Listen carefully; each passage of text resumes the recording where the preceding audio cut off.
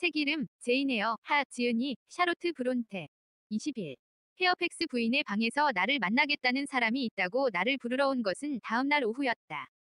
가보니 거기에는 하인 같은 풍채의 남자가 나를 기다리고 있었다. 그는 검은 상복을 입고 있었고 손에 들고 있는 모자에도 상장이 감겨 있었다. 아가씨, 아마 나를 잊으셨겠지요. 그는 일어나 나를 맞으며 말했다. 나는 리븐이라고 합니다. 당신이 8살인가 9살 때 리드 부인의 마부가 되어 지금도 거기 있습니다. 어머, 로버트. 오랜만이에요. 기억하고 말고요. 어쩌다 나를 조지아나의 밤색 말에 태워주신 적이 있었지요. 베시는 잘 있어요. 당신은 베시와 결혼하셨지요? 네, 아가씨. 고맙습니다. 두 달 전에 또 어린 게 하나 태어났어요. 이젠 아이가 셋이지요. 에미도 아이들도 잘 있습니다. 그 댁에 여러분도 잘 있나요, 로버트? 이거 별로 좋은 소식을 가지고 오지 못해서 아가씨. 요즘은 계속 어려운 일만 생겨서. 점, 점, 점, 점, 점. 그의 상복에 눈을 주면서 나는 말했다. 누가 죽은 것은 아니겠지요? 그도 상복을 보며 대답했다. 존 나으리가 런던 집에서 돌아가셨어요. 어제로 일주일이 됩니다. 존이. 네, 나으리는 꽤 방탕한 생활을 했고, 지난 3년 동안은 묘한 일에 빠지기도 했지요. 그리고 무서운 죽음을 당했어요. 배씨로부터도 별로 행동이 좋지 않다는 얘기를 들었는데, 그 정도가 아니에요. 세상에서 가장 질이 나쁜 남녀와 친구가 되어 몸도 재산도 엉망으로 만든 거예요. 빚 때문에 감옥까지 들어간 적이 있어요. 어머니가 두 번이나 구해냈는데 3주 전에는 게이트헤드로 와서 부인에게 남은 재산을 전부 달라고 했어요. 부인은 반대했지요. 런던으로 돌아갔는데 그 다음에 온 것이 죽었다는 거예요. 나는 할 말이 없었다. 무서운 소식이었다. 로버트 리브는 다시 말을 계속했다. 부인도 요즘은 건강이 좋지 않아요. 거기다 나으리가 죽었다는 소식을 듣고 그만 까무러치고 말았어요. 사흘 동안 말을 하지 못했어요. 하지만 부인이 당신 이름을 부르는 것을 베시가 간신히 알아들은 것이 어제였어요. 제인을 불러요. 제인을 데리고 와요. 할 얘기가 있어요. 라는 거예요. 일라이자님과 조오지아나님에게 상의를 했지요. 아가씨들은 처음에는 상대하지 않았어요. 하지만 부인이 정신없이 제인, 제인 했기 때문에 마침내 아가씨들도 승낙했어요. 그래서 제인님도 형편이 웬만하시면 내일 아침 일찍 가주셨으면 해서요. 네, 가겠어요. 안 갈 수가 없을 것 같아요. 나도 그렇게 생각해요, 아가씨. 배씨도 당신이 꼭 올 거라고 하더군요. 하지만 허락을 받아야 하겠지요. 네, 지금 당장 얘기를 해보겠어요. 그리고 그를 하인들이 묵는 곳으로 안내하고 나는 로체스타 씨를 찾아 나섰다. 헤어팩스 부인의 말로는 잉그람 양과 당구를 치고 있을 거라고 했다. 나는 급히 당구실로 갔다. 로체스타 씨, 잉그람 씨, 이슈턴 자매 등이 모두 이 유희에 열중하고 있었다. 꽤 용기가 필요했지만 난 잉그람 양 곁에 서 있는 주인에게로 다가갔다. 잉그람 양은 무시하는 듯한 눈길로 나를 보았다. 그 눈은 마치 이 여자가 무슨 일로 나타났을까? 하고 의심하는 듯했다. 내가 낮은 목소리로 로체스타 씨 하고 불렀을 때는 나더러 저리 가라고 명령하고 싶은 동작을 취했다. 그녀는 게임에 흥미가 있었으므로 오만한 표정을 조금도 죽이지 않았다. 저 여자 당신에게 얘기가 있어요. 하고 그녀는 로체스타 씨에게 물었다. 로체스타 씨는 저 여자가 누군가 싶어 돌아보았다. 그는 기묘하게 찡그린 얼굴을 하고 큐를 집어던지고 나의 뒤를 따라 방을 나왔다. 왜 그래요, 제인? 공부방에 들어와서 문을 닫고 기대어 서며 그는 말했다. 괜찮으시다면 한두 주간 휴가를 얻을까 해서요. 무슨 일이에요? 어디로 가는 거예요? 그래서 나는 리드 부인과의 관계, 오랫동안 가지 않은 이유, 외사촌 오빠 존의 비참한 죽음과 외숙모의 병, 그 외숙모가 나를 만나고 싶어 하고, 그래서 하인이 데리러 왔다는 얘기를 했다. 당신이 간다고 무슨 도움이 될까요?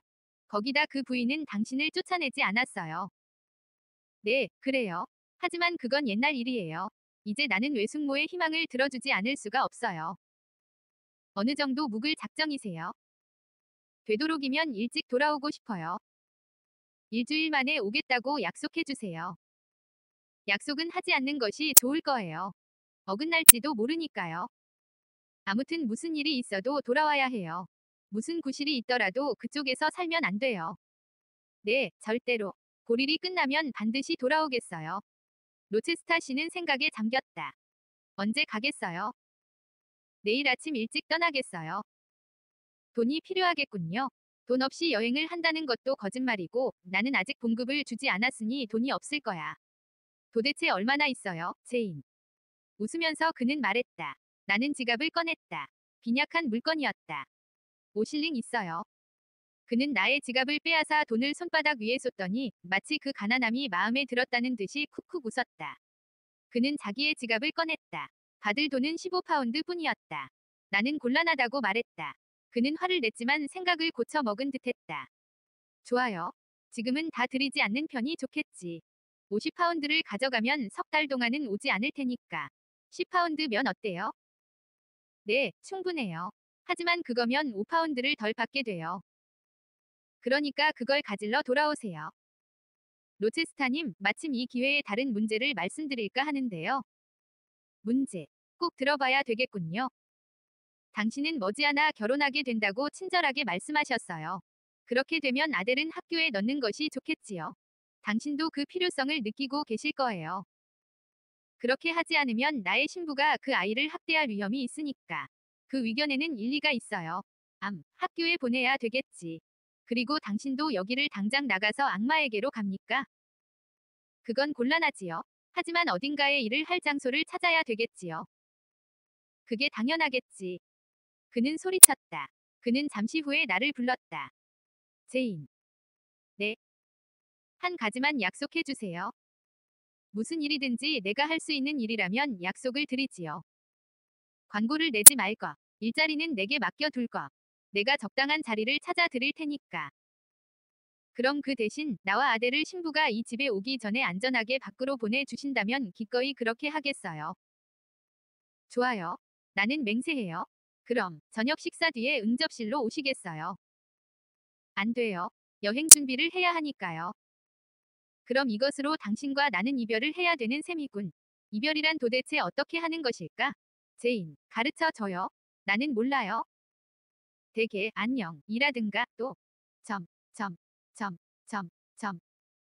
자, 그렇게 말해줘요. 안녕히 계세요, 로체스타님. 잘 다녀와요, 에어씨 결국 이것뿐인가요? 그럼요. 진정에서 나오는 말이란 하나뿐이고 그 어떤 말보다 호의를 갖고 말하는 것이니까요. 하지만 뭔가 을신연스러워 안녕. 언제까지나 이렇게 문에 기대어 있을 것인가요? 하고 나는 속으로 생각했다. 그리고 다음날 아침은 그가 일어나기 전에 나는 출발했다. 나는 5월 1일 오후 5시에 게이트헤드의 문지기네 집까지 도착했다. 나는 저택으로 가기 전에 문지기네 집으로 들어갔다. 청결하고 정리가 잘 된 집이었다. 조각이 새겨진 창에는 하얀 커튼이 걸려 있고 화덕에는 불이 잘 피고 있었다. 배 씨는 화덕가에 앉아 갓 태어난 아기를 어르고 로버트와 그의 누이는 얌전히 한쪽에서 놀고 있었다. 어머, 어머, 정말이지, 꼭 오실 줄 알았어요. 내가 들어가자 배씨는 기뻐서 소리쳤다. 그런데 배씨. 하고 나는 그녀에게 키스를 하고 말했다. 리드 부인은 어때요? 아직은 괜찮지요? 네, 아직은 괜찮아요. 의사도 앞으로 2주간은 견딜 거래요. 그 뒤에도 내 얘기를 하세요. 오늘 아침에도 당신 얘기를 하고 와 주었으면 좋겠다고 그랬어요. 하지만 지금은 자고 있어요. 내가 갔을 때는 그랬어요. 대개 오후에는 혼수 상태에 빠지듯이 자고 있지만 6시나 7시 경에는 깨어나요. 여기서 1시간 가량 쉬시다 같이 가봐요. 나는 기꺼이 그렇게 하기로 했다. 마치 어렸을 때 잠자리를 보살펴 주듯이 베시는 내 여장을 풀어주었다. 잡담을 하다 보니 1시간은 금세 지나갔다. 베시는 다시 내게 옷 입는 것을 도와주었고 그녀와 나는 저택을 향해 나섰다. 9년 전에 이 길을 내가 내려왔을 때도 베시와 함께였다. 1월의 짙은 안개가 낀 추운 아침 나는 절박하고 비참한 심정으로 세상에서도 신에게서도 버림받은 기분으로 적의 있는 지붕 밑을 떠나 멀고 낯선 땅 로우드의 춥고 추운 피난처로 향했던 것이다. 바로 지금 적에 있는 지붕이 다시 내 앞에 떠올랐다. 먼저 아침 식사실로 가세요. 배 씨는 내 앞에 서서 가며 말했다. 아가씨들이 거기 있을 테니까요. 나는 그 방에 도착했다. 모든 가구가 떠났을 때의 브로클 허스트 씨에게 소개된 아침과 마찬가지로 그대로 있었다. 살아있지 않은 물거품들은 조금도 변하지 않았지만 생명 있는 사람들은 몰라보리만큼 변해 있었다. 두 아가씨가 내 앞에 나타났다. 한 사람은 무척 키가 크고 여위고 소박한 스커트, 검은 비단 드레스, 착 달라붙게 빗은 머리, 극단적으로 금욕적인 느낌이었다. 그 갸름해진 혈색이 좋지 않은 얼굴에서는 실로 옛 모습을 찾아볼 수가 없었지만 다른 한 사람은 물론 조지아나였다. 하지만 나의 기억에 남아있는 그녀는 아니었다. 성숙하고 살집 좋은 나비년같이 하얀 젊은 여성으로 아름답게 정리된 이목구비, 괴로워하는 듯한 푸른 눈, 곱슬거리는 노란 머리를 하고 있었다. 그녀의 드레스도 검은 것이었지만 그 스타일은 언니와 많이 달랐고 언니가 청교도처럼 보인다면 이쪽은 사치한 느낌이었다. 내가 들어가자 두 사람 다 일어나서 마중했고 냉정하게 인사했다. 그리고 둘 다 나를 에어씨라고 불렀다. 리드 부인은 좀 어떠세요? 하고 나는 조지아나의 얼굴을 보면서 물었다. 리드 부인. 아, 그래? 엄마 얘기군요. 많이 약해졌어요. 오늘 밤은 당신을 만나보지 못하는 게 아닐까 생각했어요. 당신이 2층으로 가셔서 내가 온 것을 얘기해 주면 고맙겠는데. 하고 나는 말했다. 조지아나는 펄쩍 뛸 듯이 놀라며 화가 난 표정을 지었다. 밤에는 엄마가 귀찮게 구는 것을 싫어하니까. 하고 일라이자가 말했다. 나는 금세 일어나서 보네트와 장갑을 집어들고 부엌으로 가 배씨를 보고 그 부탁을 했다. 그리고 다음 조치를 취했다. 나는 외숙모를 만나기 위해 100마일이나 여행을 한 이상 그녀가 좋아지거나 아니면 세상을 떠날 때까지 그녀 곁에 있어야만 했다. 아가씨들의 거만함과 어리석음에 휘말릴 때가 아닌 것이다. 그래서 나는 가정부에게 얘기해서 내게 방을 한 칸 달라고 부탁하고 아마일 이 주간은 묵어야 될 거라고 말한 다음 그 방으로 트렁크를 옮기게 하고 뒤따라 2층으로 올라갔다. 계단 위에서 배씨와 만났다. 부인은 잠을 깼어요. 하고 그녀는 말했다. 당신이 왔다는 얘기는 했어요. 당신을 알아보시는지 잠시 같이 가볼까요? 내게 있어 그 방으로의 안내는 필요 없었다. 옛날에는 꾸중을 듣기 위해 늘 불려갔던 방이었다. 나는 배씨보다 먼저 가서 살짝 문을 열었다. 나는 침대로 다가가 커튼을 젖히고 높이 쌓인 베개 위를 보았다. 잊을 수도 없었던 리드 부인의 얼굴이었다. 나는 옛날의 이미지를 열심히 찾았다. 하지만 시간이 복수심을 부드럽게 하고 반감을 진정시켜 준다는 것은 고마운 일이었다. 나는 미움으로 해서 이 부인과 헤어졌지만 지금은 그녀의 크나큰 고통에 대한 일종의 연민과 모든 박해를 용서하고 싶다는 소원 친구로서 화해하고 악수하고 싶다는 소원 외에 다른 아무런 마음 없이 돌아온 것이다. 그녀는 거기 있었다. 옛날 그대로의 무섭고 무자비한 얼굴. 그 날카로운 윤곽을 쫓는 나의 마음에 유년시대의 두려움, 슬픈 추억 같은 것이 강하게 되살아올 것인가. 나는 허리를 굽혀 그녀에게 키스했다. 그녀는 나를 보았다. 네가 제인 에어니. 하고 그녀는 말했다. 네, 외숙모님. 기분은 어떠셔요, 외숙모님? 나는 일찍이 이 여자를 다시는 외숙모라고 부르지 않겠다고 맹세한 적이 있었다. 지금 그 맹세를 잊고 또 깨트리는 것은 결코 죄가 아닐 것이다. 나는 시트 밖으로 나와 있는 그녀의 손을 잡고 있었다. 리드 부인은 손을 놓고 내 얼굴을 보지 않으려는 듯이 오늘 밤은 유난히 따뜻하다고 말했다. 다시 그녀가 나를 보았을 때 그 눈길이 너무 냉정해서 나에 대한 그녀의 마음이 변하지 않았다는 것 또 변할 수도 없다는 것을 깨달았다. 그녀의 돌과 같이 차가운 눈, 상냥함을 모르고 눈물로써도 녹지 않을 그 눈으로 해서 나는 그녀가 최후까지 나를 나쁘게 생각하는 것을 깨달았다. 나는 고통을 느꼈고 다음에는 노여움을 느꼈다. 그리고 다음 순간 나는 그런 것에 져서는 안 된다고 생각했다. 그녀의 성질과 의지, 이 두 가지가 어떻든 간에 그녀의 여주인이 되어 져야겠다고 결심했다.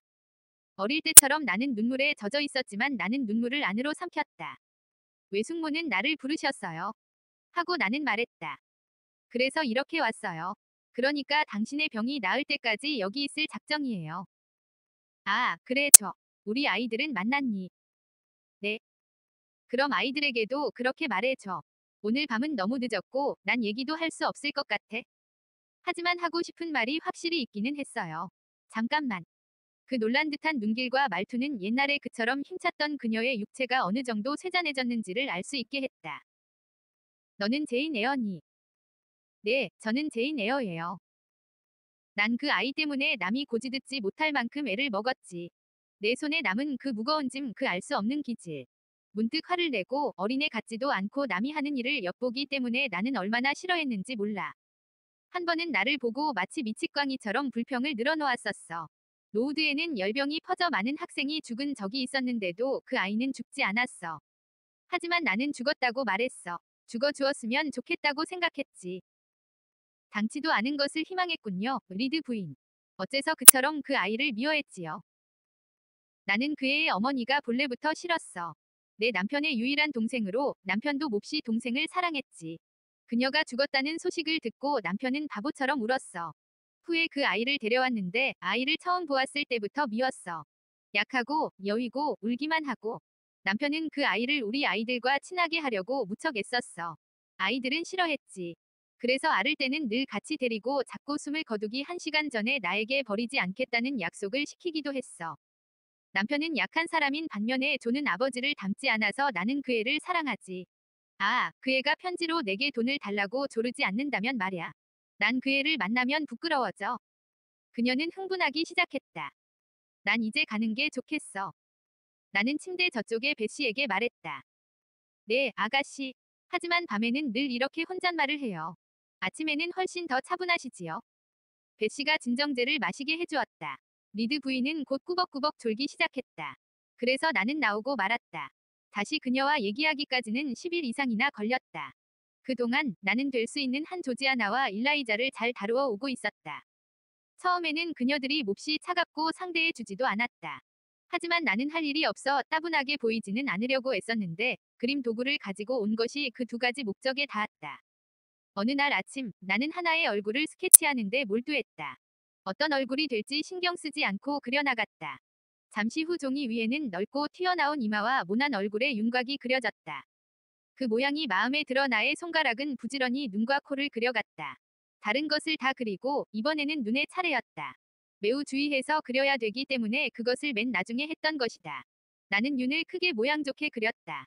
눈동자는 크고 빛나고 있었다. 잘 됐어? 하지만 아직 멀었어. 그림을 관찰하며 나는 생각했다. 힘과 전기가 아직 모자라. 그래서 나는 음영을 짙게 하고 명암을 더욱 밝게 했다. 지금 나는 어떤 가까운 사람의 얼굴을 내 눈앞에 두게 되었다.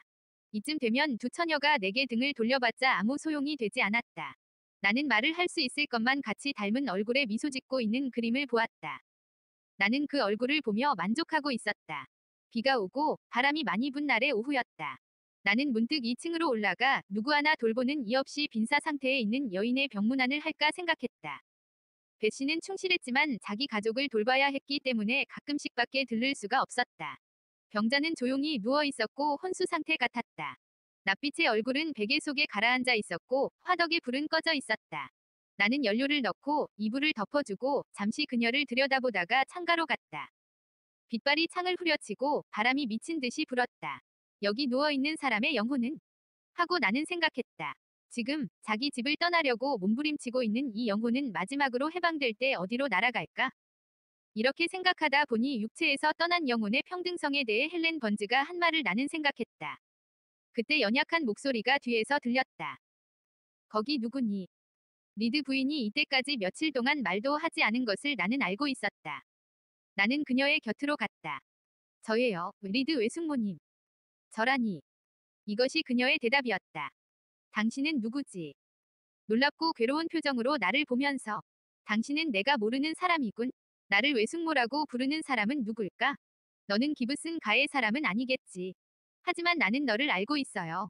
그 얼굴, 그 눈과 이마는 내 눈에 익숙해요. 너는 저, 점, 점, 점, 점, 점. 아니, 제인 에어를 닮았어. 그래서 나는 공손히 내가 당사자임을 확인시키려 했다. 그리하여 그녀는 비로소 나인 줄을 알았고 나를 데려오기 위해 베시가 남편을 보냈더라는 얘기를 했다. 나는 말야 병이 아주 무거워졌어. 이윽고 그녀는 말했다. 나도 죽기 전에 마음을 평안히 하고 싶어. 건강할 때는 생각도 나지 않던 것이 지금의 나처럼 되고 보니 마음의 짐이 되니까. 간호사는 여기 있니? 아니면 방 안에는 너 혼자 있니? 나는 지금 둘만 있다고 얘기했다. 그래, 그런데 말야. 나는 너에게 두 번이나 심한 일을 했어. 그걸 후회하고 있어. 하나는 내 자식들과 마찬가지로 너를 키우겠다고 남편에게 맹세한 것을 깨뜨렸어.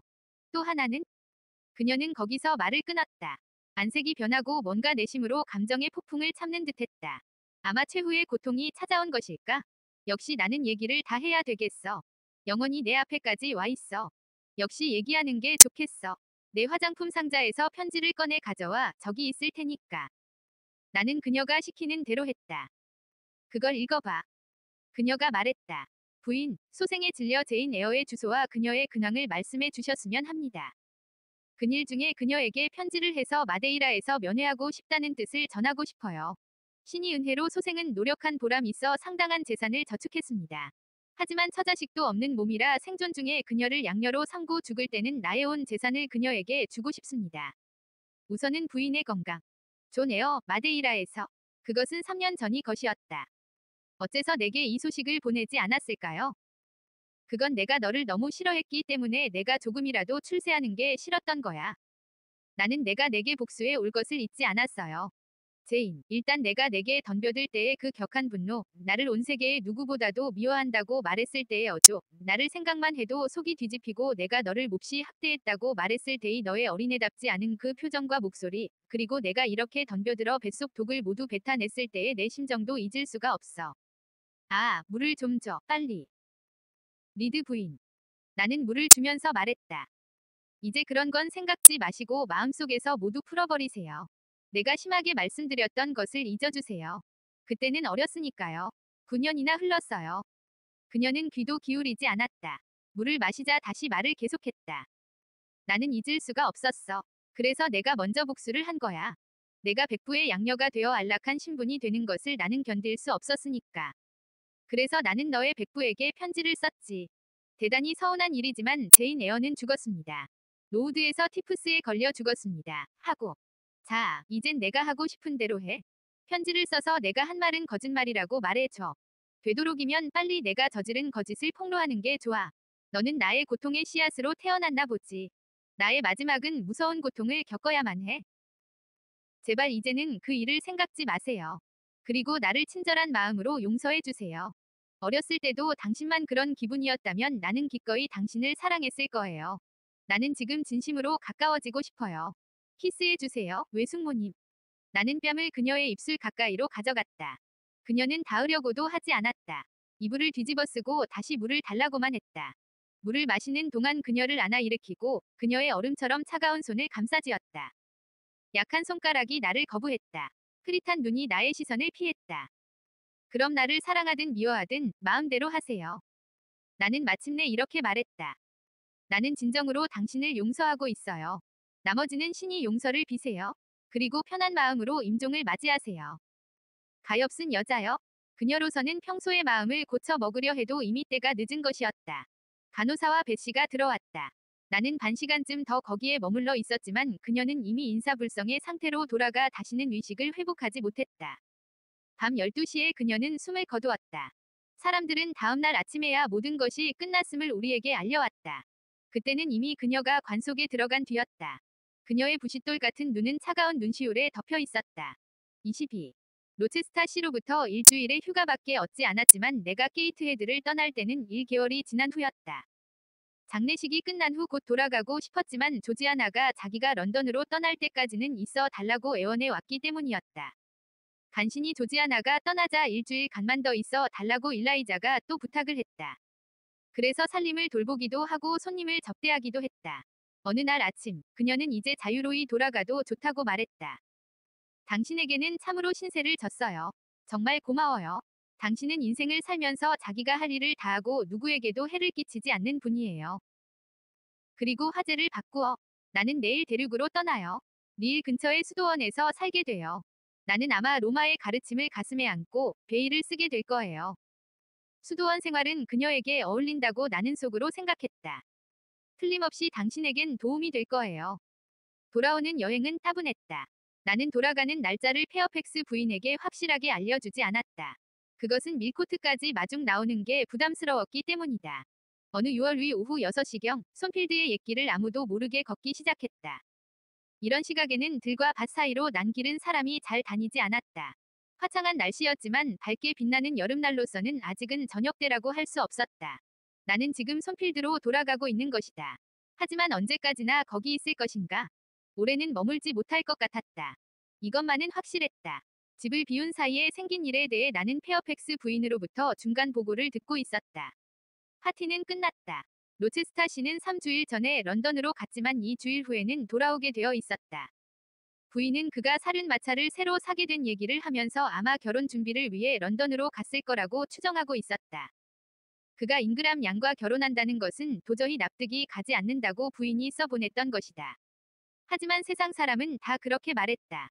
내 눈으로 보아도 결혼이 임박해지는 것은 의심할 여지가 없었다. 행선지가 차츰 가까워지는 것이 나는 기뻤다. 너무 기쁜 나머지 나는 일단 걸음을 멈추고 이 기쁨은 무엇을 뜻하는가 가만히 자문해 보았다. 이제부터 가는 곳은 내 집도 아니고 쉴 수 있는 곳도 아니면 사랑하는 사람이 내가 돌아오기를 기다리고 있는 곳도 아니었다. 물론 페어팩스 부인은 웃는 얼굴로 맞아줄 거야. 나는 생각했다. 그리고 어린 아델은 손뼉을 치며 내게로 달려오겠지. 하지만 청춘이란 것보다 더 한결같은 것이 있을까? 무경험일수록 맹목적인 것이 있을까? 이 두 가지가 다시 한번 로체스타 씨를 볼 수 있는 특권을 가지고 있다는 것은 그쪽이 관심을 가져준다는 것은 별도로 하고도 결국은 기쁜 일이 아니겠는가. 자, 빨리 가자. 그분의 곁에 있는 동안은 어차피 앞으로 몇 달 아니 몇 주 후에는 영원히 헤어져야 하지 않는가.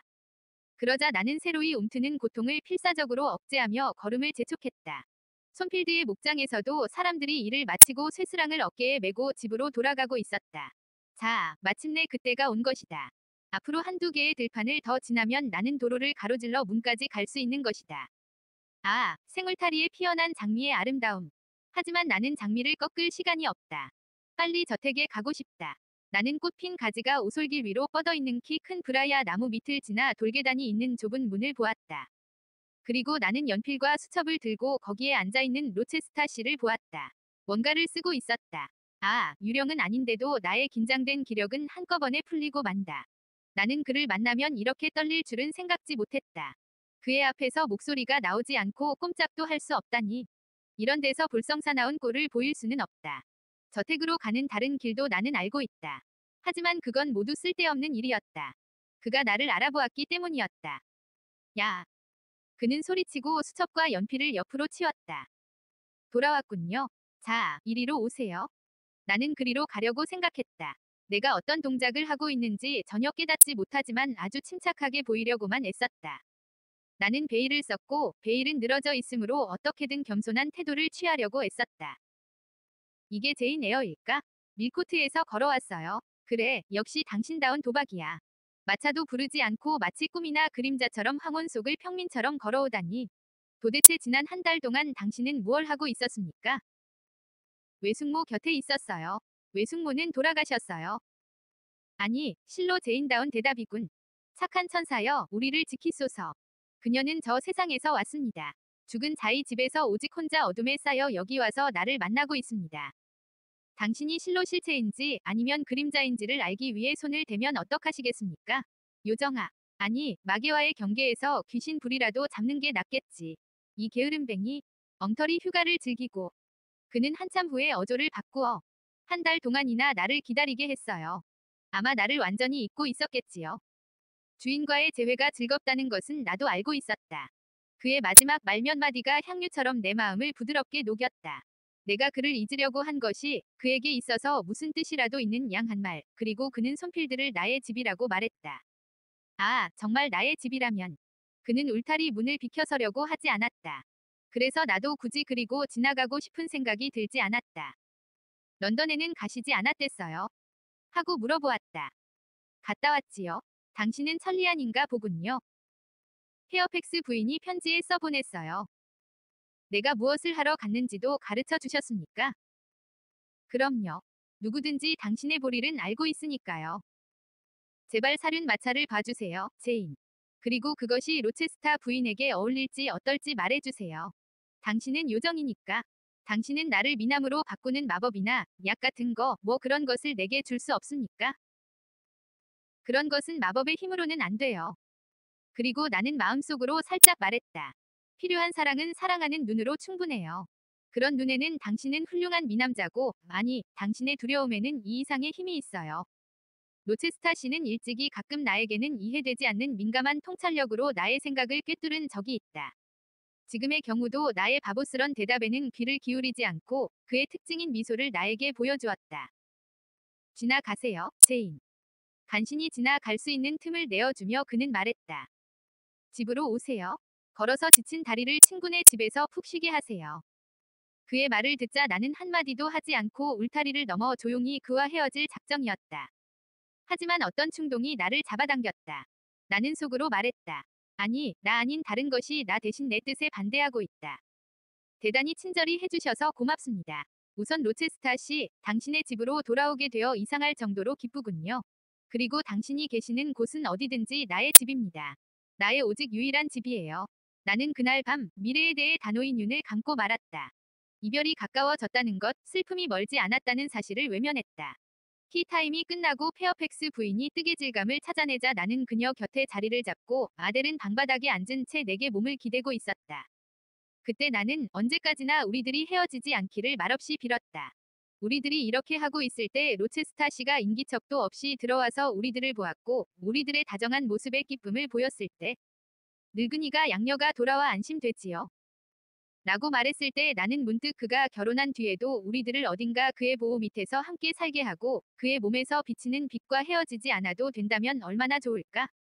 하는 희망을 갖고 싶어졌다. 내가 손필드에 돌아온 이 주간의 모호한 평온이 뒤에도 계속되었다. 주인의 결혼에 대해서는 아무런 얘기도 없고 또 아무런 준비도 되어 있지 않았다. 오직 한 가지 나를 놀라게 한 일이 있었다. 그것은 잉그람 파크의 왕복 여행이나 방문이 전혀 없다는 사실이었다. 나는 내가 허락하지 않는 희망을 갖기 시작했다. 혼담은 깨졌다. 소문은 틀림없다. 나는 주인의 얼굴이 화가 난 얼굴인지 슬퍼하는 것인지 알려고 했지만 그 당시만큼 밝고 명랑한 그의 얼굴을 본 적이 없다. 그가 나를 이 무련만큼 번번이 자기 곁으로 부른 것도 내가 또 그를 그처럼 사랑한 것도 일찍이 없었던 일이었다. 23. 한여름의 태양이 온 잉글랜드의 찬연이 빛나고 있었다. 맑은 하늘, 아름다운 햇살이 이처럼 오래 계속되고 있음을 본 일은 파도에 둘러싸인 우리의 국토에서는 드문 일이었다. 건초는 이미 다 거두어지고 도로는 하얗게 말라갔다. 나무들은 지금이 한창이었고 생울타리도 숲도 잔뜩 우거져 목장의 밝은 풀빛과 대조적이었다. 한여름 밤 한나절 동안 헤이렌에서 들딸기를 따다 지친 아델은 해가 지자 곧 자리에 누웠다. 나는 뜰로 나섰다. 그것은 24시간 중에도 가장 상쾌한 시각에는 지고 안개가 서서히 피어오르는 들. 태양이 화려한 구름을 가라앉혀 간 자리, 한 개의 언덕 위에 한 점의 홍옥이 번쩍거렸고, 자결하는 화덕의 불꽃이 피자, 다시 높게, 그리고 연하게 하늘을 반쯤 가린 엄숙한 자색이 퍼지고 있었다. 나는 돌을 깐 길 위를 조금 걸었다. 거기에 은근히 정든 향기 관련해 가 어느 창에서 스며 나오고 있었다. 서재의 창이 반쯤 열려 있었다. 그리고부터 나는 감시받고 있었던 모양이었다. 그래서 나는 과수원으로 갔다. 이곳처럼 나를 독립시켜주고 에덴 동산을 닮은 곳은 없다. 월계수가 빙둘러 선 곳까지 오니 밑둥에는 벤치로 둘러싼 거대한 마로니에 나무가 있다. 거기서 나는 문득 걸음을 멈췄다. 또 다시 그 냄새의 로체스타 씨의 담배 냄새가 났던 것이다. 그는 마침 내가 가려던 나무 숲으로 통하는 문을 들어서고 있는 참이었다. 나는 담쟁이 덩굴이 무성한 그늘 속으로 몸을 숨겼다. 그는 천천히 발걸음을 옮겨 나무 열매와 꽃 따위에 시선을 주고 있었다. 한 마리의 커다란 모기가 내 옆을 스쳐 날아 로체스타 씨의 발밑 풀 위에 앉았다. 그것을 보자 그는 가만히 허리를 굽혔다. 기회다 하고 나는 생각했다. 내게서 등을 돌리고 그가 모기에게 정신을 팔고 있는 사이에 빠져나가면 그는 미처 눈치채지 못할 것이다. 나는 소리를 내지 않기 위해 잔디 위를 걸었다. 그는 불과 이 야드 떨어진 화단가에 있었다. 그는 완전히 모기에서 정신을 빼앗기고 있는 것 같았다. 달빛을 받아 그의 그림자가 화원 위에 길게 드리워져 있었다. 그것을 밟고 넘으려는 순간 몸을 돌아보지도 않고 그가 조용히 입을 열었다. 제인, 이놈을 좀 봐요. 도대체 그의 그림자에는 감각이라도 달려있는 것일까? 나는 조금도 소리를 내지 않았는데.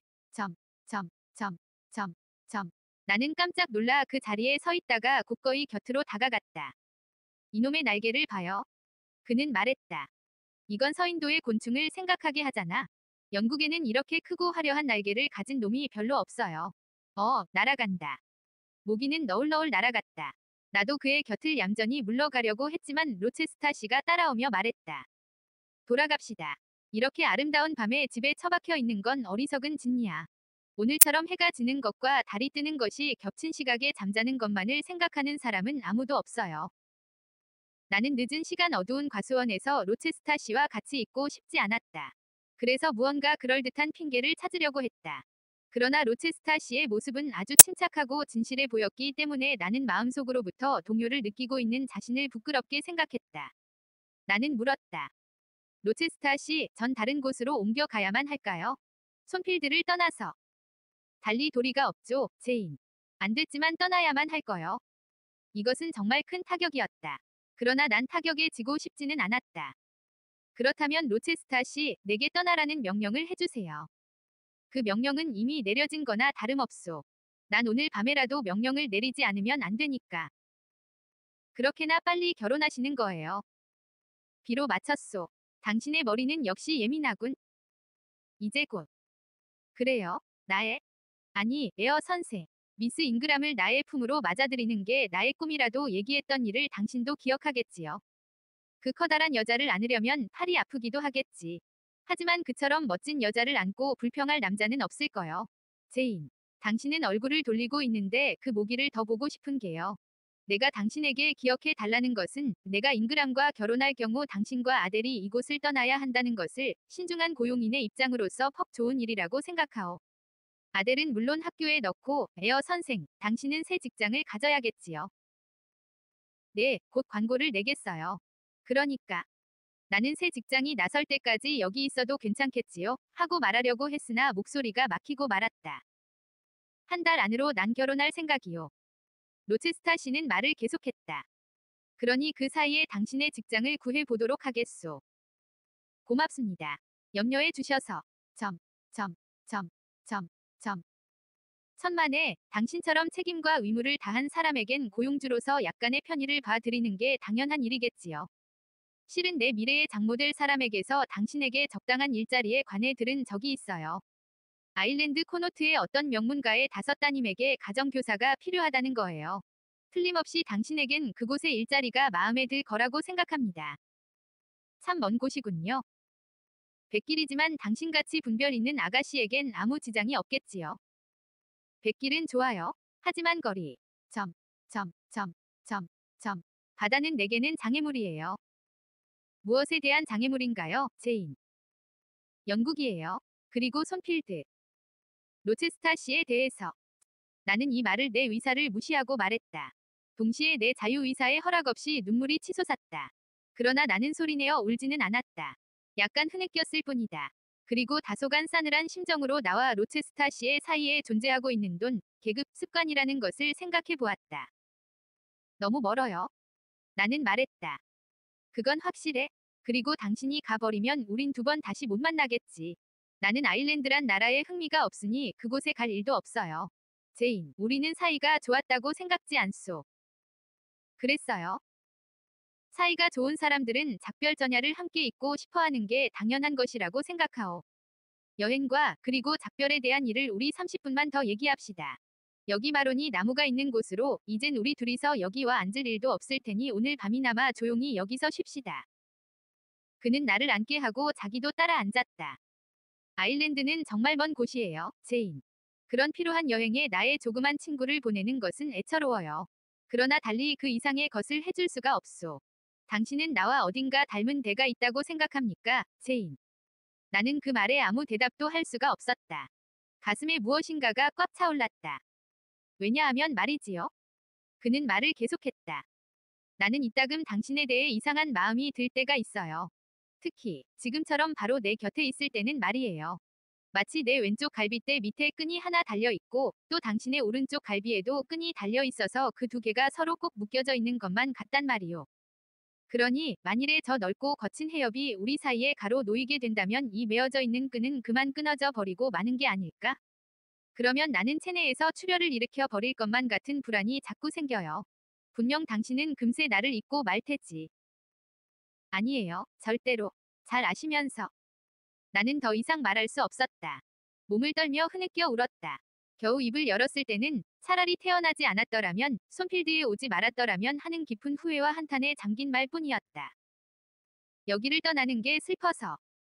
마음속의 슬픔과 사랑으로 불러일으켜진 격정의 불길은 모든 것을 멋대로 하려고 마음껏 몸부림쳤다. 5월자로서의 권리를 주장하고 극복하고 살려고 버둥거리고 그리고 마침내는 완전히 정복하여 아 말하는 권리를 주장했다. 떠나는 것이 슬퍼요. 손필드를 사랑하고 있어요. 이곳에서 만족하고 기쁨에 넘치는 생활을 나는 하고 있어요. 저는 짓밟히거나 돌멩이처럼 감정이 없어져 버리지도 않았어요. 존경하는 사람들과 얼굴을 마주하고 얘기를 했어요. 제가 가까워지고 싶던 분 독창적이며 늠름하고 포용력이 있는 분과 그래요. 당신을 알게 된 거예요. 당신으로부터 기필코 영원히 떠나야 한다는 것은 정말 슬프고 괴로운 일이에요. 하지만 죽지 않으면 안 되는 것과 마찬가지로 이별을 하는 건 어쩔 수 없는 일이지요. 그렇게 하지 않으면 안 된다는 것은 무슨 뜻입니까? 어쩌면 로체스타 씨, 당신이 분명히 그렇게 의도했어요. 어떤 형태로? 미스 잉그람이라는 형태로 고귀하고 아름다운 여성을 신부로 맞는다는 것으로서. 나의 신부. 어떤 신부 말입니까? 내겐 신부가 없어요.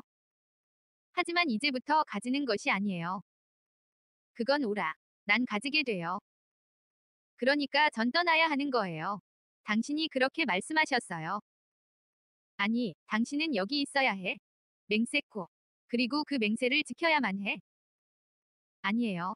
전 가야만 한다고 분명히 말하는 거예요. 나는 격정에 쫓기듯 큰 소리로 말했다. 당신에게 있어 이제 아무 의미가 없는 존재가 된 이상 나는 여기 있을 수가 없어요. 저를 감정이 없는 자동 인형으로 아세요. 감정이 없는 기계로. 입으로부터는 빵을, 손으로부터는 삶에 필요한 한 잔의 물을 빼앗기고도 더 참을 수 있다고 생각하세요. 가난하고 신분도 낮고 또 못생긴 조그만 여자라고 해서 저를 영혼도 감정도 없는 인간으로 아셨나요? 그렇다면 저를 잘못 아신 거예요. 제게도 당신 못지않은 영혼과 감정이 있어요. 만일 하느님께서 얼마간의 아름다움과 풍부한 재산을 베푸셨더라면 제가 당신 곁을 떠나는 것을 괴로워하는 것처럼 당신 역시 저와 헤어지는 것을 괴로워하도록 해주셨을 거예요.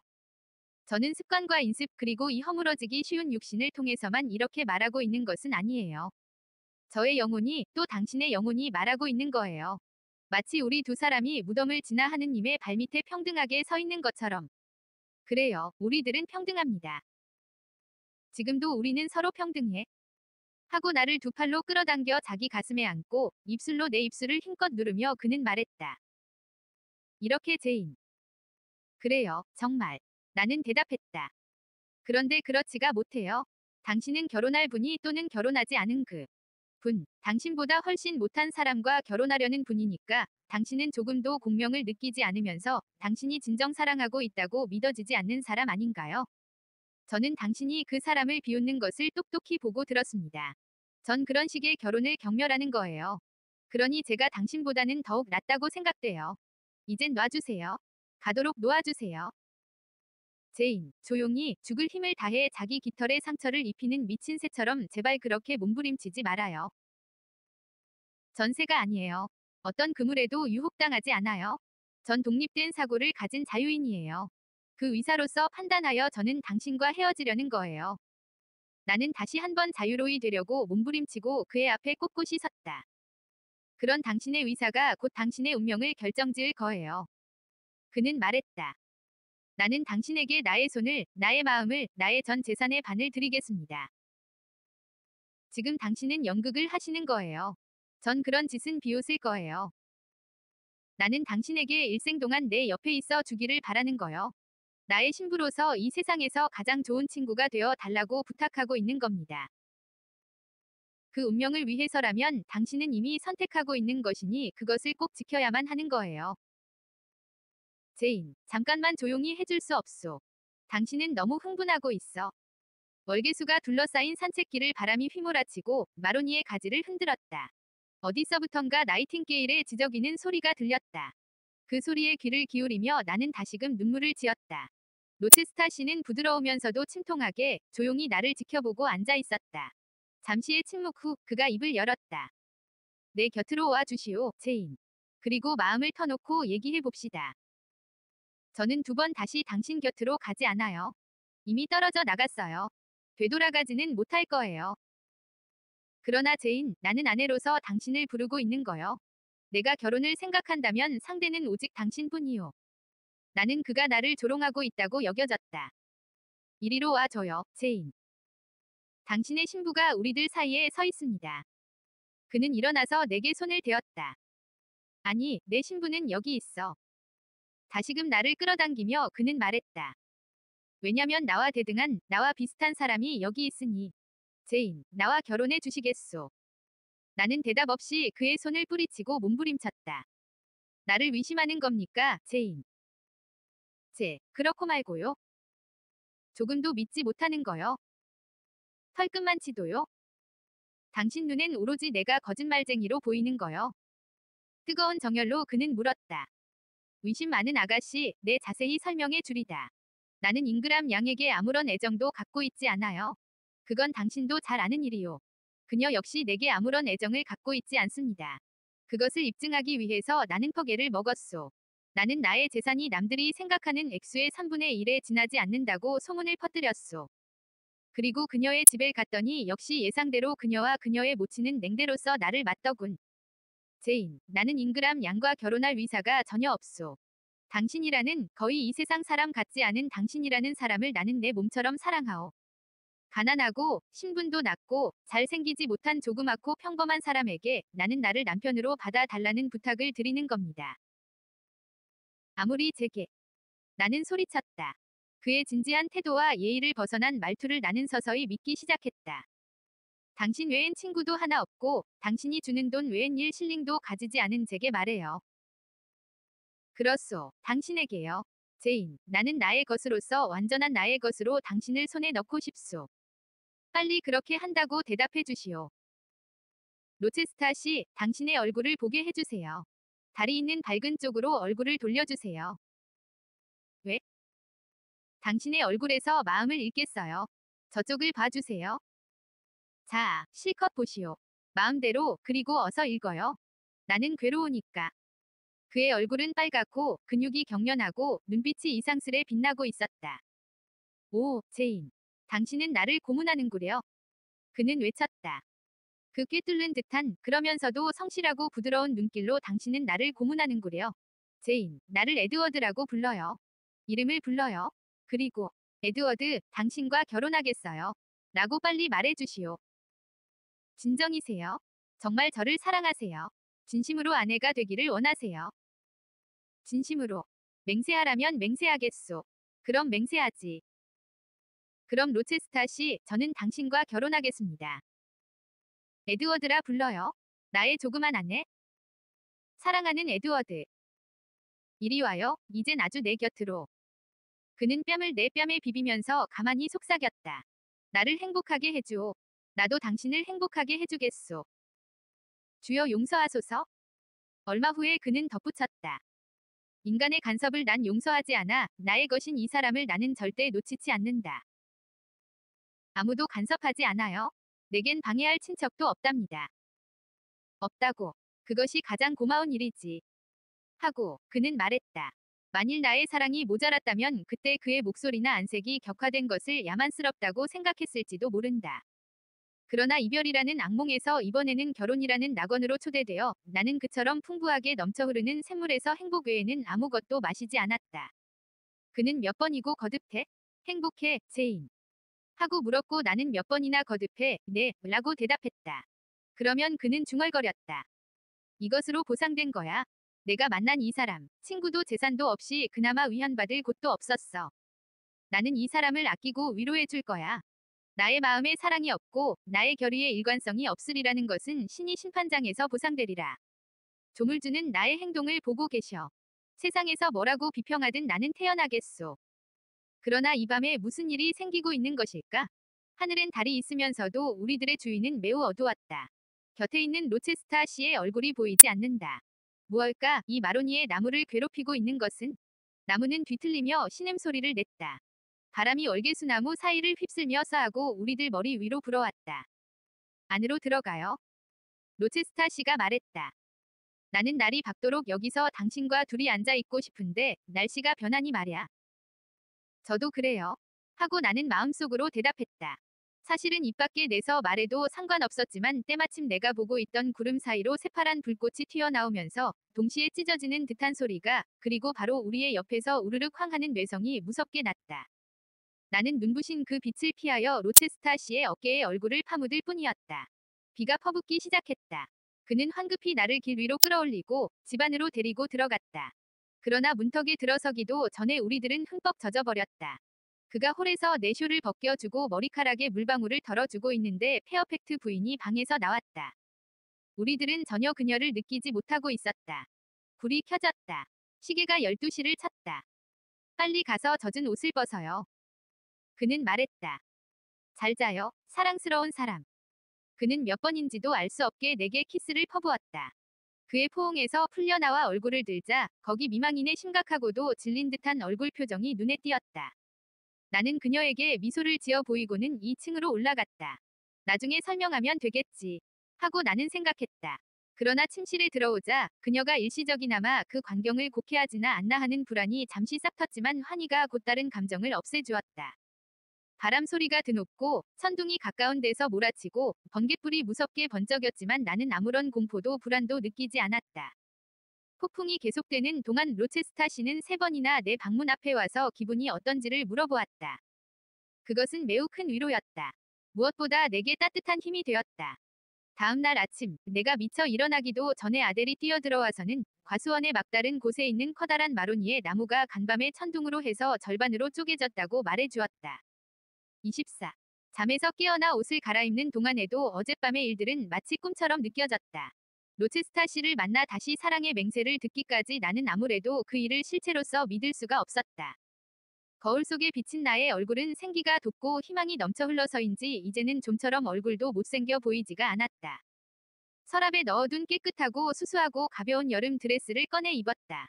그 옷은 정말 다른 그 언제보다도 내게 잘 어울리는 것 같았다. 왜냐면 나는 이토록 행복에 젖어서 옷을 입은 적이 없었기 때문이었다. 에어 선생, 아침 식사예요. 하고 페어팩스 부인이 다소 슬퍼 보이는 얼굴을 하고 무거운 목소리로 나를 불렀다. 그러나 식사를 하는 동안에도 나는 그녀에게 아무것도 설명할 수가 없었다. 나나 그녀 역시 로체스타 씨가 설명할 때까지 기다려야만 하는 것이다. 나는 식사가 끝나자 서둘러 2층으로 올라갔다. 아델이 공부방에서 나왔다. 공부 시간인데 어딜 가니? 아저씨가 나더러 어린이 방에 있으랬어요. 어디 계시는데? 여기. 나는 아델이 가리킨 공부방으로 들어갔다. 그가 서 있었다. 자, 내게 아침 인사를 해줘요. 나는 주저없이 그에게 다가갔다. 그는 인사의 말 따위나 악수가 아닌 따뜻한 포옹과 키스로 나를 반겼다.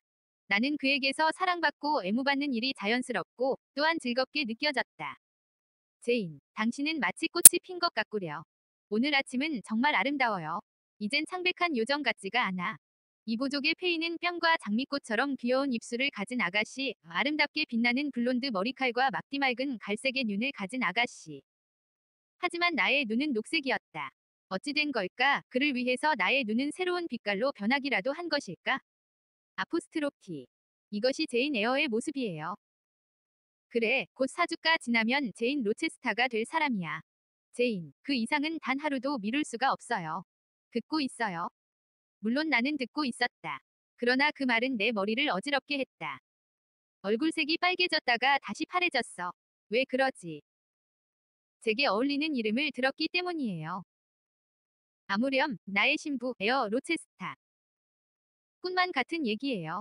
이 세상에서 완전한 행복을 누릴 수 있는 인간이 있다니. 오, 그런 행복이 오리라고 상상도 못했어요. 그건 한낮의 꿈이에요. 사실이요.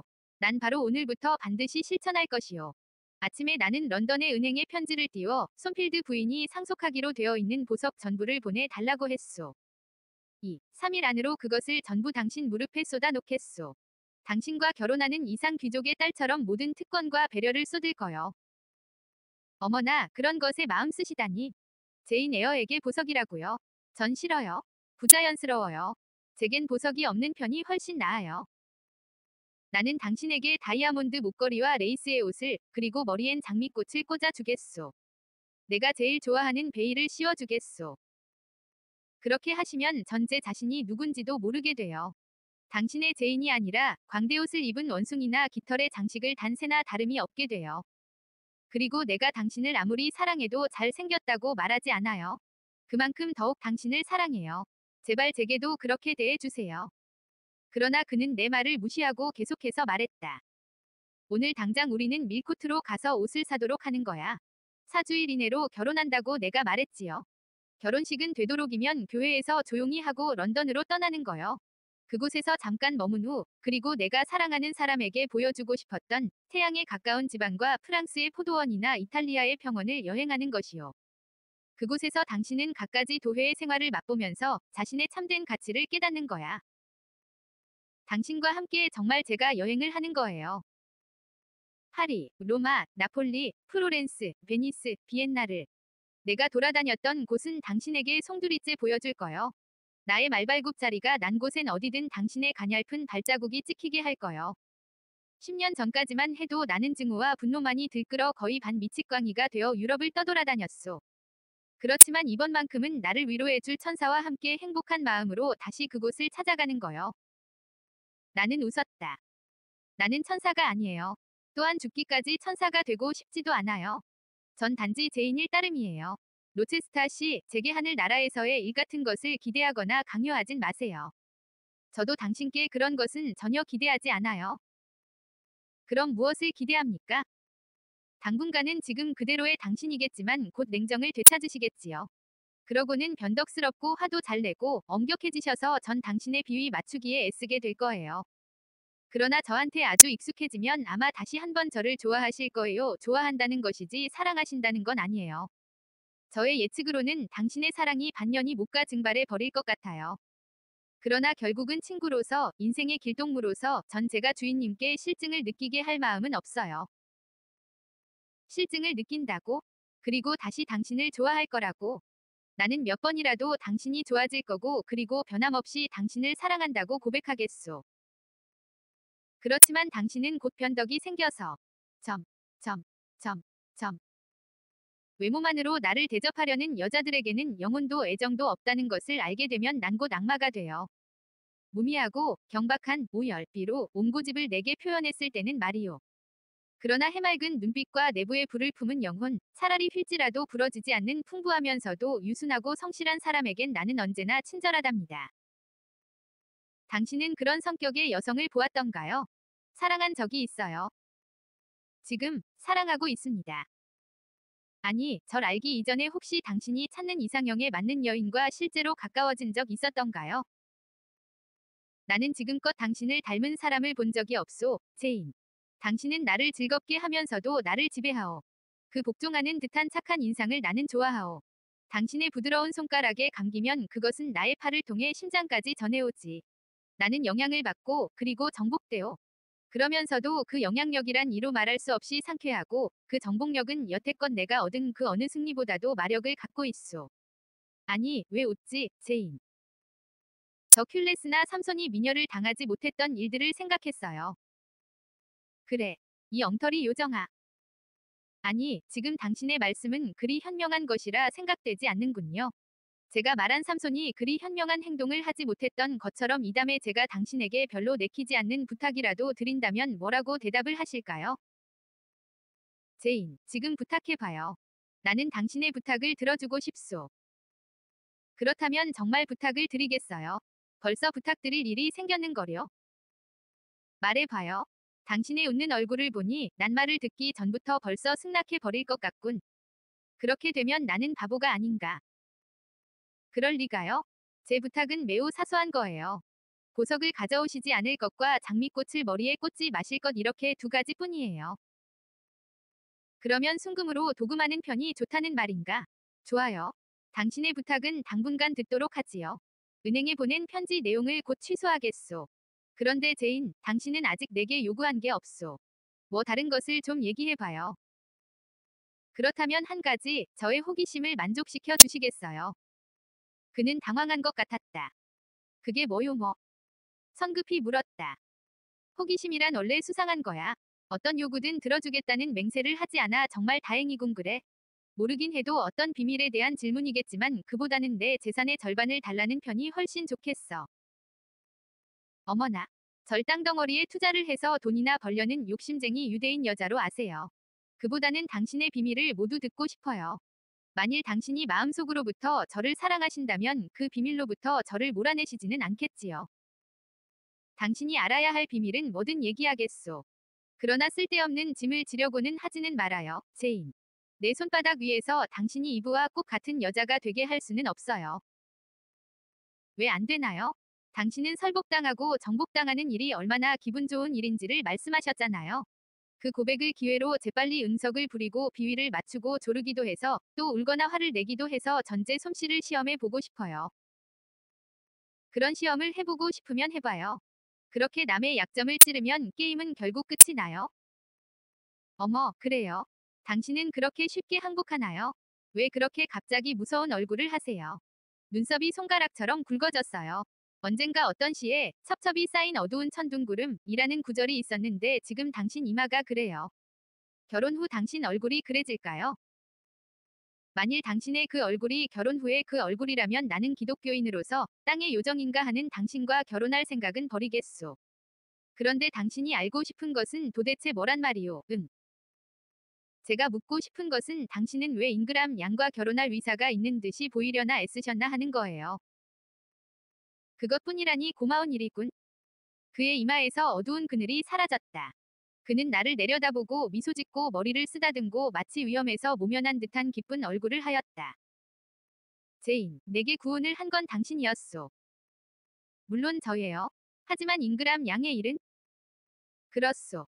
내가 잉그람 양에게 구원한 채 한 것은 내가 당신을 미친 듯이 사랑하는 것처럼 당신 역시 나를 사랑하도록 만들려는 거였소.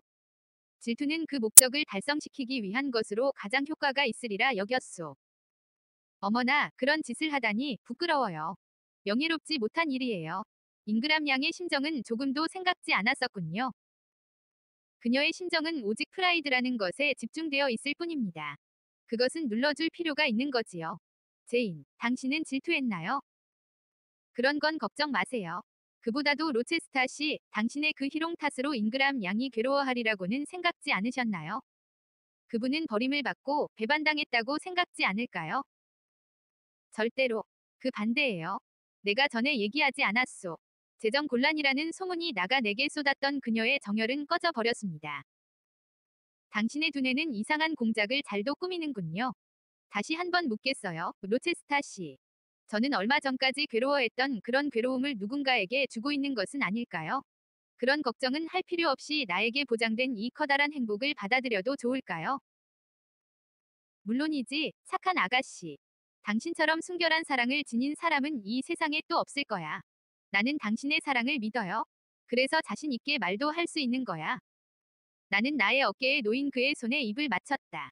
나는 이루 형언할 수 없을 만큼 그를 사랑했다. 나 자신도 못 믿을 정도로. 졸림을 받는 건 즐거운 일이야. 다른 걸 더 요구해봐요. 얼마 후에 그가 말했다. 나는 다시금 요구할 일을 생각해냈다.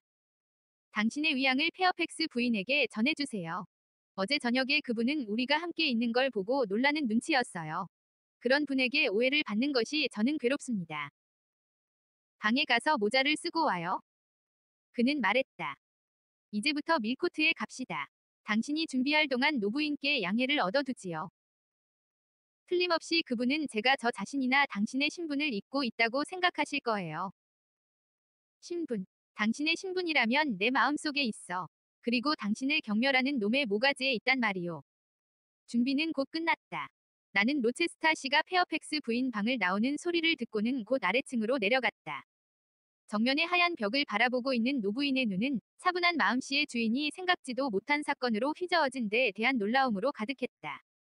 그녀는 나를 보자 일어서서 약간 어색한 웃음을 띠며 무언가 축하의 말 같은 것을 하려고 했다. 그러나 미소는 사라지고 말은 꼬리가 잘렸다. 정말로 놀랐어요. 그녀는 말하기 시작했다. 뭐라고 해야 좋을지 모르겠어요. 미스예요. 분명 꿈은 아니지요. 가끔 나는 깜박잠이 들어서 전혀 듣지도 않은 일들을 공상하는 때가 있어요. 아무튼 사실대로 말해줘요. 당신에게 로체스타 씨가 구원을 한 건 사실인가요? 웃지는 말고요. 글쎄 주인님은 5분 전에 이리로 오셔서 한 달 내게 당신을 아내로 맡겠다는군요. 로체스타 씨는 제게도 그렇게 말씀하셨어요. 하고 나는 대답했다. 그러세요. 그래 당신은 그 말을 정말로 믿고 승낙하셨나요? 그녀는 어이없다는 표정으로 나를 찬찬히 관찰했다. 그리고 그녀는 그 의문을 풀 수 있는 강력한 매력을 어느 곳에서도 발견하지 못했다는 것을 나는 알았다. 내 머리론 도저히 상상이 가지 않는군요. 그녀는 계속해서 말했다. 하지만 당신이 그렇게 말하는 이상 의심 없는 사실이군요. 그 결과가 어떻게 될지는 나로서는 알 길이 없어요. 결혼에 있어선 신분이나 재산이 대등해야 됨은 물론 또 당신들 두 분은 스무 살이라는 나이 차가 있잖아요. 말하자면 아버지뻘이죠. 그런 것은 걱정 마세요, 부인. 나는 답답해서 소리쳤다. 로체스타 씨는 스물다섯 살 정도로 젊어 보이고 또 실제로도 그렇게 젊으세요. 당신과 결혼하려는 건 정말로 사랑하기 때문인가요? 나는 그녀의 냉정함과 의심이 깊은데 너무나 마음이 상해 눈에 눈물이 고였다. 당신을 슬프게 하는 건 안 됐지만 점, 점, 점, 점, 점 하고 페어팩스 부인은 더 다그쳐 말했다. 당신은 너무 젊어서 남자라는 걸 몰라요. 그러니 조심해야지요. 왠지 이번 일엔 아무도 예기치 못한 일이 생기지 않을까 염려되는군요. 그렇다면 내가 도깨비라도 된단 말씀이세요. 로체스타 씨가 제게 애정을 느끼는 건 있을 수 없는 얘기라는 말인가요? 그런 말이 아니에요. 당신은 참 좋은 사람이고 또 요즘 몰라보게 아름다워졌어요. 그리고 로체스타 씨는 분명히 당신을 좋아하세요. 그것이 너무 눈에 띄일 정도여서 나는 오히려 당신이 염려되었어요. 그리고 당신이 스스로 자제해 줬으면 하고 바랐어요. 어젯밤 집안을 모조리 뒤졌어도 두 분 다 보이지 않았기 때문에 얼마나 걱정했는지 몰라요. 그런데 12시가 되어서 당신과 주인님이 함께 들어오시겠지요. 이젠 그런 건 걱정 안 하셔도 좋아요. 나는 답답해서 말을 중단시키려고 했다. 아무것도 잘못된 일은 없으니까요. 나는 끝까지 만사가 순조롭기를 바래요. 하지만 주인님 같은 신분의 사람이 가정교사와 결혼한다는 것은 보기 드문 일이니 걱정이 돼요. 나는 그만 화가 치밀었다. 이때 존이 와서 마차가 준비됐다고 알려왔다. 그러나 밀코트에서의 시간은 나를 다소 귀찮게 했다. 로체스타 씨는 나를 비단옷 가게로 데리고 가서 여러 벌의 옷을 고르게 했다. 내 부탁에 두 벌로 줄일 수 있었지만 그는 이번엔 그 두 벌을 자기가 직접 고르겠노라고 나섰다. 그는 가장 화려한 자수정 색깔의 비단 드레스와 핑크색 새틴에 눈길을 주었다. 나는 다시 몇 번을 귀뜸하여 그런 것은 골라주어도 입을 용기가 없다고 말했다. 어쨌든 그는 굉장한 고집불통이었기 때문에 한참이나 애를 먹은 후에야 겨우 수수한 은회색의 비단과 검은색 사탱으로 바꿀 수 있었다. 그는 말했다. 오늘만은 당신의 말을 듣겠어. 하지만 나는 역시 눈부신 꽃밭 같은 당신이 보고 싶어요. 비단옷 가게에서 겨우 그를 끌어내고 다시 보석상에서 끌어냈을 때에야 나는 비로소 안도의 한숨을 쉬었다. 그가 물건을 많이 사면 살수록 나는 거북함을 느꼈다. 열이 오르는 것처럼 지쳐버린 몸을 마차의 좌석에 묻고 돌아오는 길에서 나는 문득 여태껏 까맣게 잊고 있던 한 가지 일이 생각났다. 나의 친척이 되는 존 에어가 리드 부인에게 보낸 편지, 그가 날 양녀로 하여 유산을 물려주고 싶어 한다는 일이다. 나는 마음속으로 생각했다. 그렇게 되면 그것은 구원이야. 내가 아무리 보잘것없어도 자립은 할 수가 있잖아. 로체스타 씨에게 인형처럼 사치의 대상이나 되고 황금빛이나 뒤집어 쓰고 있는 제2의 다나에로는 되기 싫다. 마데이라에 편지를 써야지. 존 아저씨에게 결혼을 알리고 그 상대를 알리는 거야. 만일 내가 언젠가는 상속할 재산이 있다는 생각을 하면서 시집을 간다면 지금 이분의 신세를 진다 해서 그리 큰 부담이 될 것은 없어. 이런 생각이 어느 정도 위안을 주었고 나는 그날로 이 생각을 실행에 옮겼다. 나는 나의 사랑하는 주인의 얼굴을 볼 용기가 생겼다. 그는 미소를 지었다. 그의 미소는 마치 즐겁고 기분이 좋은 회교도의 군주가 노예에게 황금이며 보석 따위를 줄 때의 그것과 같아 보였다. 나는 화가 나서 쉴 새 없이 내 손을 찾아 더듬거리는 그의 손을 빨개질 정도로 꽉 붙잡아서 그의 쪽으로 휙 밀어붙였다. 그는 웃으면서 손을 비볐다. 어쨌거나 난 당신의 뜻대로야, 제인. 저는 다만 편안한 마음을 가지고 싶을 뿐이에요. 복잡한 의무감은 싫은 거예요. 당신은 셀린느 바렌에 대해서 말씀하신 걸 기억하세요. 다이아몬드나 캐시미어의 천을 준 걸 말해요. 저는 당신의 영국제 세린느 바렌이 되진 않아요. 전 아델의 가정교사로 행동할 거예요. 다만 그것으로서 집과 식사와 또 연봉 30파운드 위 급료를 벌겠어요. 그 돈으로 제 옷을 사고 당신에게선 점, 점, 점, 점, 점. 내게는 점, 점, 점, 점, 점. 물음표. 당신의 마음을 받으면 그걸로 충분해요. 그 보답으론 제 마음을 드리니까요. 그걸로 빚은 상쇄되는 거예요. 흠, 그 냉정한 거만과 순수한 자존심에 있어선 아마 아무도 당신을 당할 수 없겠소. 마차는 손필드에 가까워졌다. 오늘 나와 함께 식사합시다.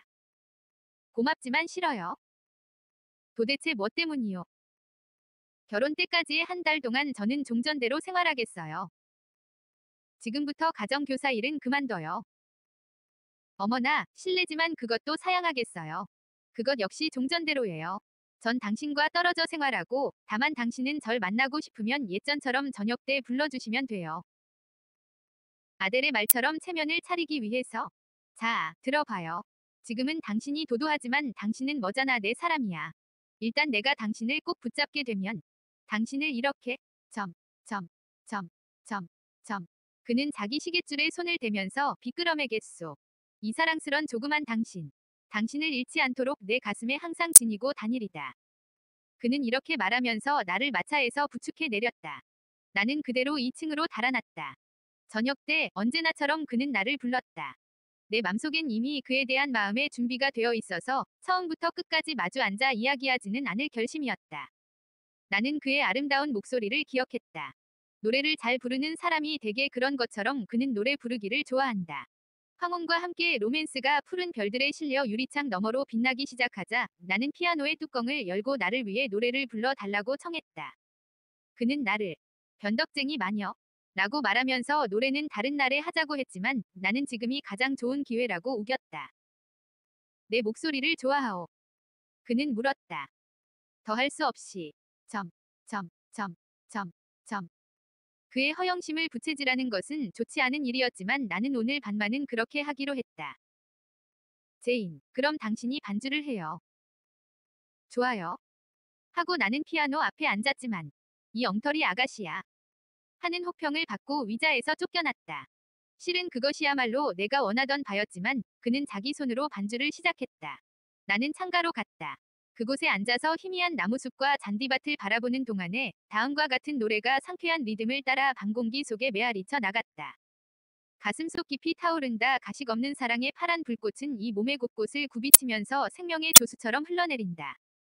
그대 만나는 날의 이 환희는 이별하는 그날의 비애라고 깨우치며 기다리는 이 애달픔 아 때로는 피도 얼어붙노라 사랑하는 그대의 아낌을 받음은 둘도 없는 행복이라 알고 있기에 오로지 사랑만을 좁고자 하는 앞못 보는 한결같은 내 마음이여 그러나 우리들의 하늘 멀리로 가는 길 하나 없이 끊어져 버려 목숨도 위태로이 바다 가운데 갈 곳은 막막하고 파도는 드높아라. 숲속과 들판을 헤매는 사이에 무서운 공포만 가득한 이 적막의 밤이 세상의 약속과 지켜야 할 일미움과 분노도 함께 얽힌의 험준한 사랑의 언덕을 올라서 위험한 사랑의 늪지를 지나서 저주하고 미워하고 질시도 하나 나는 두렵지 않아 오직 가리라 내가는 하늘은 무지개 달이 성광처럼 그곳을 뛰어넘으면 보라. 하늘 높이 나의 꿈 그토록 찬연한 나의 꿈을 수심어린 구름의 멀리로부터 그대 미소 짓는 아름다움이여 두려워하느리 이제 재앙도 이 세상 고뇌의 그 어떤 환영도 그대는 포근하고 엄숙하게 제게 주었노라 작고 하얀 손 맹세하였노라 하나가 되는 성스러운 인연으로 묶이어져서 이 목숨 다하도록 아니 죽음에서도 맹세는 드높아라 입술 맞대고 사랑하는 그대의 입김을 받는 이 영혼 그지없이 행복하여라. 그는 일어나서 내게 가까이 왔다. 그의 눈은 독수리처럼 빛났고 붉은 얼굴 가득히 부드러움과 정열이 넘쳐 흘렀다. 나는 겁이 났다. 그러나 곧 기운이 솟았다. 정에 이끌린 장면이나 심한 애정의 표현은 삼가야 한다. 나는 그 두 가지 위험에 직면해 있었으므로 곧방어 태세를 갖추었다. 그래서 그가 다가왔을 때 쌀쌀한 어조로 입을 열었다. 당신은 누구와 결혼하려는 거예요? 나의 제인에게서의 그런 질문은 좀 우스운데. 점, 점, 점, 점, 점. 아니, 저로선 당연한 질문이에요. 왜냐하면 당신의 미래의 아내는 함께 죽어야 한다면서요. 그런 이교도적인 사상은 어찌된 일이에요. 전 당신과 함께 죽겠다는 생각은 조금도 없어요. 그건 분명해요. 아, 내가 가슴 깊이 원하고 바라는 건 당신과 함께 사는 것 뿐이야. 당신에게 죽음이 있어서야 될 말인가? 아니에요. 저 역시 때가 오면 죽어야 할 권리가 있어요. 다만 그때를 기다릴 뿐이지 인도의 아내처럼 따라 죽는 것은 할 수 없어요. 그래. 내가 멋대로 가사를 바꾸어 노래한 것을 용서하시오. 그리고 용서의 표시로 화해의 키스를 해줄 순 없겠소. 물론 해드리고 말고요. 그는 나를 이 고집통이라고 하며 이렇게 덧붙였다. 다른 여자라면 자기를 칭송하는 노래엔 뼈까지도 녹아버릴 텐데. 네, 그래요. 전 고집통이에요.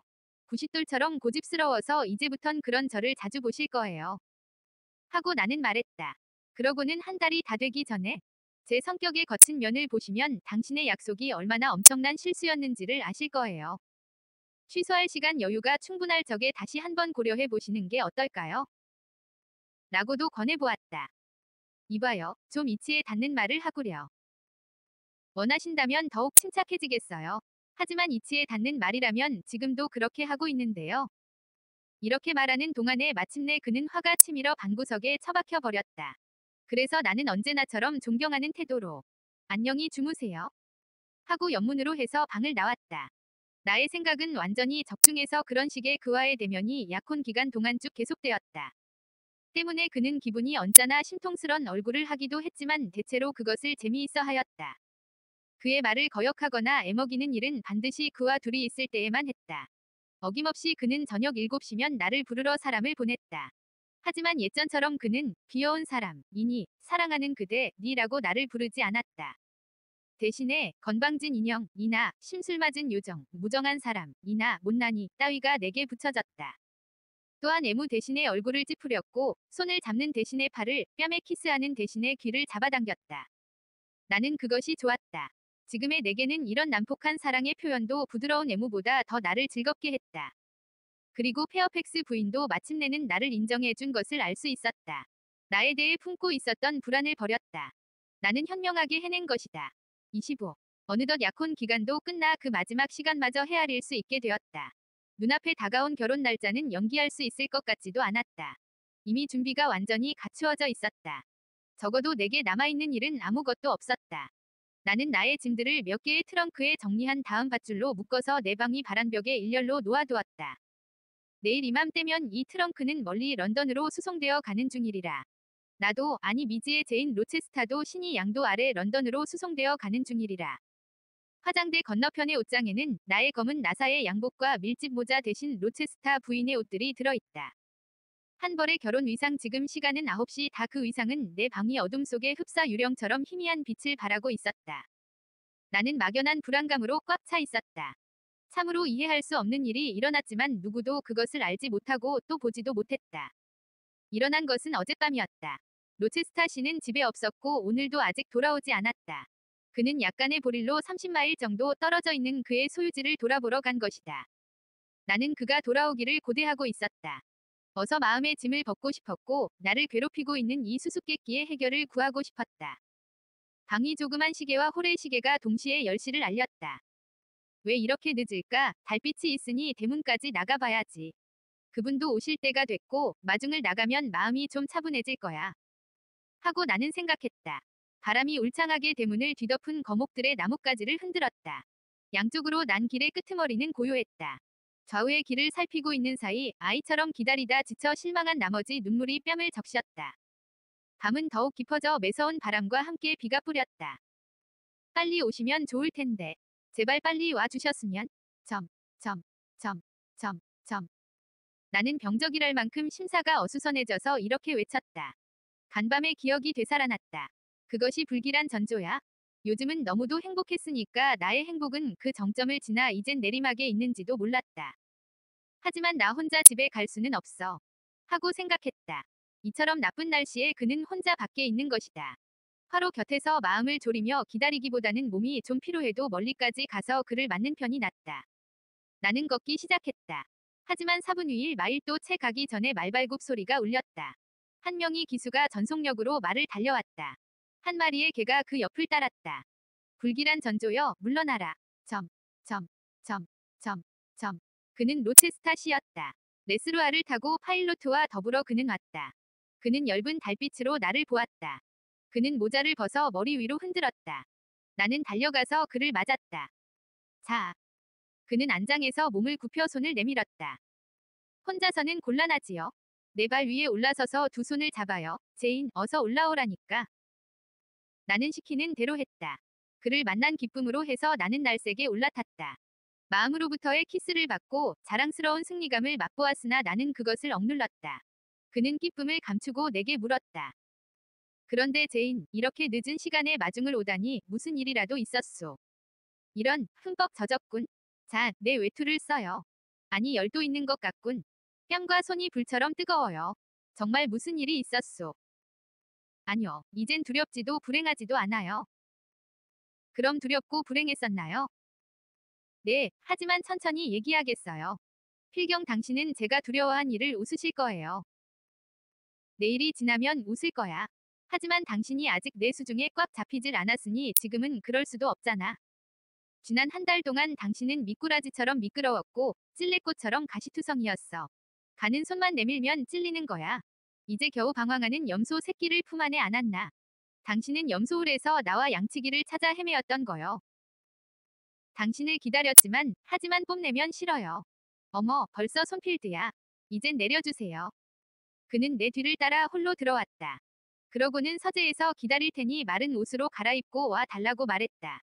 그는 다시 층계를 오르는 나를 불러 지체하지 말라고 당부했다.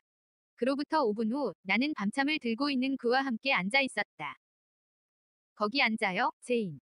나는 그의 곁에 앉기는 했지만 아무것도 먹지 않겠다고 말했다. 왜? 여행 생각 때문에? 런던에 갈 일을 생각하니 식욕이 없나? 오늘 밤은 바로 전이 일까지도 확실치 못해요. 내가 뭘 생각하는지도 잘 모르겠어요. 인생 자체가 현실 같지가 않은 거려. 나 아닌 다른 것이 그렇단 거지. 나는 확실해. 자, 만져봐요. 아니에요. 당신이야말로 제일 확실치 않아요. 환상에 불과할 뿐이에요. 그는 웃으면서 손을 내밀었다. 이것이 환상이라는 거야. 네, 만져봐도 역시. 그렇게 말하면서 나는 그 손을 내게서 밀어냈다. 식사는 끝나셨나요? 응. 나는 배를 눌러 상을 치우게 했다. 우리는 다시금 둘이 되었다. 나는 주인의 무릎 앞낮은 의자에 앉았다. 벌써 12시가 다 됐군요. 나는 말했다. 응, 하지만 잊으면 안 돼요, 제인. 당신은 결혼식 전날 밤엔 나와 함께 있겠다고 약속했소.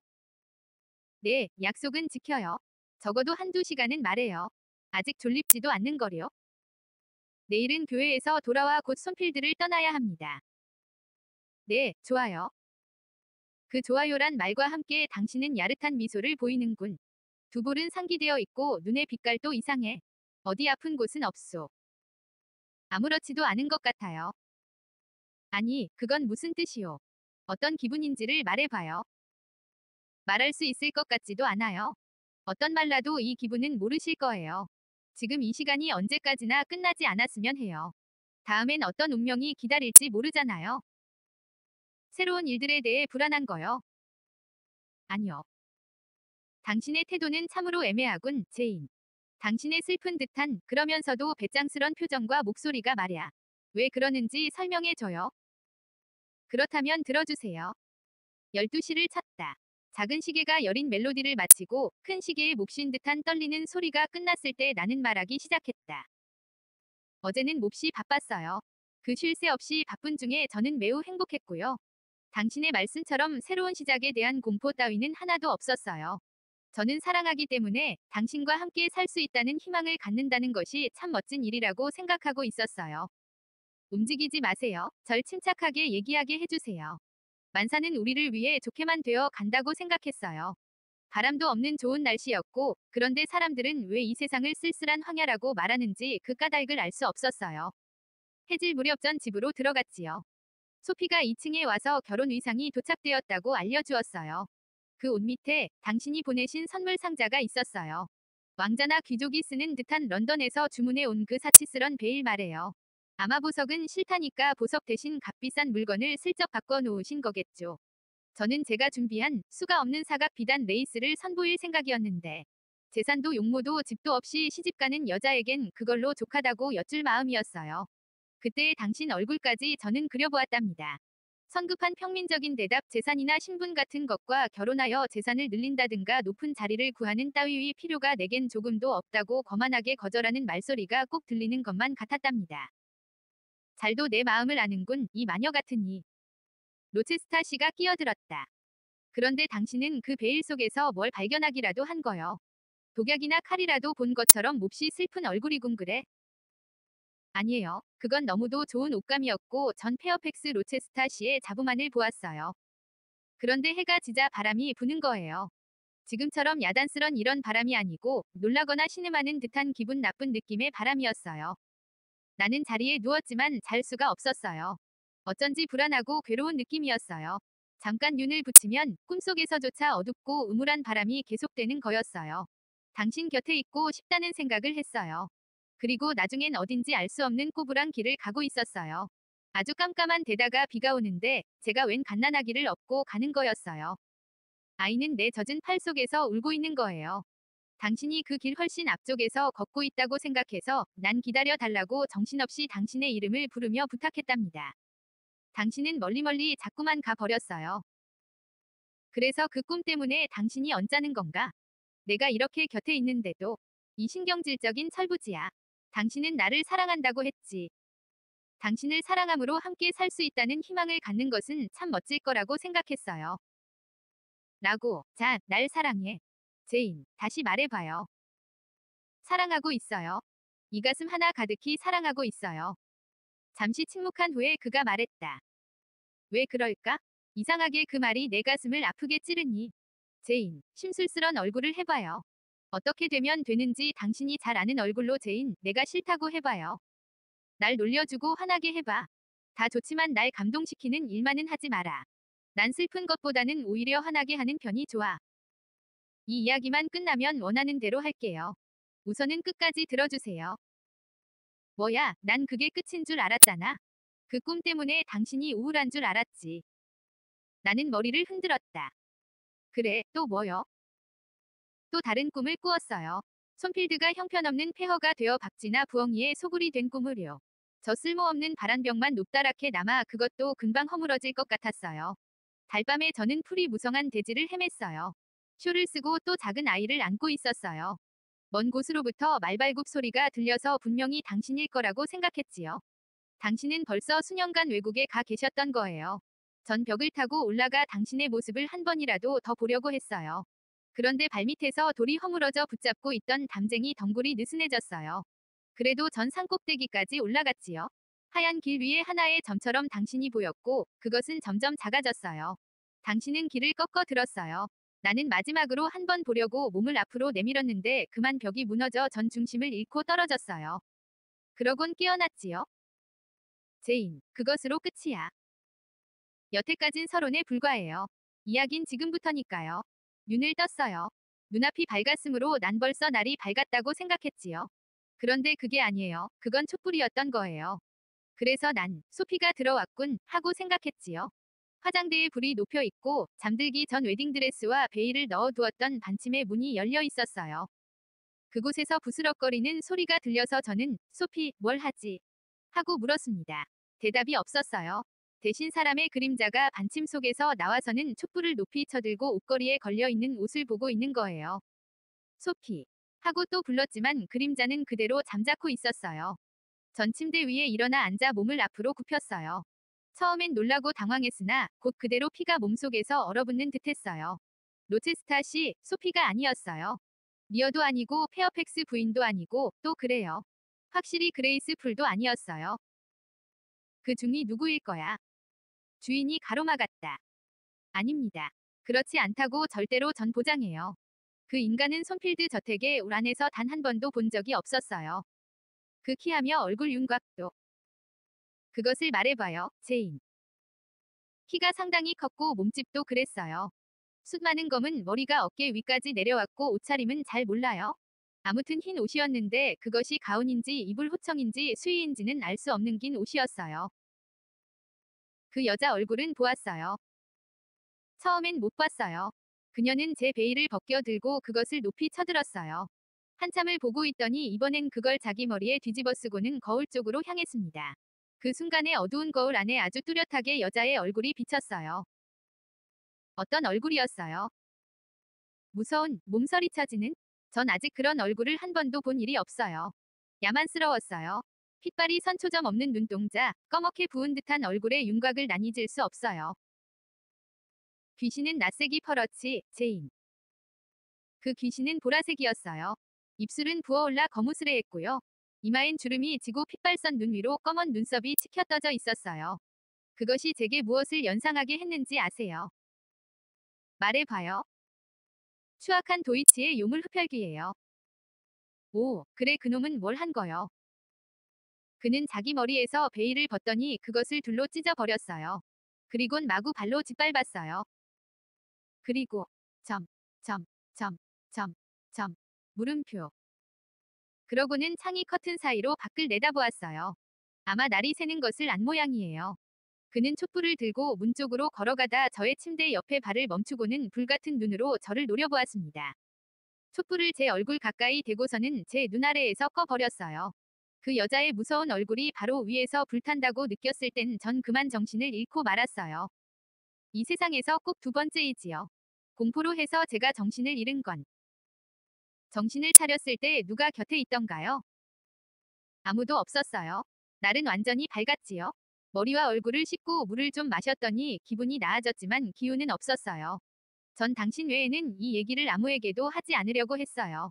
로체스타 씨, 그 여자는 누구예요? 도대체 어떤 사람인가요? 너무 강한 자극을 받은 당신의 뇌가 만들어낸 거야. 당신은 각별히 다뤄져야 하겠군.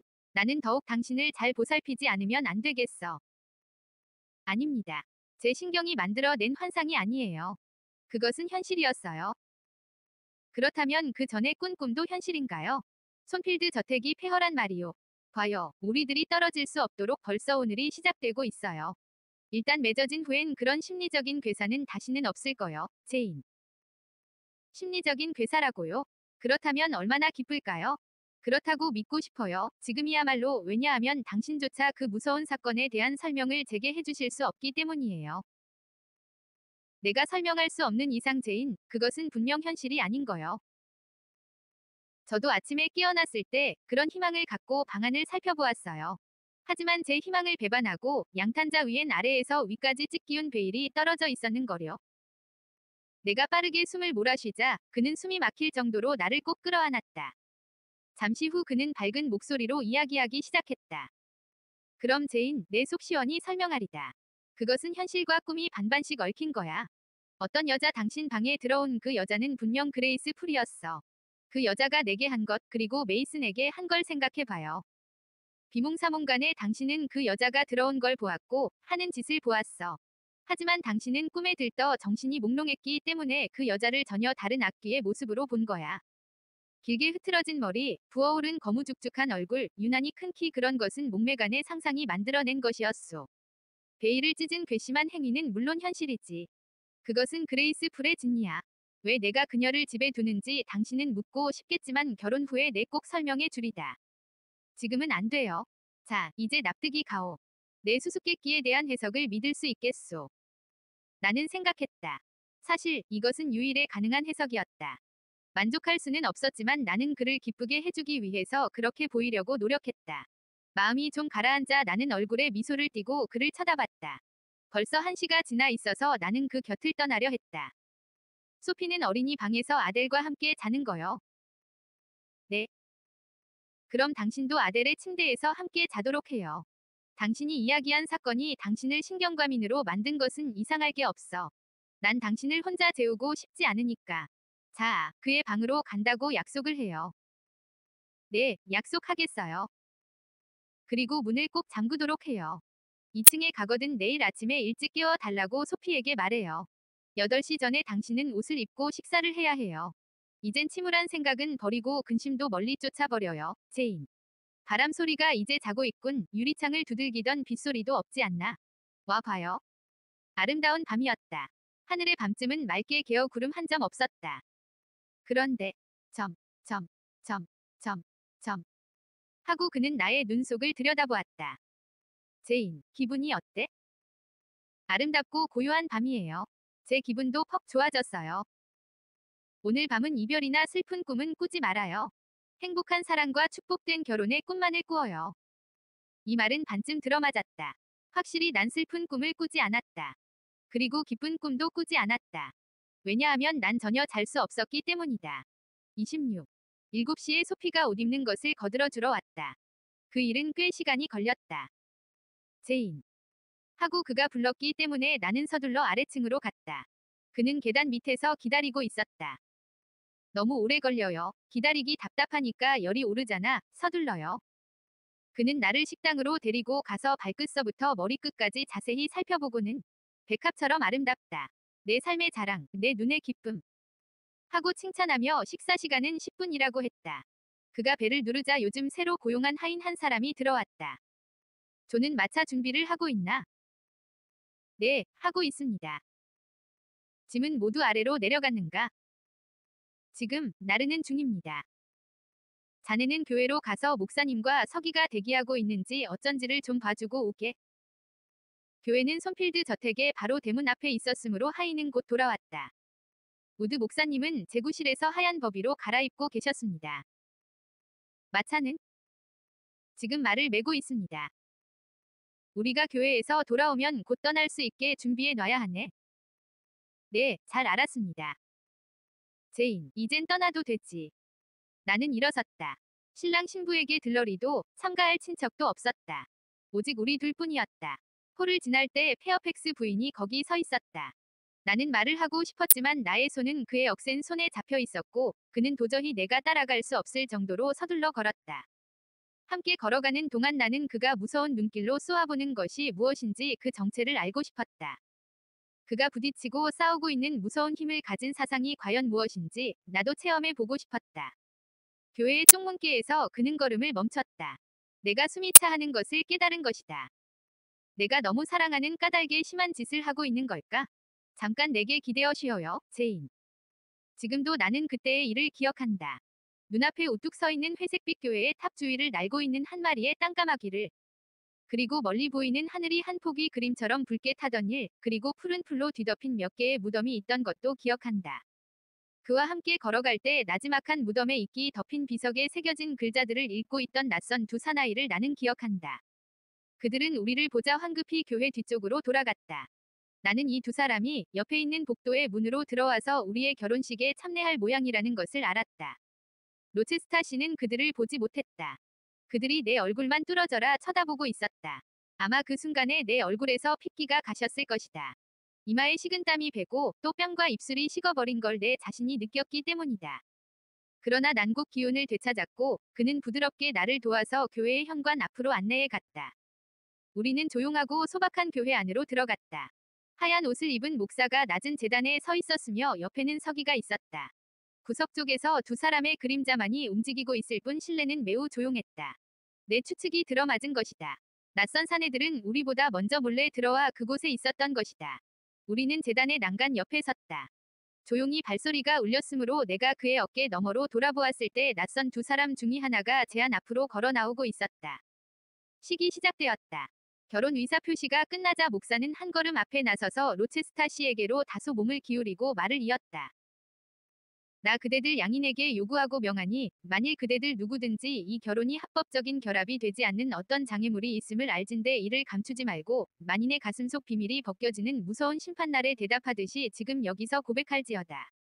하느님의 말씀에 거역하고 짝을 맺은 인연은 하느님의 섭리로 결합된 것이 아니라 그 결합은 불법임을 알지어다.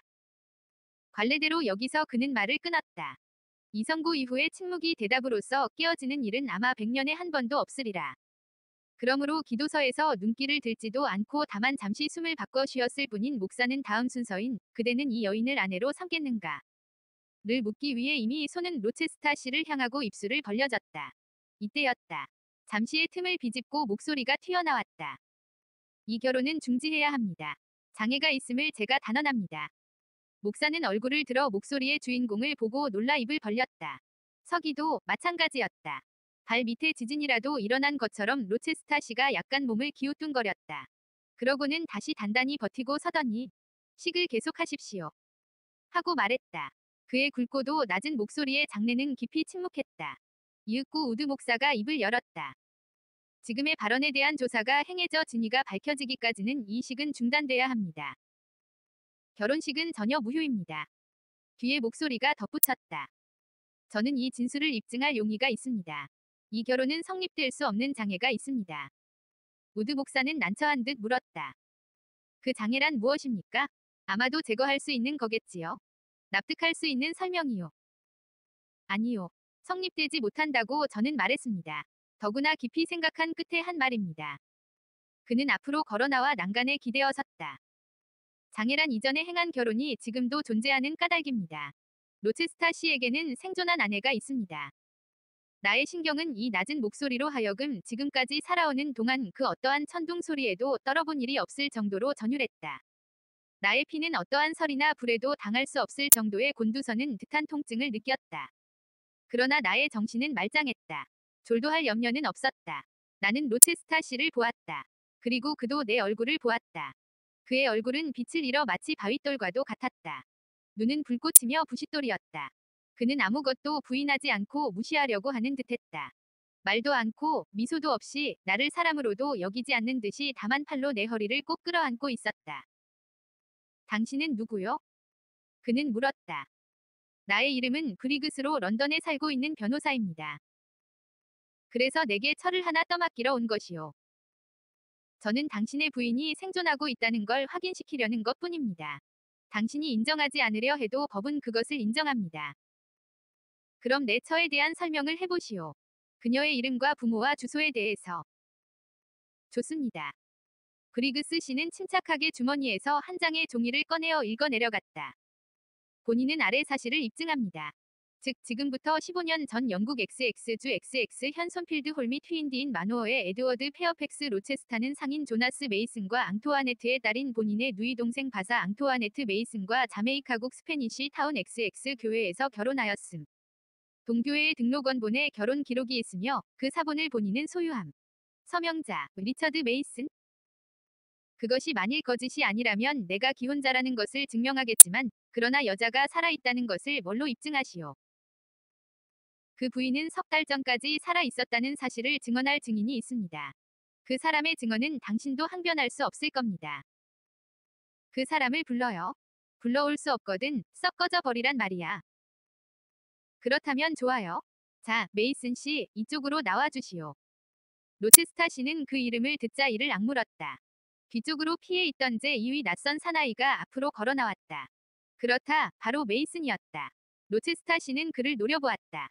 이때껏 까만빛이던 그의 눈동자가 황갈색으로 변해 흰자위는 빨갛게 충혈되었고 얼굴도 빨갛게 변했다. 그는 억세 보이는 팔을 쳐들었다. 오, 살려줘. 메이슨이 겁먹은 가냘픈 목소리로 외쳤다. 다시금 격렬히 로체스타 씨를 냉정하게 만들어 격정은 사라졌다. 자넨 뭘 말하려는 건가? 하고 그는 물었을 뿐이었다. 알아들을 수 없는 대답이 메이슨의 창백한 입술에서 신음처럼 새어나왔다. 대답을 분명히 못하는 걸 보니 악마에게 홀리기라도 했나? 도대체 뭘 말하고 싶은 거야? 제발, 제발 로체스타 씨, 신성한 장소라는 것을 잊지 말아 주십시오. 그러고는 메이슨을 향해 목사는 물었다. 이분의 부인이 아직 살아 있다는 것입니까? 자, 용기를 내서 말해요. 하고 변호사가 격려했다. 부인은 지금 손필드 저택에 살고 있습니다. 그녀는 나의 누이 동생으로 지난 3월에 만나보았어요. 메이슨은 다소 불분명한 목소리로 말했다. 손필드 저택에? 목사가 소리쳤다. 그럴 리가 있나? 난 이곳에 오래 살고 있었지만 손필드 저택에 로체스타 부인이 살고 있다는 소린 들어보지 못했습니다. 나는 로체스타 씨의 입술이 괴로움으로 일그러지는 것을 보았다. 그는 중얼거렸다. 그렇고 말고 난 아무도 모르게 주의를 해왔다. 적어도 그것이 그런 이름으로 알려지지 않도록. 점, 점, 점, 점. 점. 그러고는 골몰이 생각에 잠겨서 약 10분 동안을 스스로의 가슴에 묻고 대답한 뒤 마침내 결정한 것을 입 밖에 내는 듯했다. 좋아, 총알을 내쏘듯 모든 걸 다 얘기하겠소. 우드, 책을 덮고 그 법의도 벗으시오. 그리고 존 그린, 서기, 오늘 이 결혼식은 중지요. 돌아가 줘요. 서기는 그 말을 따랐다. 로체스타 씨는 대담하게 말을 이었다. 이중 결혼이란 확실히 치욕스런 말이야. 그러나 난 중혼자가 되려고 했다. 그런데 운명이 막고 있소. 아니 신의 섭리가 날 방해하여 여러분은 지금의 나를 마치 악마와도 같으리라고 생각할 것이오. 여기 계신 목사님은 신의 가장 엄숙한 심판, 즉 그 영겁의 불이며 죽지 않는 구더기의 고통을 받아 마땅한 자라고 말씀하실 것이다. 지당한 말씀이요. 여러분, 내 계획은 수포로 돌아갔습니다. 이 변호사의 의뢰인의 발언은 사실입니다. 나는 기혼자이고 내가 결혼한 여자도 생존합니다. 우드 목사, 당신도 저 집에는 미치광이가 있어 감시와 보호를 받고 있다는 소문을 들었을 거요. 지금에야 말하지만 그것이야말로 15년 전에 결혼한 나의 처라오. 이름은 바사메이슨, 지금 여기서 몸을 떨며 새파란 얼굴로 씩씩한 남자란 어떤 행동을 해야 하는지를 여러분에게 극명하게 보여준 이분의 누이 동생이요. 딕, 정신 차려. 날 겁낼 건 없어. 자네를 때릴 바엔 차라리 그녀를 때리는 게 낫지. 바사 메이슨은 광인의 집 3대에 걸쳐서 백치며 미치광이가 난 집에서 태어났소.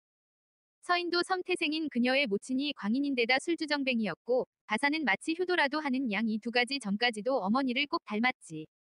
나는 실로 매력 있는 신부를 순결, 총명, 겸양의 미덕을 지닌 반려를 가졌던 셈이요. 내가 얼마나 행복했는지는 여러분의 상상에 맡깁니다. 아, 마치 천국과도 같은 여러분은 평생 동안 도저히 알 수가 없는 경험을 나는 했소. 이 이상의 설명은 필요 없겠지요. 브리그스, 우드, 메이슨, 자 직접 집으로 초대를 할 테니까 오셔서 풀 부인의 환자, 즉 나의 처를 봐주십시오.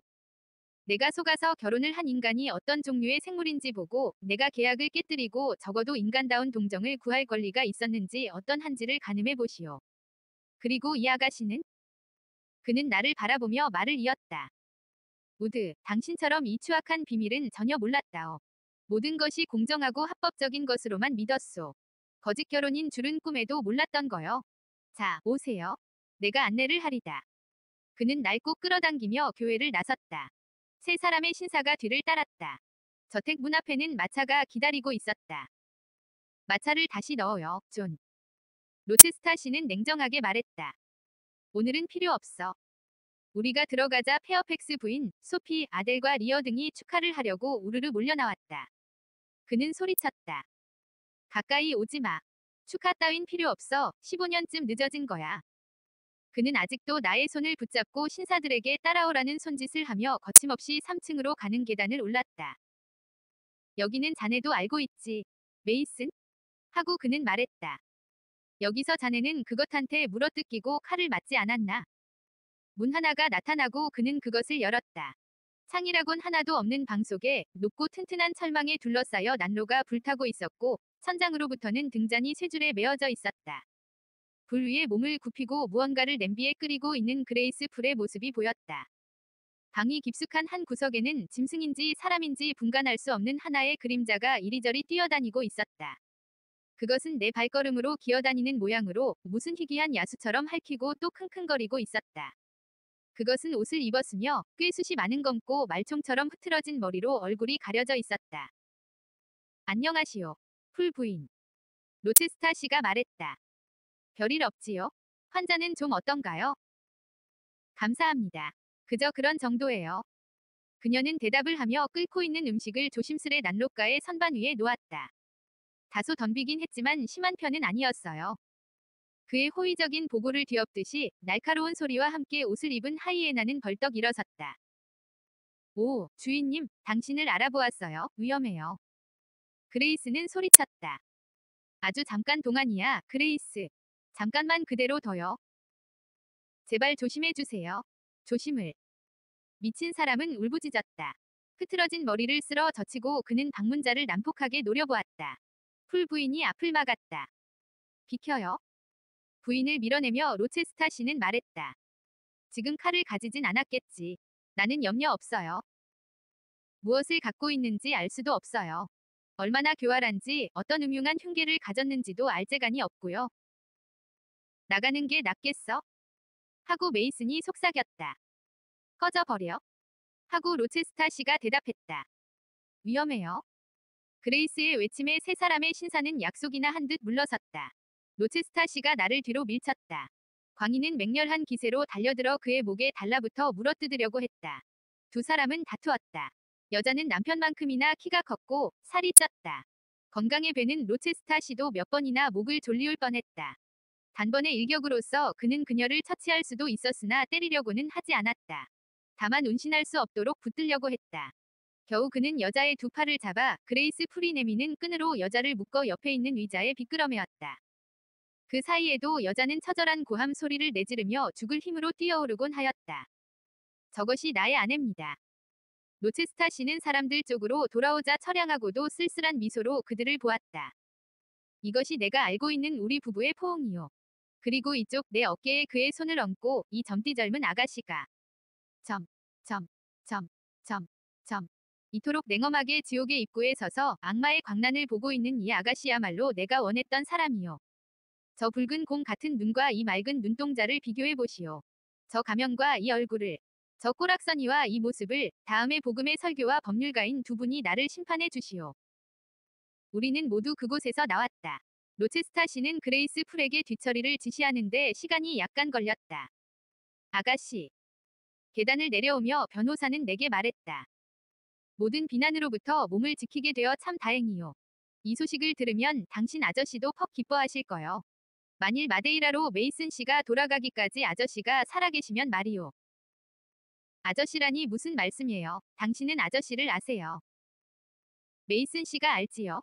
에어 씨는 벌써 몇 년 동안이나 환샬의 메이슨 씨 가게와 거래를 두고 있었지요. 당신이 로체스타 씨와 결혼한다는 편지를 보냈을 때 휴양차 마데이라에 체류하고 있던 메이슨 씨는 우연히 아저씨와 자리를 함께 하게 되었지요. 에어 씨는 메이슨 씨와 로체스타 씨가 서로 아는 사이라는 것을 아시고는 그 편지에 관한 것을 얘기했습니다. 그러자 메이슨 씨는 놀랍고 걱정스런 마음에 그간의 실정을 아저씨에게 이야기한 것입니다. 좀 안 된 말씀입니다만 아저씨는 지금 병상에 계신데 회복되기는 어려울 거예요. 그래서 에어 씨는 메이슨 씨에게 늦지 않도록 이 결혼을 중지시켜 달라고 부탁한 거지요. 아저씨는 나의 조력을 얻도록 메이슨 씨에게 권했습니다. 나는 신속한 조처를 취하도록 노력했고 아무튼 때를 놓치지 않게 되어 퍽 다행으로 여기고 있습니다. 아가씨께서도 저와 생각이 같을 줄 압니다만 만일 마데이라에 가도 아저씨가 살아계시다는 보장만 있으면 지금 메이슨 씨와 함께 그곳으로 가기를 권하겠습니다만 그러나 하여튼 사정이 이러니 에어 씨에 대한 소식을 듣기까지는 영국에 계시는 것이 좋겠지요. 그런데 아직 여기 더 머물러야 할 용건이 남았나요?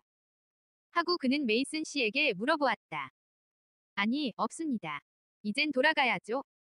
하고 상대방은 대답했다. 그리고 작별 인사를 위해 로체스타 씨를 기다리지도 않고 곧장 문으로 나가버렸다. 목사는 아직 그의 거만한 교인에게 훈계나 질책의 말을 해야 하는 의무가 있었으므로 뒤에 남았다.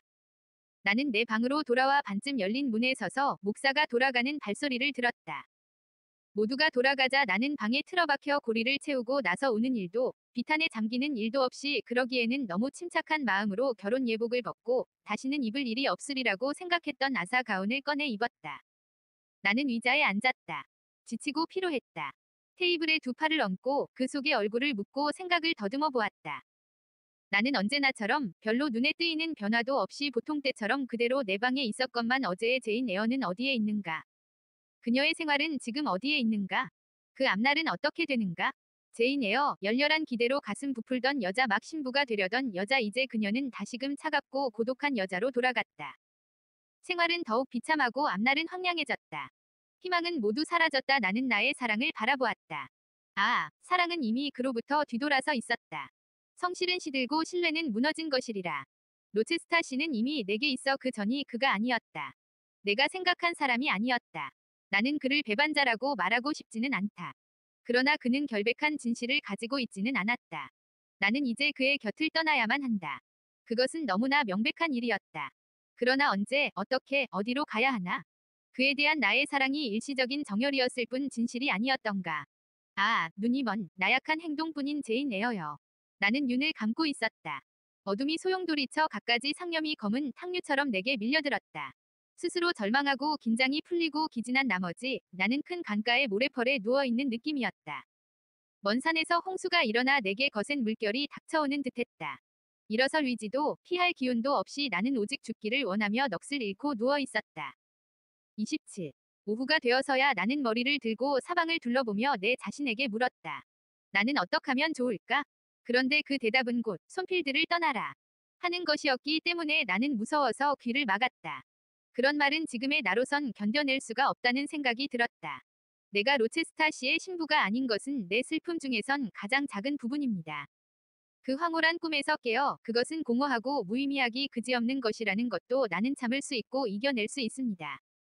그러나 망설임 없이 이 자리에서 그분 곁을 떠나는 것만은 할 수 없어요.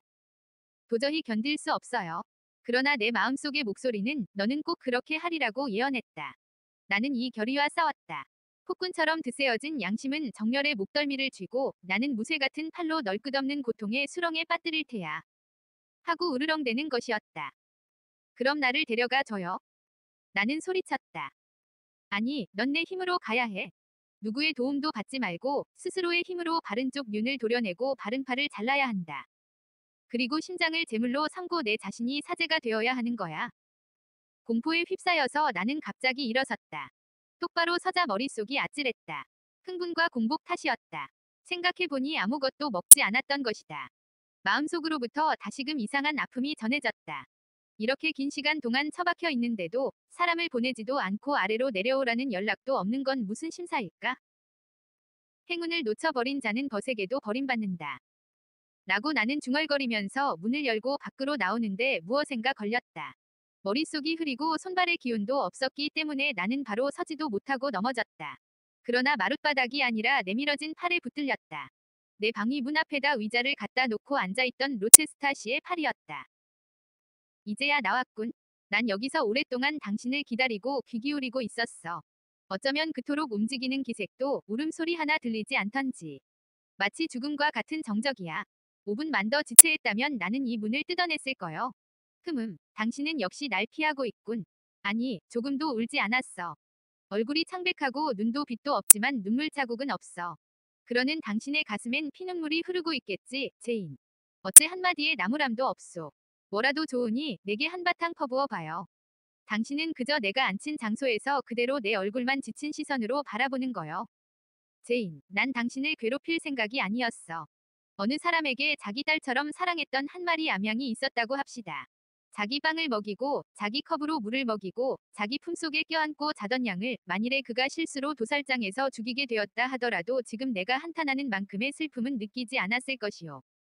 날 용서해 주오. 기꺼이 나는 그때 그 자리에서 그를 용서했다. 그의 동공에 서린 회한을 보았고 어조에도 절실한 동정이 담겼으며 사나이다운 기백이 넘쳐 흐르는 그의 표정이며 태도에는 나에 대한 변함없는 애정으로 가득했다. 나는 마음속으로 모든 것을 용서했다. 나를 악당이라고 생각하겠지, 제인. 네, 그래요. 그렇다면 용서 없이, 사정 볼 것 없이 매섭게 말을 해요. 말할 수 없어요. 피곤하고 기분이 나빠요. 물을 좀 주세요. 그는 몸이 떨릴 것 같은 한숨을 쉬고 나를 안고서 아래층으로 내려갔다. 그는 내 입술에 포도주를 갖다 대었다. 나는 그것을 마시고 정신을 차렸다. 그리고 그가 권하는 음식을 먹고 곧 기운이 났다. 그는 서재에 있었다. 나는 생각했다. 만일 지금 그다지 큰 고통을 느끼지 않고 죽을 수 있다면 행복한 일이다. 라고. 기분이 어때요, 제인? 좋아졌어요. 곧 기운이 날 거예요. 포도주를 한 잔 더 마시도록 해요. 나는 시키는 대로 따랐다. 그런 후에 그는 컵을 테이블 위에 놓고 내 앞에 서서 나를 보았다. 갑자기 어떤 격한 감정이 치솟았는지 그는 뜻도 모를 고함을 치며 외면해 버렸다. 그러고는 빠른 걸음으로 방구석까지 갔다 되돌아와서는 키스라도 할 듯이 얼굴을 잡아 끌어당겼다. 그러나 애무는 이제 우리에겐 금지된 것. 나는 얼굴을 돌리고 그를 밀어냈다. 아니, 웬일이요. 오, 바사 메이슨의 남편에게 키스할 수 없다는 건가? 뭐라 하셔도 제가 들어설 여지나 권리가 이젠 없어요. 어째서야, 제인. 당신에게 말을 시키지 말고 내가 해볼까? 내겐 이미 아내가 있으니까, 라고 말하고 싶은 거지, 그렇지. 네. 만일 그렇다면 당신은 나라는 인간에 대해 묘한 생각을 가지고 있군 그래. 속이 검은 바람둥이, 비열한 탕아라고 말이야. 그래서 당신은 이제 어떻게 할까를 생각하고 있는 거지. 말해봐야 모든 게 쓸데없다고 말이야. 저는 당신을 거역하는 행동을 하고 싶지는 않아요. 하고 나는 말했다. 내 말소리가 퍽 가냘프게 들렸기 때문에 될 수 있는 한 말수를 줄여야겠다고 생각했다. 당신이 말하는 뜻에서가 아니라 내 생각으로는 당신은 나를 파멸로 이끌 계획을 꾸미고 있어요. 당신은 나를 선의로 기혼자라고 했소. 아내가 있다고 해서 나를 피하고 또 멀어지려고 하오. 당신은 내 키스를 거절했소. 당신은 나를 완전히 타인으로 만들려 하고 있소. 오직 아델의 가정교사로서 이 지분 밑에 머물려는 거지요. 그렇지. 나는 목소리를 가라앉혀 분명하게 말했다. 내 주인은 달라졌어요. 나도 달라져야만 해요. 의심해 볼 여지도 없이 아델에게는 이제 새 가정교사를 구해 주어야만 해요. 아니, 아델은 이제 학교로 가요. 그것은 이미 정해진 일이야. 그리고 제인, 난 당신을 이곳에 두고 싶지 않으며 또한 나도 여기 있고 싶지 않아요. 당신을 손필드 저택에 데려온 것부터가 잘못이었소. 나는 당신을 만나기 전부터 우리 집 괴물에 대해선 일체 비밀로 붙여둘 것을 당부해 두었었소. 이유는 단지 그런 일이 주위에 알려지면 아델을 위해 가정교사들이 오지 않을 것이라고 염려했기 때문이요. 그러나 이젠 손필드 저택을 아주 닫아버리겠어요. 현관에 못을 치고 아래층의 문들엔 판때기를 쳐버리겠소. 풀 부인에겐 연봉 200파운드를 주어 당신이 말하는 소인의 아내, 그 악귀와 함께 여기서 살도록 하겠소. 그녀는 돈 때문이라도 잘 돌봐줄 것이고, 또한 그린스비 수용소에서 간호사로 있는 그레이스의 아들도 부르겠소. 당신은 점, 점, 점, 점. 하고 나는 말을 막았다. 불행한 그 사람에게 너무 심하시군요. 그 사람이 미친 것은 어쩔 수 없는 일이었잖아요. 제인, 무슨 말을 하는 거야? 당신은 나를 오해하고 있군. 내가 그녀가 미쳤기 때문에 미워한다고 생각하는 거요. 그럼 마찬가지로 당신이 미쳤다면 내가 미워할 줄로. 그렇게 생각해요. 그건 잘못이야, 제인. 당신은 나에 대해서 잘 모르고 있고 내 사랑이 어떠한 것인지를 모르고 있소. 당신의 살 속에 있는 세포 하나일지라도 그것은 나의 그것과 똑같을 정도로 내겐 귀중하고 또 사랑하오. 어떤 괴로움이나 아픔을 받더라도 당신의 마음은 내 보배요. 그것이 서로 잘못되었을 때라도 마찬가지요. 아니, 난 손필드로부터 떠나는 얘기를 하고 있었지. 모든 준비는 다 갖춰져 있소, 제인. 내일 출발합시다. 이 지붕 아래서 하룻밤만 더 참으면 돼요. 날이 새면 이 비참과 공포를 우리는 영구히 벗어나는 것이요. 갈 곳은 이미 정해져 있소. 아들도 함께 데려가 주세요. 하고 나는 말을 가로막았다. 당신의 좋은 말동무가 될 거예요. 그건 무슨 뜻이오? 아델은 학교에 보낸다고 했는데 왜 내 말벗으로 아델을 말하는 거지? 당신은 숨어 살겠다고 했어요. 숨어 사는 것은 고독한 일이에요. 당신에겐 갑갑한 일이에요. 고독이라니? 하고 그는 답답한 듯이 소리쳤다. 나는 설명을 들어야겠어. 왜 이상한 표정을 짓지? 당신이야말로 나와 함께 고독해지는 거요. 내 말 뜻을 알았소. 나는 머리를 흔들었다. 그가 흥분한 탓에 무언의 반대를 나타내는 것만으로도 적지 않은 용기가 필요했다. 그때까지 그는 빠른 걸음으로 방안을 서성댔는데 갑자기 날개라도 돋친 것처럼 서버리더니 오랫동안 날카로운 눈으로 나를 보고 있었다. 나는 그에게서 얼굴을 돌리고 되도록 침착하고 흩어지지 않은 태도를 취하려고 노력했다. 자, 제인의 버릇인 비꼬기의 시작인가. 그는 내가 짐작한 것보다는 좀 누그러진 어조로 한참 만에 입을 열었다. 마침내 애를 태우고 화나게 하여 끝도 없는 고생을 시킬 생각이구려. 자, 내 말을 이해해 주겠소. 그는 몸을 굽혀내 귀에 입술을 대고 말했다. 그렇지 않으면 난 어떤 난폭한 짓이라도 할 것 같소.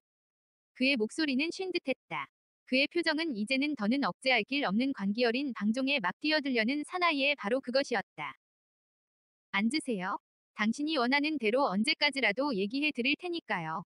이치에 닿건 닿지 않건 당신이 말씀하고 싶은 것은 모두 들을게요. 그는 앉았으나 이야기할 기회는 잡을 수 없었다. 나는 그때까지 눈물을 보이지 않으려고 애썼으나 차라리 눈물을 흘리는 편이 낫겠다고 생각했다. 만일 눈물이 그를 당황하게 한다면 그것도 괜찮다. 나는 그제서야 마음껏 울었다. 이윽고 그는 이제 그만 울라고 부탁해왔다. 나는 당신이 앞뒤를 분별할 수 없는 동안에는 절대 그칠 수가 없다고 대답했다. 내가 화를 낸 게 아냐, 제인. 이 모든 게 당신을 사랑하기 때문이요. 자, 이제 그만 눈물을 거둬요. 그의 기분이 가라앉아 내 마음도 약간 누그러졌다. 그러자 그는 자꾸 그의 얼굴을 내 어깨에 묻으려고 했다. 내가 피하자 이번엔 나를 자기 쪽으로 잡아 끌었다. 안 된다. 제인, 제인. 하고 그는 절절히 슬픔에 젖은 소리로 말했다. 그럼 당신은 날 사랑하고 있지 않소. 전 어느 때보다 당신을 사랑하고 있어요. 하지만 그 마음을 나타내서도 그 마음에 빠져서도 안 되겠지요. 또한 이렇게 말씀드리는 것도 이제 마지막이에요. 마지막이라고? 그게 무슨 소리야, 제인. 함께 살며 매일 얼굴을 대하고 더군다나 지금도 날 사랑하면서 어떻게 내게 쌀쌀하게 굴 수 있다는 거요. 네, 그렇게 저도 할 수 없다고 생각해요. 그러니 길은 하나예요. 하지만 그걸 말하면 당신은 틀림없이 화를 내겠지요. 오, 말을 해요. 만일 내가 화를 내면 당신은 또 울잖아. 로체스타 씨, 전 당신 곁을 떠나야만 해요. 얼마나, 제인? 5분이나 10분간. 머리를 빗을 정도야. 전 아델과 손필드와도 이별해야 합니다. 평생 당신과도 헤어져야 해요. 전 낯선 고장의 낯선 사람들 틈에서 새 출발을 해야만 해요. 물론 그렇게 해야 한다고 나는 말했소. 나와 헤어진다는 그따위 헛소리는 듣지 않은 걸로 하지. 말하자면 별개의 내가 된다는 의미지. 새 출발은 당연한 소리야. 당신은 나의 아내가 되는 거요. 난 결혼한 사람이 아니니까. 당신은 로체스타 부인이고 실질적으로나 명목상으로 난 내가 살아있는 한 당신만을 지키겠소. 우리는 남프랑스 지중해 연안에 있는 흰 세계 별장으로 가서 더할 나위 없이 안전하고 깨끗한 생활을 합시다. 당신을 내가 그릇된 길로 이끈다거나 당신을 첩으로 만든다고는 꿈에도 생각지 마오. 아니, 왜 고개를 흔드는 거요? 잘 분별해 주구려, 제인. 그렇지 않으면 난 다시금 앞뒤를 가리지 못하게 되니까. 그의 목소리와 손이 떨렸고 커다랗게 콧구멍도 벌렁거려졌으며 눈도 불타고 있었다. 그래도 나는 단호하게 말했다. 로체스타 씨, 당신의 부인은 살아 있어요. 스스로 인정했잖아요. 당신의 원대로 내가 함께 살면 그것은 첩이 아니고 무엇인가요? 부인하셔도 그것은 궤변에 불과해요. 제인, 나는 성질이 온순하지 못해 그걸 잊었나. 조심해요. 그의 뺨이며 입술에는 핏기가 가시고 점차 흙빛으로 변했다. 나는 어쩌면 좋을지 몰랐다. 그에게 반항을 해서 이렇게 화나게 하는 것은 가슴 아픈 일이다. 그렇다고 내가 양보할 수도 없는 일이었다. 나는 인간이 궁지에 몰렸을 때 본능적으로 하는 일을 했다. 인간보다 높은 것에 도움을 청했다. 하느님, 도와주세요. 하는 말이 내게서 튀어나왔다. 어리석게도 느닷없이 그가 소리쳤다. 난 기혼자가 아니라고 말하면서도 왜 그 이유를 말하지 않았던 걸까? 내가 모든 사실을 설명하면 제이는 이해해 줄 것이다. 자, 그 손을 잡게 해줘요. 그러면 난 단 몇 마디 말로써 진상을 얘기하겠소. 들어주겠소. 네, 저는 몇 시간이라도 듣겠어요. 아니, 몇 분으로 충분해. 제인, 당신은 내게 형이 하나 있다는 것을 알고 있나요? 페어팩스 부인한테서 들은 기억이 있어요. 우리 아버지가 치사스럽게 욕심 많은 돈에 집착하는 인간이라는 말도 들었나요? 그런 말도 들은 것 같아요. 제인, 아버지는 그런 인간으로 재산 전부를 형인 로울란드에게 남겨주려고 결심했었소. 그러면서 그는 또 하나의 핏줄이 가난뱅이가 되는 것을 참을 수 없다고 생각했었소. 결국 부자와 결혼시킴으로써 재산을 만들어 주기로 결심했지. 이윽고 마땅한 상대를 아버지는 찾아냈소. 그것이 바로 서인도의 농장 주인이자 상인으로서 아버지의 오랜 친구인 메이슨이지. 그의 재산이 막대하다는 것과 그에게 아들과 딸이 각각 하나라는 것을 알게 되었지. 메이슨 씨로부터 그 딸에게는 3만 파운드의 지참금을 줄 거라는 소리를 듣고 그는 흡족했던 거요. 대학을 나오자마자 나는 미리부터 구혼해 두었던 그 여자와 결혼하기 위해 자메이카로 떠나게 되었소. 지참금 얘기는 없이 아버지는 다만 그녀의 미모는 스페니시 타운의 자랑거리라고만 내게 말했던 거요. 과연 그랬소. 그녀는 브란시 잉그람과 같은 타입의 키도 크고 살갗이 거무스레한 미인이었소. 그녀의 양친도 명문의 자제라는 나를 놓치고 싶지 않아 화려하게 단장한 그녀를 각처의 야회 때마다 내 눈에 띄게 했소. 난 그녀와 둘이서 만난 일이나 얘기해본 일이 거의 없소. 그녀는 내게 애교를 부리고 내게 환심을 사기 위해 가진 교태와 재능을 보여주었소. 사내들은 전부가 그녀를 숭배하는 것 같았고 날 부러워하는 것 같았소. 나는 관능을 자극받고 눈이 어두워졌소. 무지하고 세상을 모르는 철부지였기 때문에 나는 내가 그녀를 사랑하고 있다고 생각했소. 그래서 앞뒤 분별 없이 결혼이 성립되고 만 거요.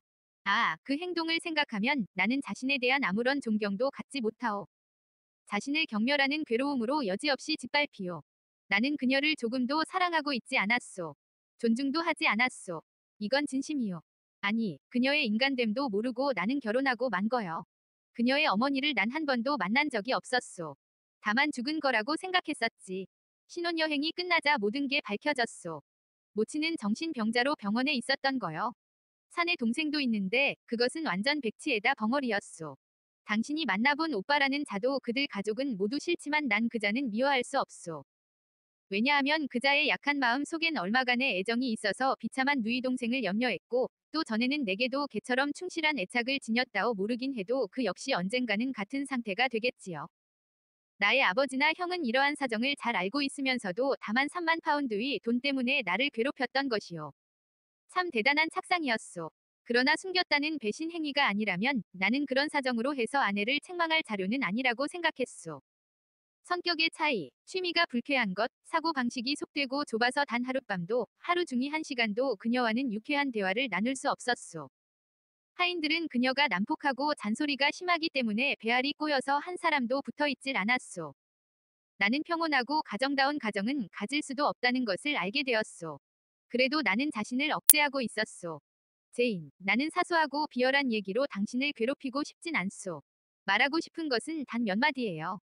나는 그 여자와 4년 동안을 같이 살았지만 그 4년 동안 그녀가 얼마나 나를 괴롭혔는지 그녀의 성격은 무서울 정도로 급성장했소. 버사 메이슨 수치를 모르는 모친의 피를 이어받은 그녀는 술고래에다 부정한 아내를 가진 사람이 겪어야 할 갖은 더럽고 굴욕적인 고뇌 속으로 나를 처박았소. 그러는 동안 나의 형이 죽었소. 4년째의 마지막에는 아버지도 죽었소. 그래서 나는 충분한 부자가 되었지만 한편으론 더욱 참담한 가난뱅이였소. 가장 추악하고 불순하고 저열한 인간이 나와 묶여져 법률에서건 사회에서건 나의 반신으로 불리워지는 거요. 더욱 어떤 법적 수속으로도 끌어버릴 수 없는 관계요. 왜냐하면 의사들이 그녀의 정신 이상을 알고 있으니 말이오. 그녀의 난행은 정신 이상의 씨를 더 빨리 키우고 있었소. 제인, 이 이야기가 언짢소. 기분이 나쁜 것 같군. 나머지는 다음 날에 할까? 아니에요. 지금 하세요. 참 안 된 일이군요. 당신은 불행하신 분이군요. 제인, 연민이라는 것은 받는 사람에 따라선 그것을 그자의 면상에 도로 던져주고 싶은 것이라오. 하지만 당신의 연민은 그와는 달라. 제인, 당신의 연민은 사랑을 잉태한 모성이요. 그 고민은 심적인 정열을 낳기 위한 진통이요. 나는 기꺼이 그것을 받겠소, 제인. 이야기를 계속하세요. 그분이 미친 것을 알았을 때의 당신 심정은요. 제인, 나는 절망의 극한까지 도달했소. 나와 그 심연 사이를 가로막고 있는 것은 오직 조금 남아있는 한 가닥 자존심뿐이었소. 세상 사람들은 나를 음산하고 불명예스러운 눈으로 보았소. 그러나 나는 내 자신의 눈으로부터 더러움 없는 자가 되려고 결심하였소. 그녀가 살아있는 한해는 나는 다른 아내를 구할 수도 없다는 것을 잘 알았소. 나보다 다섯 살이 위인 그녀는 정신이 허약한 반면에 육체는 몹시 건강해서 내가 죽기 전까지는 살아있으리라는 것도 알았소. 그래서 내 나이 스물여섯에 나는 이미 모든 희망을 잃었소. 어느 날 밤 나는 그녀의 고함 소리에 눈을 떴소. 그녀는 정신 이상 선고를 받은 후엔 쭉 감금되어 있었소. 불처럼 무더운 밤, 흔히 서인도에는 태풍이 오기 전이 날씨가 바로 그렇지요. 나는 다시 잠들 수 없어서 창문을 열었소. 지진처럼 우람한 파도 소리가 침실에까지 들려서 검은 구름이 그 위를 뒤덮고 있었소. 달을 뜨거운 포탄처럼 커다랗고 빨갛게 파도 속으로 잠기려 하고 있었소. 이런 광경에 가뜩이나 감격해 있는데 저 광인이 계속 내지르는 저주의 말이 귓속 깊이까지 울려오고 그녀는 악마처럼 증오를 담은 목소리를 내질러 그 속에는 두고도 분명하게 들리고 있었소. 이런 생활은 지옥이다. 하고 마침내 나는 말했소. 이것은 지옥의 공기야, 지옥에서의 고함 소리이다. 할 수만 있다면 내게는 이런 생활로부터 탈출할 권리도 있다. 나는 마룻바닥에 무릎을 꿇고 탄환을 장진한 피스톨이 들어있는 트렁크를 열었소. 자살하려 했던 것이요. 그러나 그 생각은 일순간에 사라졌소. 나는 미치지 않았기 때문에 자살의 의사와 계획을 품게 한 극단의 절망의 위기는 곧 사라졌소. 대서양을 건너 유럽으로부터 불어온 상쾌한 바람이 열린 창으로 쏟아져 들어왔소. 드디어 태풍이 시작돼 억수 같은 비와 천둥, 번갯불로 대기는 깨끗해졌소. 그때 나는 한 가지 결심을 굳게 하고 마음속으로 맹세했소. 나는 이렇게 생각했소. 제인, 들어봐요. 왜냐하면 이것은 그때 내 마음을 위로해주고 가야 할 올바른 길을 가르쳐준 참된 지혜니까 말이오. 유럽으로부터의 상쾌한 바람은 다시 생기를 되찾는 나무의 잎사귀에서 속삭이고 있었고 대서양은 그 찬란한 해방의 파도 소리를 들려주었소. 희망, 이 되살아났소. 재생, 위 기능도 느꼈소.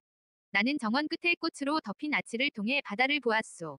하늘보다도 푸른 바다, 그 저쪽에는 밝은 세계가 있다는 것을. 그리고 앞날이 내 앞에 환히 내다보였소.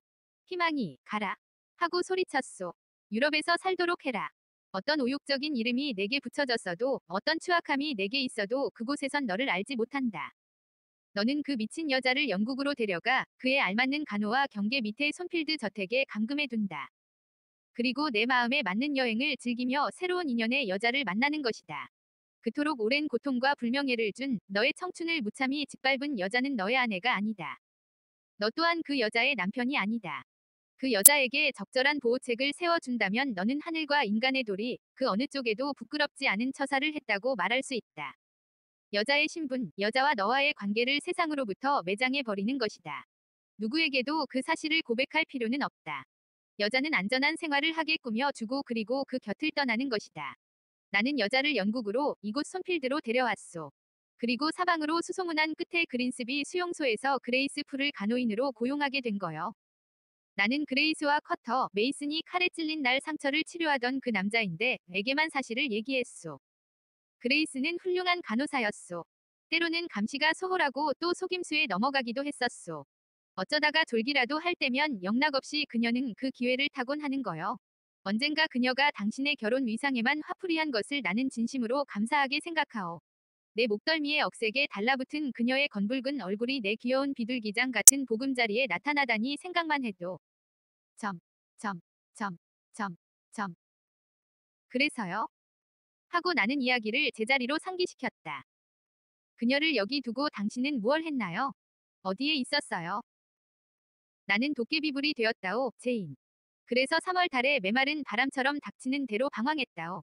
대륙으로 가서 이 나라에서 저 나라로 전전하였소. 단지 선량하고 총명한 여자를 발견해낼 그 한 가지 소망을 품고 말이오. 손필드의 그 여자와는 정반대 되는 여성을 찾아서 말이오. 그래도 결혼할 수는 없었지요. 결혼은 할 수 있고 해야 할 일이라고 나는 생각했소. 나는 당신을 속였지만 그게 본인은 아니었소. 사실을 솔직히 얘기하고 구원할 마음이었소. 나의 사정을 이해하고 받아들이는 여성이 없으리라고는 난 한 번도 생각해 본 적이 없소. 네, 그래서요. 당신의, 네, 그래서요. 난 무슨 뜻이오. 당신과 얘기를 하면 나는 말을 잘 듣게 되어 한없이 얘기하게 되니 나 자신도 알 수 없는 일인데 말이오. 무슨 뜻이라뇨? 그저 당신이 좋아하는 사람을 만났는지 어쩐지, 구혼을 했는지 어쩐지, 그녀가 뭐라고 대답을 했는지, 다만 그것을 물었을 뿐인데요. 좋아하는 사람을 만났는지 어쩐지, 구혼을 했는지 어쩐지에 대해선 말할 수 있지만 그녀가 뭐라고 대답을 했는지는 이제부터 운명의 책 속에 기록되어질 일이라오. 10년 이란 세월 동안을 나는 이 나라의 서울에서 저 나라의 서울로 부평초처럼 떠다녔소. 어느 때는 성페테부르크에서, 대개는 파리에서 보냈소. 또 때로는 로마, 나폴리, 플로렌스에서 많은 재산과 전통 있는 가문 덕분에 나는 폭넓은 교제를 가졌소. 어떠한 사교계도 나를 거부하지는 않았소. 영국, 프랑스, 이탈리아, 도이치의 귀족의 영향, 양가의 숙녀 중에서 나는 이상의 연인을 찾았소. 그러나 이상의 연인은 없었소. 다만 내게 맞는 여성, 그 서인도 태생의 여인과는 정반대 되는 여자를 찾는 것임에도 찾을 수 없었소. 실망이 겹쳐서 마침내 나는 유흥에 빠졌소. 그러나 음탕은 아니야. 나는 그런 것은 싫어했고 지금도 싫어하오. 그래도 혼자 살 수는 없어서 나는 정부를 구했지. 세린느 바렌 그러나 이것이 나를 없애버리고 싶은 소행 중의 하나가 되었소. 그 여자의 일은 당신도 잘 알고 있으니 그만두리다. 그 여자 다음에 사귄 여자가 둘이 있소. 이탈리아인 자친타와 도이치의 클라라요. 둘 다 이름난 미인이었지만 난 곧 실증이 났소. 한 여자는 게으르고 난폭했으며 클라라는 아둔하여 머리가 잘 돌아가지 않았소. 나는 적당히 장사 미천을 대주고 그녀로부터 풀려나왔소. 아니, 당신 얼굴이 왜 그렇지? 나를 별로 탐탁히 여기지 않는 눈치군. 당신은 날 박정한 바람둥이로 생각하고 있구려. 그렇지. 네, 당신이 다른 때처럼 좋게 생각되진 않아요. 그런 생활이 잘못된 것이라고는 생각지 않으셨어요. 이 여자에서 저 여자로 전전하는 생활을 당연지사처럼 말씀하시네요. 물론 잘못된 생활이었소. 좋아하지도 않았소. 나는 그때 그녀들과 어울리던 기억들이 혐오스러워 견딜 수 없소. 나는 그가 진실을 말한다는 것을 알았다. 그리고 거기서 하나의 결론을 얻었다. 즉 내가 만일 자제력을 잃고 이제껏 갖가지 가르침을 잊고 유혹에 끌려 이들 가엾은 여자들의 뒤를 잇는다면 언젠가는 반드시 지금 그가 하고 있는 것처럼 추억도 모독하게 될 것이라는 생각이었다. 그런데 제인 왜 그 다음을 묻지 않소? 얘기는 아직 끝나지 않았어. 꽤 심각한 얼굴이구려. 또 날 비난하고 있어. 그걸 알겠어? 아무튼 나는 정월의 여자들과의 인연을 깨끗이 끊고 모든 여성들에 대한 혐오감을 느끼며 가사일로 영국으로 돌아왔소. 그 얼어붙듯이 추운 겨울 오후 나는 말을 달려 손필드 저택이 보이는 곳까지 왔어요. 혐오스러웠소. 평화, 안식, 기쁨, 난 이미 이 고장에서 그러한 것들을 기대하지 않았소. 그런데 헤이렌의 계단 위에 앉아있는 어떤 조그만 그림자가 에스로아가 사고를 일으켰을 때 조용히 내게로 다가와 도와주겠다고 자청을 한 거요. 마치 어린애처럼 가냘픈 아가씨. 마친 홍방울새가 그 여린 날개로 나를 싣고 가겠다는 것과 마찬가지였소. 나는 무뚝뚝했지만 그래도 도움이 필요했고 결국은 그 사람에게 도움을 받았지. 그런데 내가 그 가냘픈 어깨에 손을 댄 순간 무언가 신선하고 새롭고 충일된 느낌이 내게로 스며들었소. 그 조그만 요정이 언덕 밑에 내 저택을 빌려 살고 있다는 것을 안 것은 참 다행이었소. 몰랐더라면 그녀가 어두운 생나무 저 너머로 사라지는 것에 참 이상스런 미련을 남겼을 거요. 그 후에도 나는 오랫동안 당신에게 쌀쌀했소. 처음에 얼마간 나는 이 아름다운 꽃을 꺾으면 곧 색과 향이 바래어 청초한 매력도 사라지리라는 불안에 쌓여 있었소. 그것이 한순간 피고 많은 꽃이 아니라 견고한 보석에 새겨진 변치 않는 꽃이라는 것을 나는 몰랐소. 또한 나는 내가 당신을 멀리하면 당신이 내 쪽으로 쫓아오지 않을까 알고 싶었소. 그러나 당신은 쫓아오지는 않았어. 당신이 날 어떻게 생각하고 또 내일을 생각하고 있는지 어쩐지도 좀채로 알 수가 없었소. 난 당신을 주의해 보았소. 말을 시켜보니 당신의 눈에는 기쁨이 스쳤고 당신의 태도에도 친밀감이 깃들어 있었어요.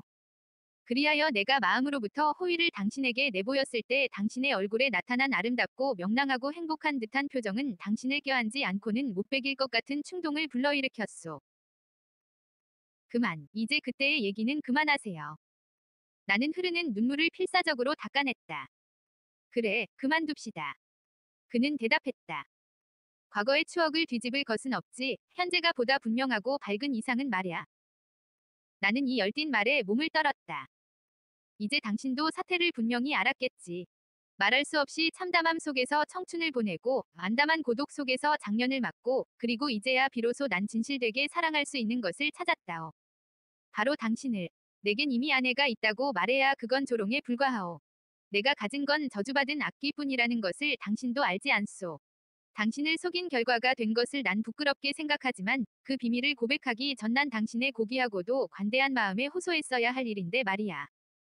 사실 그대로 나의 고뇌의 찬 생활을 고백하고 보다 높고 위에 있는 생활에 대한 목마른 염원을 당신에게 호소하여 거부할 수 없는 열의를 당신에게 보내 줬어야 옳았소.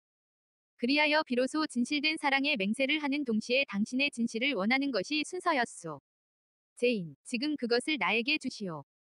한순간 침묵이 흘렀다. 왜 말이 없소, 제인. 나는 무서운 시련을 맛보고 있었다. 불붙는 무쇠처럼 억센 손이 나의 내장을 움켜잡고 있었다. 칠흑 같은 어둠 속에서 불타는 지옥. 나는 몸을 뒤틀며 괴로워했다. 그 공포의 한순간 나의 괴로운 대답의 의무는 단 한마디의 말로 압축되어 있었다. 헤어져라. 라고. 제인, 내가 뭘 바라는지 잘 알고 있지 않나? 전 당신 거예요, 에드워드, 라고 한마디만 말해요. 로체스타 씨, 전 당신 것이 아니에요. 오랜 침묵 후에, 제인. 하고 너무나도 부드러운 목소리로 그가 입을 열었다. 까닭 모를 불길한 공포가 슬픔의 찰나를 돌덩어리처럼 싸늘해지게 만들었다. 왜냐하면 그 조용한 말소리는 바야흐로 뛰어들려는 사자의 허덕임이었으니. 제인, 그렇다면 당신과 나는 이 세상에서 서로 각각 다른 길로 가야 한다는 건가? 네. 아, 제인, 그건 너무해. 날 사랑해서 안 될 일이라도 있나? 당신의 말을 따르는 것은 잘못이에요. 그의 얼굴에 눈썹이 치떠지고 난폭한 표정이 되었다. 그러나 나는 각오하고 있었다. 잠깐만 제인, 잠시라도 좋으니 당신이 떠난 후에 내 생활을 한번 상상해봐요. 무엇이 남겠소. 당신과 함께 내 모든 행복이 박탈당하고 아내라는 그 미치광이가 3층에 있을 뿐이야. 그곳에 묻혀있는 시체와 나와는 뭐 별다를 게 있소. 그렇게 되면 나는 어쩌라는 거요, 제인. 한 사람의 길동무 그 작은 희망을 이제 어디서 구한단 말이오. 제가 하는 것처럼 하세요. 하느님과 자신을 믿으세요.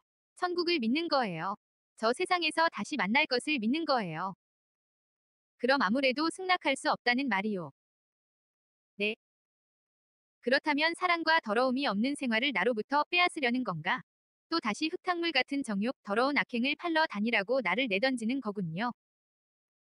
제가 좋아라고 이 운명을 택하는 줄 아세요. 로체스타 씨, 당신에게 그걸 강요하는 건 아니에요. 우리들은 누구나가 시련과 싸우고 극복해 나가도록 생을 타고난 거예요. 그러니 저도 당신도 그걸 따라야지요. 제가 당신을 잊기도 전에 당신은 저를 잊으실 거예요. 나는 싸웠다. 나의 표정을 살피고 있던 로체스타 씨는 나의 뚜렷한 생각을 확립시키고 있는 나를 바라보았다. 그의 노여움은 절정에 닿았다. 뒷일은 어쨌건 그것에 몸을 내맡기지 않을 수 없었다. 그는 주저없이 내게로 다가와 팔을 붙든 후 사정없이 나의 허리를 낚아챘다. 아, 이처럼 연약하면서도 이처럼 굳센 것이 또 있을까? 나의 소나기 속에서는 여린 갈대처럼 약하기만 한 게. 이를 악물고 그는 나를 힘껏 껴안고 마구 흔들어 대었다. 나의 두 손가락으로 꺾여질 이 몸뚱아리, 하지만 굽히고 부수고 꺾어 봐서 그게 무슨 소용이람. 이윤을 봐라, 필사적인 각오로서 대담하고 겁이 없이 용기 이상의 것으로 나를 보면서 엄연한 승리에 차 내게 반항하고 있다. 이것 껍데기를 허물어 봐야 무슨 소용인가? 이 눈을 봐라 겁을 모르는 아름다운 것에는 내 손도 미치지 못한다. 당신의 마음에 상관없이 당신을 잡아본들 당신은 향기처럼 사라져버린다. 아, 제인, 내게로 와 주구려. 그렇게 말하며 그는 움켜쥐고 있던 나를 풀어놓고 물끄러미 바라만 보았다. 난폭한 강요보다 거절하기가 더욱 어려운 얼굴이었다. 그러나 그의 격정에 휘말리지 않았다. 나는 문 있는 곳으로 뒷걸음질을 쳤다. 가는 건가, 제인? 네, 그래요. 와주지 않겠소. 나를 위로하거나 도와주지 않겠소. 내 무한한 사랑과 애타는 괴로움, 미친 듯한 내 영혼이 당신에겐 아무렇지도 않소. 아, 무한한 비애가 담겨진 그 목소리, 말로는 다하지 못할 그 애수에 대해 단호하게 대처해야 하는 괴로움. 전 가야 해요. 알았어, 그렇다면 가요. 하지만 잊지는 말아요. 이처럼 괴로워하는 나를 두고 당신이 가는 것을 말이오. 당신 방에 돌아가면 내가 얘기한 것을 다시 한번 생각해 주오. 내 생각을 해보고 괴로움을 알아줘요. 그는 돌아서서 소파에 몸을 던지고 얼굴을 묻어버렸다. 오, 제인. 내 희망, 나의 사랑, 내 생명이여. 그는 오열을 참아내지 못했다. 길고도 강한 울음이 터져 나왔다. 나는 그때 문께까지 와 있었다. 그러나 곧 되돌아갔다. 물러섰을 때와 마찬가지로 조금도 주저없이 나는 그의 곁에 무릎을 꿇었다. 쿠션에 묻은 얼굴을 내게로 돌려 그 눈에 입을 맞추었다. 손으로 머리를 쓸어 올렸다. 소중하신 저의 주인님, 하느님의 축복이 있으시길. 점, 점, 점, 점, 점. 나는 말했다. 하느님은 모든 재난과 과실에서 당신을 구원하십니다. 당신을 인도하시고 위안을 주시며 이제껏 제게 베푸신 친절에 대한 보다 훌륭한 보답을 주십니다. 보답으로라면 당신의 사랑이야. 그것이 없으면 내 가슴은 찢어진다. 그러나 제이는 내게 반드시 사랑을 줄 거야. 숭고하게 아낌없이. 그의 얼굴에는 핏기가 돌았고 눈은 빛났다. 그는 벌떡 일어나 두 팔을 내게로 벌렸다. 그러나 나는 포옹을 피하여 밖으로 나와 버렸다. 안녕히 계세요. 그의 곁을 떠날 때 나는 마음속으로 부르짖었다. 영원히 안녕히 계세요. 그날 밤 나는 잘 생각이 아니었으나 자리에 눕자 곧 꿈에 떨어졌다. 나는 어린 시절로 돌아가 있었다. 저 게이트헤드의 붉은 방에 나는 누워 있었다. 달은 일찍이 구름 사이를 헤집고 나온 그 어느 달과도 닮지 않은 모양을 하고 있었다. 그리고 구름 사이로 흰 옷을 입은 사람이 언제까지고 나를 내려다보고 있었다. 그는 나의 마음의 이야기를 하고 있었는데 그 이루 헤아릴 수 없이 먼 목소리는 내 마음 가까이에서 속삭이고 있었다. 내 딸아, 유혹에서 피하라. 그렇게 하겠어요. 어머니. 대답과 함께 이 황홀한 꿈에서 깨어나자 7월 위 밤은 어느새 훤히 거두어져 있었다. 과히 이른 시간은 아니야. 이제부터 내겐 할 일이 있지 않나. 하고 나는 생각했다. 나는 자리에서 일어나 내복, 반지 등의 짐을 꾸렸다. 며칠 전에 로체스타 씨가 준 진주 목걸이만은 뒤로 남겨두었다. 그것은 내 것이 아니다. 그것은 환상 속에 사라진 로체스타 씨의 신부 것이 되어야 마땅할 것이다. 나는 내가 가진 전부의 돈인 20실링을 주머니에 넣고 방을 나왔다. 안녕히 계세요, 페어팩스 부인. 그녀의 방 앞을 지날 때 나는 낮은 소리로 인사를 전했다. 잘 있어요, 아델. 어린이 방 쪽으로 눈을 주고 나는 말했다. 로체스타 씨의 방을 나는 그대로 지나칠 생각이었다. 그러나 문 앞에서 심장이 얼어붙는 듯하여 그대로 계속 걸을 수도 없었다. 방 주인은 완전히 침착성을 잃고 이쪽 병에서 저쪽으로 왔다 갔다 하고 있었다. 잠시 서 있는 동안에도 한숨 소리는 계속 흘러나왔다. 가엾은 주인님, 애가 타서 잠도 들지 못하고 저렇게 날이 밝기만을 기다리다가 아침이면 나를 찾으시겠지. 나는 발견되지 않는다. 당신은 버림받았구나. 사랑의 거부에 당신은 자포자기하고 괴로워하리라. 그것도 나는 생각했다. 손이 저절로 손잡이로 갔다. 그러나 나는 다시금 그 손을 걷어들이고 복도를 살그머니 걸어나갔다. 소리도 내지 않고 문을 닫고 희미한 새벽녘의 뒷마당으로 나는 발을 내딛었다. 나는 마침내 쪽문을 통하여 손필드 저택의 밖으로 나왔다. 밭을 지나 생나무 울타리를 따라 걷는 사이에 어느덧 아침 해가 솟았다. 나는 쓸쓸한 도피행과 끝도 없는 방황을 생각하고 그리고 뒤에 두고 온 사람의 이름을 가슴 쓰리게 생각했다. 생각 않을 수도 없었다. 나는 솟아오르는 해를 보며 그분의 일과 그 방 안의 일들을 생각했다. 전 여기 남겠어요. 당신 것이에요. 라고 말할 날이 빨리 오기를 기원하며 나는 그의 것이고 싶었다. 되돌아가고 싶었다. 아직은 늦지 않았다. 집을 나온 것을 아무도 모르니만큼 지금이라면 아직 이별의 상처는 남기지 않을 수 있을 것이다. 나는 내 자신이 미웠다. 주인님을 괴롭히고 상처를 준 여자. 그리고 버리고 오다니 내 자신의 눈에 내가 밉게 비쳤다. 그래도 뒤를 돌아볼 수는 없었다. 한 발자국도 물러설 수는 없었다. 혼자 터덜터덜 걸어가며 나는 울었다. 내부로부터 마음의 아픔이 내비쳐 손발끝까지 고통스러워 나는 죽는 거야. 여기서 이러한 불안을 아니 희망을 품었다. 그러나 나는 곧 일어났다. 조금 기어서 몸을 세웠다. 아무튼 어떻게 해서건 나는 역마차가 다니는 큰 길로 나가야 했던 것이다. 28. 이틀이 지났다. 여름날의 저녁 무렵 마부는 나를 위트크로스라는 곳에 내려주었다. 더 이상 갈 수 있도록 지불할 돈이 내게는 없었던 것이다. 단 1실링도. 점, 점, 점, 점, 점. 마차는 벌써 1마일이나 앞서 가버리고 말았다. 혼자가 되어 우두커니 서 있던 나는 이때 마차의 선반 위에 내 보따리를 그냥 두고 내린 것을 알았다. 이제야말로 나는 글자 그대로 무일푼의 신세가 되고 만 것이다. 위트크로스는 거리도 마을의 이름도 아니었다. 다만 내 갈래의 길이 마주치는 곳에 서 있는 하나의 표지판에 불과했다. 그것은 멀리서나 혹은 어둠 속에서도 잘 볼 수 있도록 흰색으로 칠해져 있었다. 그 꼭대기에 팔을 벌리고 있는 네 개의 방향 표지를 보고 여기서부터 제일 가까운 곳은 10마일이나 되고 먼 곳은 20마일이나 된다는 것을 알았다. 전후 어느 쪽을 살펴보아도 그저 드넓은 히드의 벌판이었으며 발밑 계곡 멀리로는 이딴 산등성이만이 보였다. 희끄무레하고 널따른 길은 동서남북으로 뻗쳐져 있건만 통행인의 그림자라곤 찾아볼 수도 없었다. 길만을 제외하고는 히드는 어디에고 잔뜩 우거져 있었다.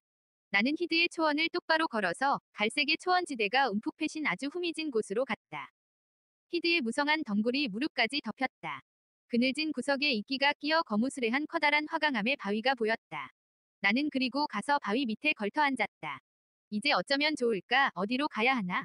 스스로 그런 막막한 질문만을 생각하고 있었다. 나는 히드를 만져보았다. 건조되어 아직 태양열로 따뜻했다. 하늘을 올려다보았다. 벼랑 위로 별 하나가 정다운 빛을 던지고 있었다. 나는 아직 빵 한 조각을 가지고 있었다. 그것은 점심때 어느 거리에서 마지막 하나 남은 동전으로 산 먹다 남은 롤빵이었다. 나는 히드의 여기저기에 무르익은 귤나무 열매가 반짝이는 것을 보았다. 그것을 한 움큼 따서 빵과 함께 먹자 충분하지는 못하나마 허기는 면할 수 있었다. 식사를 끝낸 후 나는 저녁 기도를 올리고 잠자리를 물색했다. 그러놓으면 반은 히드 속에 묻힌다. 이렇게 해서 잠자리를 얻은 나는 적어도 날이 밝기까지는 추위를 모르고 잤다. 나의 휴식은 더없이 고요한 것이었으리라. 가슴의 슬픔이 이를 방해했다. 노체스타 씨와 그의 운명을 생각하면 내 가슴은 떨렸고 뼈아픈 연민으로 또한 쉼없는 동경으로 그를 그리워했다. 양쪽 날개를 잃은 새처럼 움직일 기력도 없으면서 마음은 그래도 오로지 그를 갈구하고 있었다. 이러한 마음의 가책에 지쳐 나는 일어나서 무릎을 꿇었다. 밤이 되어 별이 떴다. 고요한 밤이었다. 불안을 느끼기엔 너무나도 고요한 점, 점, 점, 점, 점. 나는 로체스타 씨를 위해 기도했다. 신은 스스로 창조하신 것을 구원하신다. 나는 확신이 솟아점차로 강해졌다. 나는 감사의 기도를 했다. 로체스타 씨는 걱정하지 않아도 된다. 신이 창조하신 그분은 신이 구원하신다. 나는 다시금 언덕에 누워 깊은 잠에 떨어짐으로써 슬픔을 잊었다. 다음 날 아침, 길게 땅 위에 덮였던 아침 그늘이 거치고 태양이 땅과 하늘 사이에 가득했다. 나는 눈을 뜨고 주위를 살펴보았다. 어쩌면 이렇게도 고요한 그리고 더운 청명한 날씨일까? 황야는 황금의 사막 그대로였다. 눈에 비친 것이 햇빛이었다. 일어나서 내가 누웠던 곳을 돌아본 후 나는 걷기 시작했다. 나는 참으로 오랫동안 걸어 이제는 더 이상 걸을 수 없을 정도로 걸었다. 근처의 바위 위에 아무렇게나 주저앉아 몸도 마음도 잦아드는 무감각 상태에 내맡기고 있었다. 나는 언뜻 종소리를 들었다. 오, 교회 종소리다. 소리가 나는 쪽으로 눈을 돌리니 로맨틱해 배는 언덕 사이로 조그만 마을과 교회의 뾰족탑이 보였다. 오른쪽의 계곡으로는 목장과 숲이 보였다. 그 사이로 흐르고 있는 조그만 냇물이 보였고 한 대의 짐짝 마차가 언덕을 오르는 게 보였고 두 마리의 암소를 끌고 가는 사람들도 보였다. 나는 어느 틈에 사람들이 일하는 근처로 와 있었다. 나는 어떻게든 살아가지 않으면 안 된다. 살아가기 위해 노력을 해야 하고 힘껏 일해야만 한다. 오후 2시쯤 마을에 당도하니 눈에 띄는 것이 창가에 빵과자를 진열한 조그만 상점이었다. 나는 빵과자가 먹고 싶었다. 그것을 하나만 먹으면 기운을 차릴 듯 싶었다.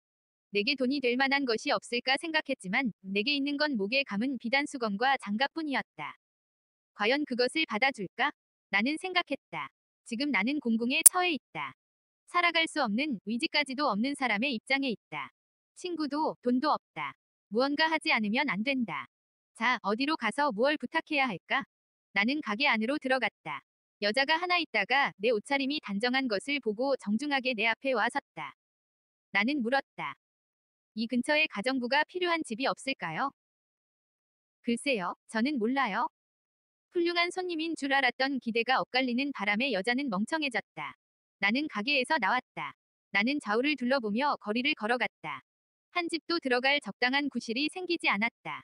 나는 좁은 골목의 안쪽에 정원이 아름답게 가꾸어진 깨끗하고 조그만 집 앞에서 걸음을 멈추었다. 꽃이 아름답게 활짝 피어 있었다. 하얀 문으로 다가서서 노크를 하니 온순하고 소박해 보이는 부인이 나와 문을 열었다. 희망을 잃어서 숨마저 끊길 듯한 목소리가 되어 대개 가정부가 필요하지 않습니까? 하고 물으니 필요 없어요. 하고 부인이 잘라 말했다. 저희 집엔 가정부를 두지 않습니다. 무슨 일이라도 좋으니 제가 할 일이 없을까요? 다른 지방 사람이라 이곳 사정을 잘 모릅니다. 무슨 일이라도 할 테니 점, 점, 점, 점, 점. 안 됐지만 생각나는 곳이 없군요. 하고 부인은 말하면서 열었던 문을 닫아버렸다. 나는 쫓겨난 것이다.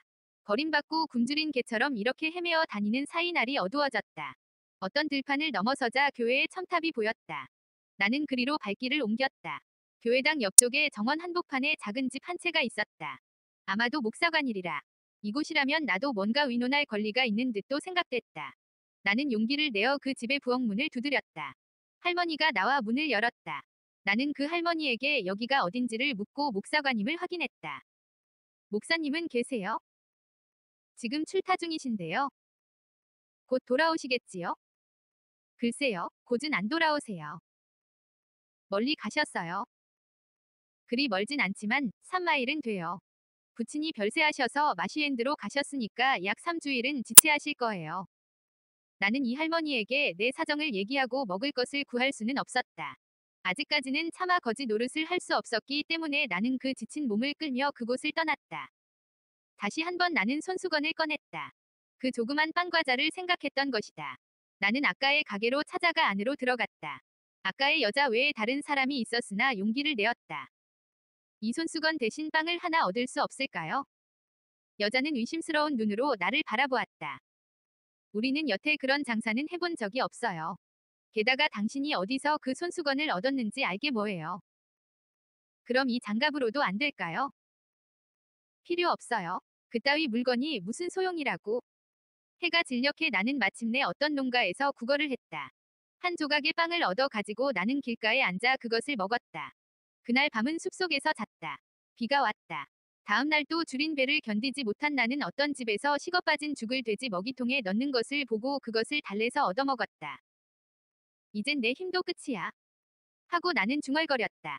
지금 나와 언덕 사이로는 어두워진 불모의 땅이 약간 있을 뿐이다.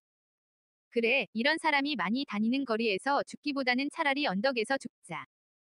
나의 눈은 황막한 황야의 끝가는 곳에 멎어 있었다. 그때 아득히 먼 곳으로부터 번쩍이는 불꽃을 나는 보았다.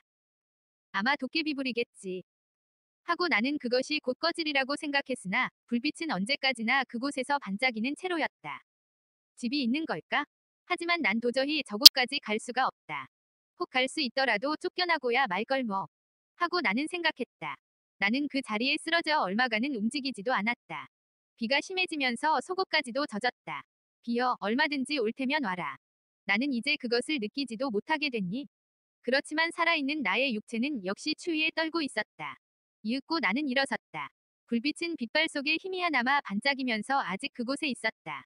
나는 지친 다리를 끌고 천천히 불빛을 향해 걸어갔다. 습지를 건너서자 불빛은 나무들이 무성한 언덕 위에서 빛나고 있었다. 가까이 가자 건물 모퉁이의 창을 통해 그 불빛이 흐르고 있었다. 나는 그곳을 통해 집안 광경을 살펴보았다. 깨끗한 모래빛 마루가 깔린 방 안에 호두나무로 만든 찬장, 괴종시계, 흰색 테이블과 의자 몇 개, 촛불은 그 테이블 위에 놓여 있었다. 촛불 곁에는 좀 촌스러우면서도 적당히 어울리는 한 사람의 노파가 양말을 뜨고 있었다. 그리고 난로가에는 그곳에서 배어나오는 장미색의 평화와 온기에 쌓여 두 아가씨가 각각 의자에 앉아 있었다. 두 사람은 크레이프와 본바지인 검은 상복 차림이었는데 그 검은 색상 탓에 드러난 살결이 무척 희게 보였다. 한 아가씨의 무릎에는 커다랗고 늙은 포인터 개가 머리를 올려놓고 있었고 한 아가씨는 검은 고양이를 안고 있었다. 두 사람을 살펴보건대 상당히 교양 있고 우아해 보였다. 그런데 다이아나 하고 책을 읽고 있던 한 사람이 말했다. 프란츠와 늙은 다니엘은 밤에 함께 있었어. 그런데 프란츠가 무서운 꿈에서 깨어 그 얘기를 하는 거야. 좀 들어봐. 그러고는 어떤 문장을 소리내어 읽기 시작했다. 나는 그것을 한마디도 알아들을 수가 없었다. 프랑스어도 라틴어도 아니었다. 어느 나라 말인지조차도 몰랐다.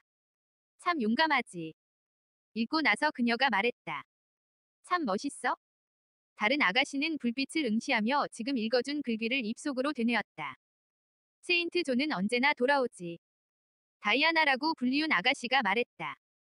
지금 10시니까 곧 오겠지.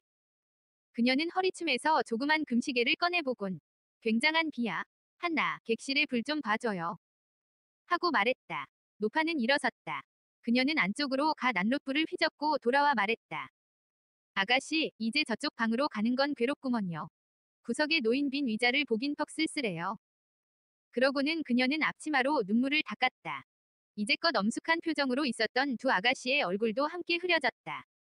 하지만 이제야말로 좋은 곳으로 가신 것이니 점, 점, 점, 점, 점 하고 노파는 말을 이었다. 이 세상으로 다시 와 주십사고 원하는 것은 안 되겠지요. 정말 그처럼 편안하게 임종하신 분도 없을 거예요. 시계가 10시를 쳤다. 밤참을 좀 드셔야지요. 한나가 말했다. 세인트 존 님도 돌아오시면 시장하실 거예요. 그리고 그녀는 곧 식사 준비를 했다. 아가씨들이 일어섰다. 아마 안방으로 가려나 보았다.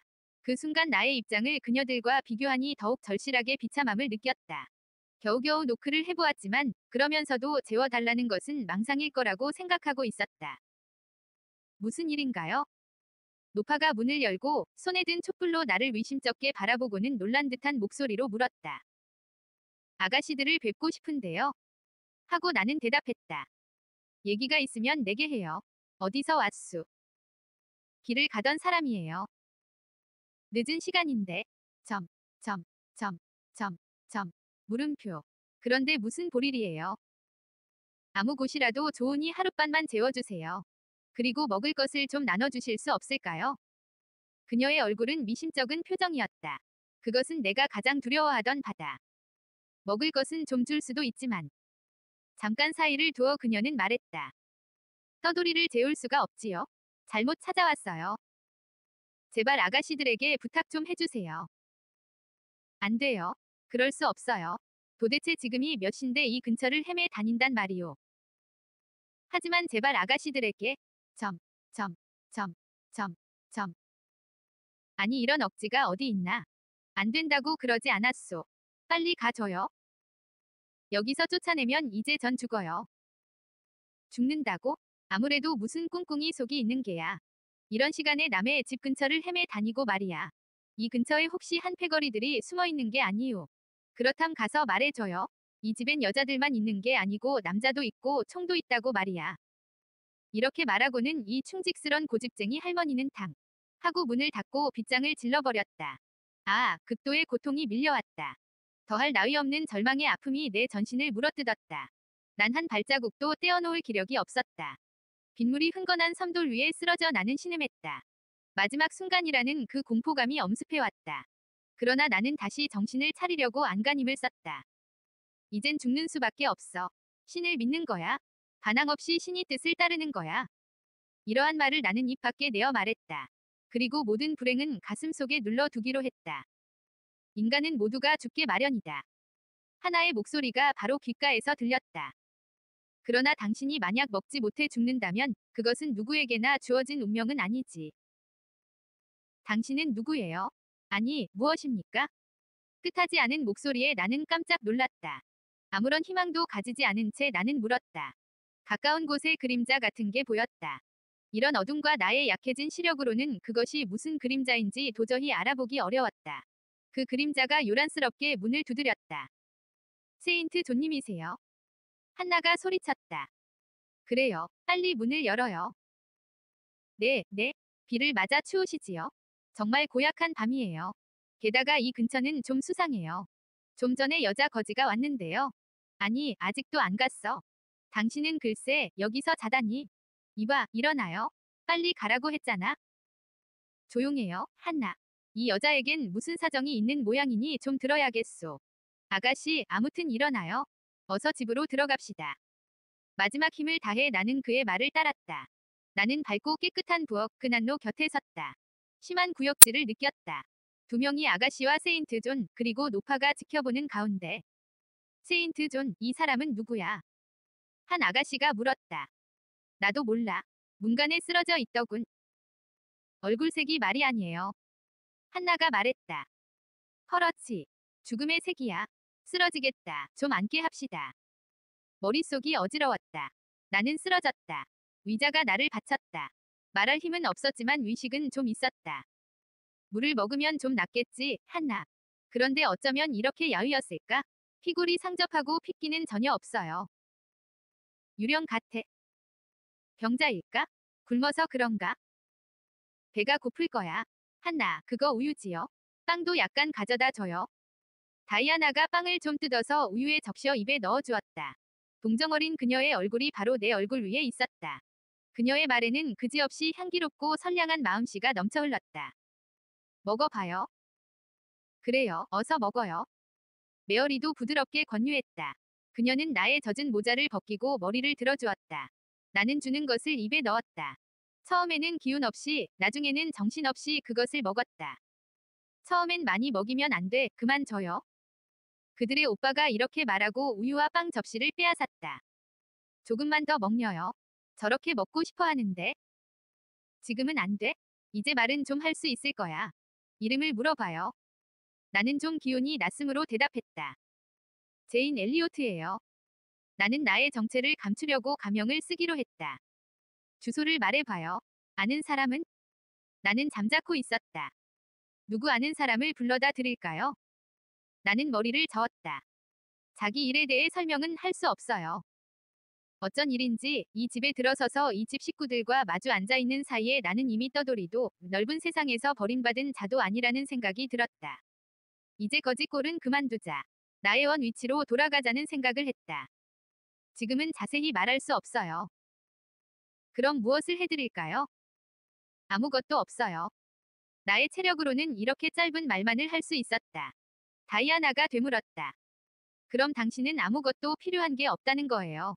비가 퍼붓는 이 밤에 다시 황야로 나가겠다는 건가요? 나는 그녀를 보았다. 힘과 선의가 가득한 그 얼굴을 그리고 용기를 얻었다. 그녀의 동정어린 눈길에 미소를 짓고 나는 말했다. 여러분을 전 믿어요. 만약 제가 주인에게 버림받은 강아지라 해도 오늘 밤은 이난로 곁에서 절 내쫓지야 않겠지요. 부디 생각대로 저를 처리해 주세요. 다만 긴 이야기만은 시키지 말아주세요. 숨이 차고 경련이 일어난답니다. 세 사람은 내 모양을 보고 아무 말도 없었다. 한나. 세인트 존이 말했다. 지금은 이대로 말을 시키지 말고 두어요. 10분 후에 나머지 빵과 우유를 먹이고 그리고 메어리와 다이아나는 저리로 가자. 좀 의논을 해야겠다. 그들은 안으로 들어갔다. 곧 형제 중의 한 사람이 왔으나 난 그녀가 동생인지 언니인지 알 수 없었다. 난로에 온기로 해서 기분 좋은 잠이 스며들었다. 낮은 목소리로 그녀는 한나에게 무언가를 지시했다. 이윽고 노파의 부축에 위해 나는 계단을 올라갔으며 흠뻑 젖은 위복을 벗고 따뜻하고 마른 침대 속으로 들어갔다. 나는 하느님께 감사하고 고난 피로 속에서 불타는 감사와 기쁨을 맛보며 깊은 잠에 빠져 들어갔다. 29. 그로부터 사흘간을 나는 밤낮을 거의 분간하지 못하고 지냈다. 사흘 후에 나는 많이 회복되었고 나흘째에는 침대 위에 일어나 앉게 되었다. 점심 나절에 한나가 죽과 버터를 바르지 않은 토스트를 가져와서 나는 맛있게 그것을 먹었다. 깨끗이 세탁되어진 나의 옷이 바로 침대 곁에 의자 위에 놓여 있었다. 이미 습지의 흔적 따위나 비에 젖어 구질구질했던 주름살 따위는 전혀 찾아볼 수 없을 정도로 가지런해진 나의 비단 우옷은 벽에 걸려 있었다. 양말과 구두까지 청결하게 손질되어 있었다. 게다가 방에는 세면 도구와 솔과 빗이 있었으므로 나는 천천히 몸단장을 했다. 몹시 살이 빠져서 옷이 헐렁했지만 숄로 그것을 감출 수 있었다. 단정하고 깨끗한 몸차림으로 조심스럽게 돌층계를 내려가서 천장이 낮은 복도를 통해 부엌으로 내려갔다. 한나가 빵을 굽고 있었다. 처음에는 내게 무뚝뚝하고 쌀쌀하게 굴었지만 점차로 친절해져서 지금은 단정한 내 모습을 보자 미소까지 지어 보였다. 저런, 일어났군요. 하고 그녀는 말했다. 이젠 괜찮아요. 못하거든 거기 난로가에 내 의자에 앉구려. 그런데 당신은 여기 오기 전엔 국어를 하고 다녔수. 순간 나는 입술을 물었다. 그러나 화를 낼 수는 없었다. 그때의 나는 사실 거지 이상의 꼴이었을 테니. 나는 조용히 대답을 했지만 그 대답은 어쩔 수 없이 불쾌한 어조였다. 절 거지로 아셨으면 잘못이에요. 전 할머니가 이댁 아가씨들처럼 거지는 아니에요. 잠깐 침묵한 후에 할머니가 말했다. 무슨 일인지 모르지만 아가씨는 공부했수. 네, 상당히. 학교는 못 다녔지요? 전 8년이나 학교에 있었어요. 할머니의 눈이 휘둥그레졌다. 그렇다면 왜 돈을 벌지 않지요? 지금까지 내 힘으로 벌며 살아왔는 거요. 이제부터도 그렇게 할 수 있을 거예요. 어머, 그 구즈베리는 뭘 하시려고요? 나는 그녀가 과일이 든 바구니를 가지고 온 것을 보고 그렇게 말했다. 파이를 만들 거라오. 이리 주세요. 제가 벗겨볼까요? 그녀는 바구니와 함께 내 무릎에 깔 수건을 가지고 왔다. 옷을 버리면 안 되지요. 손을 보니 당신은 막일은 하지 않은 손이에요. 손을 보면 알 수 있지요. 하고 그녀는 말했다. 바느질을 했을까? 아니, 바느질쟁이가 아니에요. 더 이상 제 신변을 묻지 마세요. 그보다 이댁 이름은요. 마시엔드 혹은 무아하우스라고들 부른다오. 이 댁의 주인은 세인트 존 님이에요. 아니요, 그분은 잠시 다니러 온 사람일 뿐이죠. 모튼의 교구 안에서 거처하고 계세요. 저쪽 마을 말인가요? 그렇다오. 뭘 하시는데요? 목사님이죠. 나는 그 목사관을 찾아간 때에 이를 상기했다. 그럼 이곳엔 그분의 아버님이 계셨군요. 그랬었지요. 아버님은 돌아가셨나요? 3주일 전에 그만 뇌출혈로. 점, 점, 점, 점, 점. 어머니요? 마나님은 돌아가신 지 오래됐지요. 그럼 할머니는 이 댁에 오래 계셨어요. 거의 30년 은 됐으니까요. 저 세 사람은 내가 다 키웠는 거요. 그것으로서 할머니는 좋은 분인 걸 알겠군요. 절거지라고 하셨지만 훌륭한 분이라고 칭찬해 드리고 싶어요. 그녀는 다시금 놀랐다. 내가 그만 잘못 알았어요. 이 근처엔 수상한 자들이 자주 나타나서요. 그래도 전 심하다고 생각했어요. 하고 나는 대꾸했다. 그 이유는요, 나를 재워주지 않거나 좀도둑으로 여겨서가 아니에요. 집 없고 돈 없는 사람이라 업신여긴 탓이에요. 옛날에도 또 지금은 돈 없으면서도 훌륭했던 사람은 많잖아요. 만일 할머니가 진정한 기독교인이라면 가난한 사람을 죄인처럼 여겨선 안 돼요. 앞으론 삼가고 조심할게요. 하고 그녀는 머리를 끄덕였다. 세인트 존님도 그러셨어요. 내가 잘못했지요? 지금은 당신을 전혀 그렇게 생각지 않는답니다. 당신은 정말 기품 있는 아가씨예요. 고마워요. 용서해 드릴게요. 자, 악수합시다. 그녀는 내게 거칠거칠한 가루투성이 손을 내밀었다. 어색함이 없어진 진실한 미소가 소박한 얼굴을 밝게 해주었다. 그것으로서 나와 그녀와 사이에 놓여있던 경계심이 말끔히 사라지고 믿음 깊은 친구가 되었다. 한나는 겉보기처럼 이야기를 좋아하였다. 내가 과일을 벗기고 그녀가 가루를 반죽하는 동안 쉴 새 없이 돌아가신 주인과 마나님 또 자제분들이라고 그녀가 일컫는 젊은이들의 이야기를 들려주었다. 돌아간 리버즈 씨는 평범한 신사였으나 이 지방에서는 가장 오래된 가문이 출신이었다고 했다. 그는 마수엔드를 짓고 내내 그것을 소유했으며 모튼 교회의 예배당에 비치되어 있는 등록부에도 나와 있듯이 헨리왕 시대에는 명사로 활약했다. 또 부인은 굉장한 독서가로 풍부한 학식을 가졌으며 자녀들은 모두 이 어머니를 닮은 것 같다고 했다. 이 지방에서는 자제분들 같은 사람을 본 적이 없고 그 세 사람은 말하기 시작하면서부터 학문을 좋아했으며 독학을 해왔다는 것이다. 그러나 수년 전 리버즈 씨가 친구의 빚보증을 잘못 서는 바람에 막대한 재산을 날리고 아이들에게 분배할 유산도 남기지 못했다. 때문에 세인트 존은 대학으로 가서 목사직에 나섰고 아가씨들은 학교를 나오자 가정교사를 지망하는 등 자기 손으로 빵을 벌지 않으면 안 되었다. 그렇지만 그들은 다같이 이 마시엔드나 모튼 일대의 자연경관에 대단한 애착을 가지고 있었다. 런던이나 그 밖의 도회지에 비할 바가 아니었다. 세 사람은 마음이 잘 맞았고 사이가 좋았다. 정말 이렇게 화평하고 우애가 있는 가정도 다시 없을 것이다. 내가 구즈베리를 다 벗겼을 때 세 사람이 산책을 마치고 돌아왔다. 세인트 존은 가볍게 목례를 하고 지나쳤으나 아가씨들은 다같이 걸음을 멈췄다. 메어리는 내가 아래층으로 내려올 정도로 좋아져서 다행이라고 말했다. 다이아나는 내 손을 잡고 머리를 흔들었다. 괜찮다고 할 때까지 더 있지 그랬어요. 아직 안색도 안 좋고 또 이렇게 여위여서 점, 점, 점, 점, 점. 다이아나의 목소리는 마치 비둘기 소리처럼 부드럽게 내 귀에 울렸다. 나는 그녀의 시선에 맞부딪히는 것이 퍽 즐거웠다. 그녀의 용모는 무엇이나 내게 매력이 넘쳐 보였다. 메어리 역시 총명하고 아름다운 얼굴이었으나 다이아나만큼은 가까이 하기 어려운 무엇이 있었다. 다이아나는 얼굴이나 말하는 태도에 일종의 위험과 위자가 꽉 차 있다. 내 성격으로는 그녀처럼 위지 있는 사람에게 복종하고 내 양심과 자존심이 허락하는 한에서 그 의사를 따르는 것은 오히려 기분 좋은 일이었다. 여기는 당신이 있을 곳이 아니에요. 저리로 갑시다. 하고 말하면서 그녀는 나를 일으켜 세워 객실로 데려갔다. 자, 여기 앉아요. 우리가 모자를 벗고 차를 가져올 테니까. 세인트 존과 나만을 남겨두고 둘은 나가 버렸다. 세인트 존은 신문인지 책인지를 들고 나의 맞은편에 앉아 있었다. 나는 방안을 둘러본 후 이 방의 주인공을 관찰했다. 이 방은 좀 작은 듯했으며 비품이나 장식은 깨끗했다. 내 마음에 꼭 들었다. 몇 세대에 걸친 남녀들의 초상화가 벽에 걸려 있었으며 여분의 장식으로는 사이드 테이블 위에 놓인 한 쌍의 바늘 상자와 여자용 책상뿐으로 현대식 가구라고는 하나도 찾아볼 수 없었다. 마치 벽에 걸린 하나의 초상화처럼 세인트 존은 움직임이 없었다. 책에 눈을 둔 채 벙어리처럼 입을 다물고 있었으므로 나는 그를 잘 관찰할 수 있었다. 그는 스물여덟이나 서른 살 정도로 보였으며 남의 눈을 끌 정도로 늘씬하고 잘생겼다. 날이 선 고전적인 코와 아테네 인과 흡사한 단정한 입과 턱의 윤곽은 실로 그리스 사람 그대로라고 말해도 좋았다. 영국인이면서도 그처럼 고대 민족의 전형을 꼭 닮은 사람은 드물 것이다. 그의 눈은 크고 파랬으며 갈색의 속눈썹을 가지고 있었다. 상아빛의 넓은 이마에는 몇 가닥 금발의 고수머리가 아무렇게나 늘어져 있었다.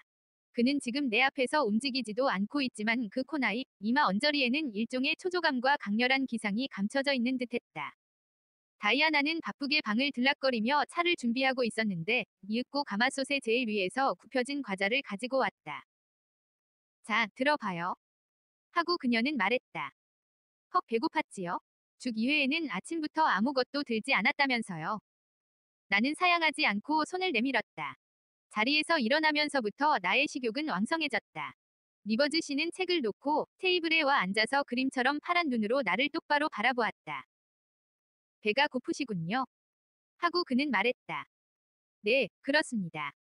간단히 묻는 말에는 간단하고 솔직하게 대답하는 것이 내 성격이었으므로 나는 본능적으로 그렇게 대답했다. 열이 좀 있길래 사흘 동안 단식을 시켰던 거지요. 처음부터 심한 공복을 채우는 것은 위험합니다. 이제는 상관없겠지만 과식은 하지 마세요. 이제 신세를 질 일도 오래지는 않으리라 생각합니다. 나는 아주 체면도 모르는 건방진 대답을 했다. 그렇겠지요? 하고 그는 차가운 목소리로 말했다. 당신의 보호자 되는 분께 연락을 취해 보도록 할까요? 집에 돌아갈 수 있도록요. 솔직하게 말씀드리면 저는 그럴 수 없답니다. 저는 집도 보호자도 없으니까요. 세 사람은 놀라는 눈으로 나를 쳐다보았다. 그 눈빛에 의심하는 빛은 없었으나 단지 호기심이 발동한 것이다. 그럼 당신은 여태까지의 당신의 환경과 깨끗이 손을 끊었다는 뜻입니까? 네, 전 살아있는 그 누구와도 아무 관계가 없으니까요. 그리고 영국의 그 어느 지붕 아래에도 제가 들어설 곳은 없습니다. 당신의 나이로는 참 드문 일이군요. 그때 나는 그의 시선이 테이블 위에 놓인 내 손에 머물러 있는 것을 보았다. 그러나 곧 그의 다음 말로 해서 나의 의문은 풀렸다. 당신은 아직 결혼 경험이 없군요. 미혼입니까? 다이아나가 웃었다. 존, 이분은 이제 17 정도인 걸요. 전 곧 19이 됩니다. 말씀하신 대로 아직 결혼은 하지 않았고요. 나의 얼굴은 불타듯이 달아올랐다. 결혼이라는 단어가 내 가슴을 찌르고 괴로운 추억이 떠올랐던 것이다. 나는 괴로운 나머지 그만 눈물을 머금었다. 여기에 오기 전엔 어디에 있었나요? 그가 물었다. 제가 있었던 곳이나 그곳 사람들에 대해선 말씀드릴 수가 없어요. 하고 나는 짧게 대답했다. 하지만 당신의 과거를 전혀 알지 못하고는 아무것도 도울 수가 없잖아요. 아무 도움이 필요치 않나요? 필요합니다. 만일 여기에 진정한 자성가가 있어서 제게 할 일은 주시고 그로 해서 최소한의 보수를 얻을 수만 있다면 더없이 기쁜 일이겠습니다. 내가 과연 당신이 말하는 자성가가 될지는 모르겠지만 당신의 절실한 문제라면 물론 도움을 사양치는 않겠습니다. 우선 당신은 어떤 경험이 있으며 어떤 일을 할 수 있는지 이야기해 보세요. 리버즈님. 하고 나는 그가 나를 바라보는 것처럼 똑바로 그를 쳐다보고 한결같은 어조로 말했다. 저는 목사님과 두 아가씨께 더할 수 없는 은혜를 받았습니다. 남이 이웃에 베풀 수 있는 최대의 도움보다 훨씬 높은 사랑으로서 저를 죽음으로부터 구해 주셨습니다. 이 헤아릴 수 없는 은혜로서 목사님이 저의 비밀을 알고자 하심도 당연한 일이겠지요. 저는 저의 방랑에 대한 사정을 자세하게 말씀드리겠습니다. 그러나 마음의 평온을 저버리지 않을 한도 내에서 그리고 다른 분들의 처지에 폐가 되지 않을 범위에서 저의 아버지도 목사였는데 양친은 모두 제가 어려서 세상을 떠났습니다. 고아가 된 저는 남의 집에 기식하며 자선 학교에서 교육을 받았지요. 그곳에서 6년간을 학생으로 2년간은 교사로 생활했습니다. 저 로우드 고아 양육원 말입니다. 혹시 아실지도 모르겠습니다만 경영자는 로버트 브로클. 점, 점, 점, 점, 점. 브로클 허스트 씨라면 알고 있지요. 학교도 본 일이 있어요. 꼭 1년 전 전 가정교사 자리가 있었기 때문에 로우드 학교를 떠나왔습니다. 그리고 비교적 평온하게 지내왔지요. 그런데 이곳에 오기 바로 나흘 전에 어떤 사정이 생겨 그곳을 떠나지 않으면 안 되었습니다. 그 사정을 말씀드릴 수가 없습니다. 그저 쓸데없는 위험한 몽상에 불과한 얘기와 같으니까요. 하지만 남의 비난을 받을 일은 아니랍니다. 여기 계시는 여러분과 마찬가지로 저는 부정한 죄명으로부터는 자유입니다. 전 타격을 받았어요. 당분간은 이런 상태가 계속되겠지요. 아무의 눈에도 띄지 않을 것과 매우 다급했다는 것입니다. 그러므로 조그만 보따리 외에는 아무것도 소지하지 않았으며 경황이 없었던 탓에 그 보따리마저 위트크로스까지 타고 온 마차에 그냥 두고 내렸습니다. 그러고는 무일푼으로 이 근처를 헤매며 여기까지 왔습니다. 이틀 밤을 한 데서 자고 인가의 처마 밑을 전전하면서 말입니다. 그동안 먹을 것을 입에 대기란 꼭 두 번이었습니다. 굶주림과 절망과 피로로 마지막 죽음의 순간에 이르렀는데 리버즈님, 당신이 굶어 죽으면 안 된다고 하시고 문을 열어주셨습니다. 저는 목매간에도 이곳 아가씨들의 지극한 보살핌을 잘 알 수 있었습니다. 전 태산 같은 은혜를 입은 것입니다. 그만해 두세요. 정말 무리예요. 내가 한숨 돌리자 다이아나가 말했다. 엘리오트 양, 흥분하면 해로워요. 자 여기 앉아요. 이 소파에. 동생들은 당신 시중 들기를 좋아하는군. 하고 세인트 존이 말했다. 마치 얼어서 죽어가는 새가 바람에 밀려 창문으로 기어들어온 것을 기꺼이 돌봐주고 아껴주는 것처럼 말해요. 그럼 나의 할 일은 이제부터 당신에게 자활의 길을 마련해 드리는 거겠지요. 하지만 알고 계십시오. 제 힘이 미치는 곳이라면 극히 한정되어 있습니다. 나는 일개 시골 목사일 뿐으로 도움도 극히 미소한 것들입니다. 만약 당신이 보잘것 없는 생활, 구약 스가랴 4장 10절 을멸시할 셈이면 내가 할 수 있는 것보다 훨씬 나은 것을 찾아보셔야겠지요. 전 양제사나 친모, 또 필요하면 식모나 아이 보는 일도 마다하지 않겠습니다. 좋습니다. 하고 그는 무뚝뚝하게 말했다. 그런 결심이라면 기회 닿는 대로 내 힘껏 도와드리겠습니다. 그는 나로 해서 중단된 독서를 시작했다. 나는 내 침대로 돌아갔다. 지금의 내 체력이 미치는 한에서는 너무 많이 이야기했고 또 오래 일어나 있었던 것이다. 30. 무아하우스의 사람들은 사귀면 사귈수록 좋은 사람들이었다. 나는 다이아나와 메어리의 일이라면 무엇이든지 관계하였다. 이 두 사람과의 관계는 내가 처음 맛보는 마음의 상처가 아무는 듯한 기쁨을 주었다. 취미나 감정, 사상의 일치에서 오는 즐거운 공감대가 있었다. 나는 그녀들이 흥미있어 하는 책을 읽고 그녀들이 즐기는 것을 즐겼으며 그녀들이 인정하는 사상을 존중했다. 그들은 이 저택을 사랑했다. 낮은 지붕에 무너져 가는 벽에 들창이 있고 노목과 회색의 오랜 건물의 강렬한 매력을 느끼고 있었다. 저택의 대문을 나서면 사방으로 펼쳐져 있는 보라색의 무화, 그 계곡을 사랑했다. 고사리가 잔뜩 핀 둑 사이로 꼬불꼬불 나 있는 계곡이 히드가 무성한 목장 사이로 지난다. 그리고 그 목장에는 이끼처럼 부드러운 새끼들을 거느린 양떼들이 언제나 풀을 뜯고 있었다. 이러한 전경을 그녀들은 사랑했는데 그것은 각별한 애착이었다. 나는 그 기분을 알 수 있었으며 그에 못지않게 진심으로 공감을 느꼈다. 이 지방의 특별한 매력을 나는 이해했다. 나는 그 저교의 깃든 깨끗함을 느꼈다. 집안에서도 우리는 같은 마음으로 연결돼 있었다. 그들 자매는 나보다도 교양이 높았으며 훨씬 열렬한 독서가였다. 그러나 나도 그들 수준에 부지런히 따라갔다. 나는 다이아나가 내게 도이치어를 가르쳐 준다고 했을 때 몹시 기뻤다. 또한 그들은 내가 그림을 좋아하는 것을 알자 그들의 연필이며 그림 도구를 내게 빌려주었다. 이리하여 나는 즐겁고 친숙한 나날을 보냈다. 마치 몇 날은 몇 시간처럼 그리고 몇 주일은 몇 날처럼 지나갔다. 한편 세인트 존 씨와는 좀처럼 가까워지기 어려웠다. 그가 그다지 집에 있지 않기 때문인지도 모른다. 그는 교구 안에 생기는 병자나 빈민들을 찾아가는데 시간의 대부분을 할애하였다. 그리고 그 일은 날씨가 아주 좋지 않은 경우에도 마찬가지였다. 또 그와 가까이 하기 어려운 것으로 빨리 타인과 융화하지 못하는 무언가 마음의 구애를 느끼는 듯한 음울한 그의 성격 탓도 있었다. 흔히 저녁 무렵이면 그는 창가에 턱을 고이고 앉아 나로서는 알지 못할 어떤 상념에 빠져 있었다. 그러나 그 상념이 그의 마음을 물결치게 한다는 것은 초점없는 그의 눈동자가 끊임없이 번뜩이는 것으로 보아 알 수 있었다. 한 달이 지났다. 두 자매는 곧 무아하우스를 떠나 영국 남부의 화려한 대도시에 가정교사로 떠날 예정이었다. 세인트 존 씨는 아직 나의 일자리에 대한 말을 한 적이 없다. 그런데 나는 일자리를 찾아야 할 절박한 심정에 놓이게 되었다. 어느 날 아침 나는 그와 단둘이 된 기회를 타서 막 물어보려고 했을 때 뜻밖의 그가 먼저 입을 열었다. 뭐, 할 말이라도 있습니까? 네. 혹시 제가 할 일을 알아보셨나 해서요. 3주일쯤 전에 나는 당신의 할 일을 찾아 아니 계획한 바가 있습니다. 그러나 당신은 이곳에서 매우 즐거운 듯했고 동생들도 당신을 좋아했기 때문에 그래서 그 애들이 마시엔드를 떠난 연후에 이 계획을 얘기할 생각이었습니다. 동생들이 떠나면 나는 한나와 함께 모튼의 목사관으로 떠나고 이고옥은 문을 닫아두겠습니다. 목사님, 그 계획하신 일거리란 제가 우물쭈물해서 놓쳐버리는 것은 아닐까요? 아니, 그럴 염려는 없어요. 일자리를 제공하는 것은 내 마음에 달려 있고 단지 그것을 받아들이는 것은 당신 마음에 달렸으니까요. 다만 나는 가난하고 보잘것없는 사람인지라 당신에게도 그런 일자리밖에 구해줄 수가 없군요.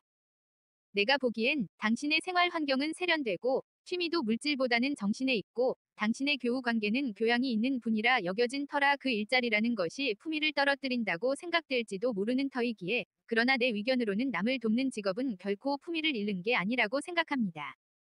당신은 내가 제공하는 일자리를 반드시 맡아주리라고 생각합니다. 그러나 내가 범위가 좋은 변화가 없는 시골의 목사직에 만족하고 있지 않은 것처럼 당신도 그 일자리에 오래 머무르지는 않겠지요. 당신의 성격은 나와 거의 비슷하니 말이오. 내용이 좀 다를지로 모르지만 당신은 한 곳에 머무를 사람 같아 보이지는 않소. 좀 더 자세히 말씀해 주세요. 나는 재촉했다. 그럼 그 보잘것없는 일자리에 대해 말해 주지요. 아버지가 세상을 떠나 난 자유의 몸이 되었기 때문에 모튼에는 오래 있지 않을 생각입니다. 길어야 1년 이내에 나는 이곳을 떠날 예정입니다. 그러나 있는 동안만은 이 지방의 발전과 개선에 힘을 기울여야겠지요. 3년 전에 내가 처음 여기 왔을 때 학교는커녕 가난한 사람들의 아이들은 발전의 희망을 모두 박탈당하고 있었습니다. 나는 우선 남자들을 위한 학교를 세웠는데 이번엔 여자들을 위한 학교를 세워야 하는 문제예요. 집도 하나 얻어 두었습니다. 그것은 선생을 위한 방 두 개가 달린 집이지요. 선생님의 급료는 1년에 30파운드로서 그 집에는 우리 교구에서 오직 한 사람의 부호인 얼리바 씨의 외동딸인 얼리바 양이 간소한 가구도 마련해 두었습니다. 얼리바 씨는 저 골짜기에 보이는 바늘 제조 공장과 주철 공장의 주인 되십니다.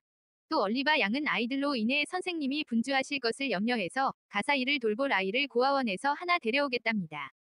그 아이의 교육비나 옷값 등은 그녀가 부담합니다. 어때요? 해볼 의향이 있으신지요? 그는 다소 성급히 내게 물었다.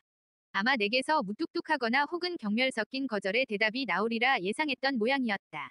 사실 그것은 그리 탐탁한 자리는 아니었으나 나는 우선 몸을 숨길 안전한 은신처를 찾아야 했다. 또한 그것은 마땅히 몸을 돌보지 않고 뛰어야 할 일자리였다. 부유한 집의 가정교사 자리보다는 독립된 직업이 되리라.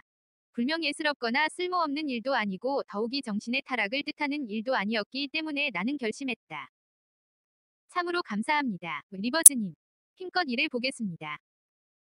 그런데 내가 의도하는 바를 알고 있습니까? 엘리오트 양. 하고 그는 말했다. 마을의 국민학교는 대부분 가난한 사람들의 아이들입니다. 기껏해야 농사꾼의 딸이나 판잣집에 사는 아이들 뿐으로 뜨개질이나 재봉, 읽기, 습자, 산수 등등을 당신이 가르쳐 주지 않으면 안 됩니다. 당신의 관심사인 교양, 정서, 취미는 어떡하지요? 소용에 닿기까지는 잠시 미뤄두어야겠지요. 그렇다면 당신은 맡으려는 임무에 대해 잘 알고 있겠군요. 네, 확실히. 그러자 그는 나의 뜻을 충분히 이해한다는 듯이 만족한 웃음을 지었다. 그럼 언제부터 착수하겠습니까? 내일 그 집으로 가겠어요. 공부는 내주부터 시작하기로 하고 점, 점, 점, 점, 점. 좋습니다. 그럼 그렇게 해주세요. 그는 일어나서 방안을 이리저리 거닐었다. 그리고 걸음을 멈추더니 나를 보고 고개를 저었다. 무슨 일이세요, 리버즈님? 하고 나는 물었다. 당신은 모튼에 오래 있을 것 같지가 않군요. 확실히 그렇게 보여요. 그건 또 무슨 이유예요? 말씀해 주세요. 당신의 눈이 그래요. 단조롭고 평범한 생활에 만족할 눈이 아니에요. 전 야심가가 아닌 거려. 야심가란 말을 듣자 그는 무척 놀랐다. 아니, 당신은 야심이란 말을 했습니까? 누가 야심을 가졌나요? 난 경험이 있습니다만 당신이 어떻게 그것을 아셨지요? 전제 말을 했을 뿐인데요. 흠, 당신이 야심가가 아니라면 점, 점, 점, 점, 점. 그는 말을 중단했다. 네. 피가 끓는다고 말하고 싶었을 테지요. 다만 그런 말은 오해를 사고 기분 나쁘게 들릴지도 모르지만 내 의도는 인간과 인간을 연결하는 사랑과 연민의 정이 당신에겐 다분하다는 것입니다. 그러한 성격으로는 고독에 적고 자극 없는 일을 하면서 오랜 시간을 보낼 수는 없을 것입니다. 그것은 점, 점, 점, 점, 점. 하고 그는 더욱 어조를 높였다. 마치 하느님이 베풀어 주신 본성에 어긋나게 내가 자기 재능을 무시하면서 이 고장에 기꺼이 안주 못하는 거나 마찬가지입니다. 그러니 내가 얼마나 자기 모순이 심한 자일까요?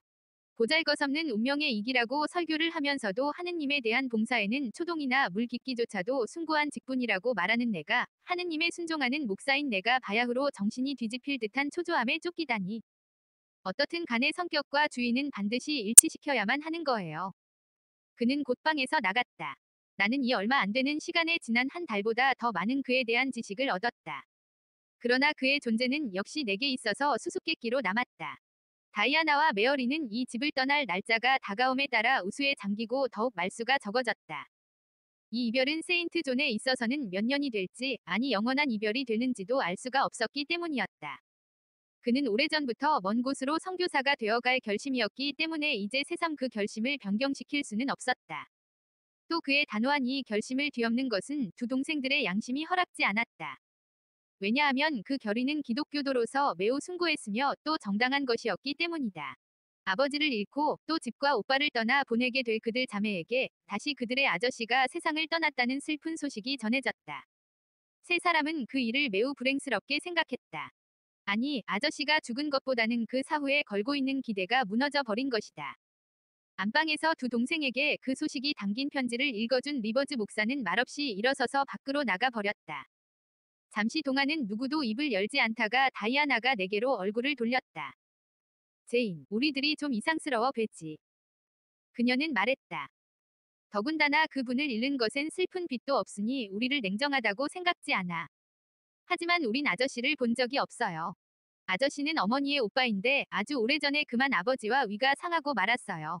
아저씨의 권유대로 투기 사업에 돈을 밀어 넣고는 그만 아버지는 고스란히 잃었거든요. 그 책임 전가 때문에 위가 상한 채로 오늘까지 잃은 거예요.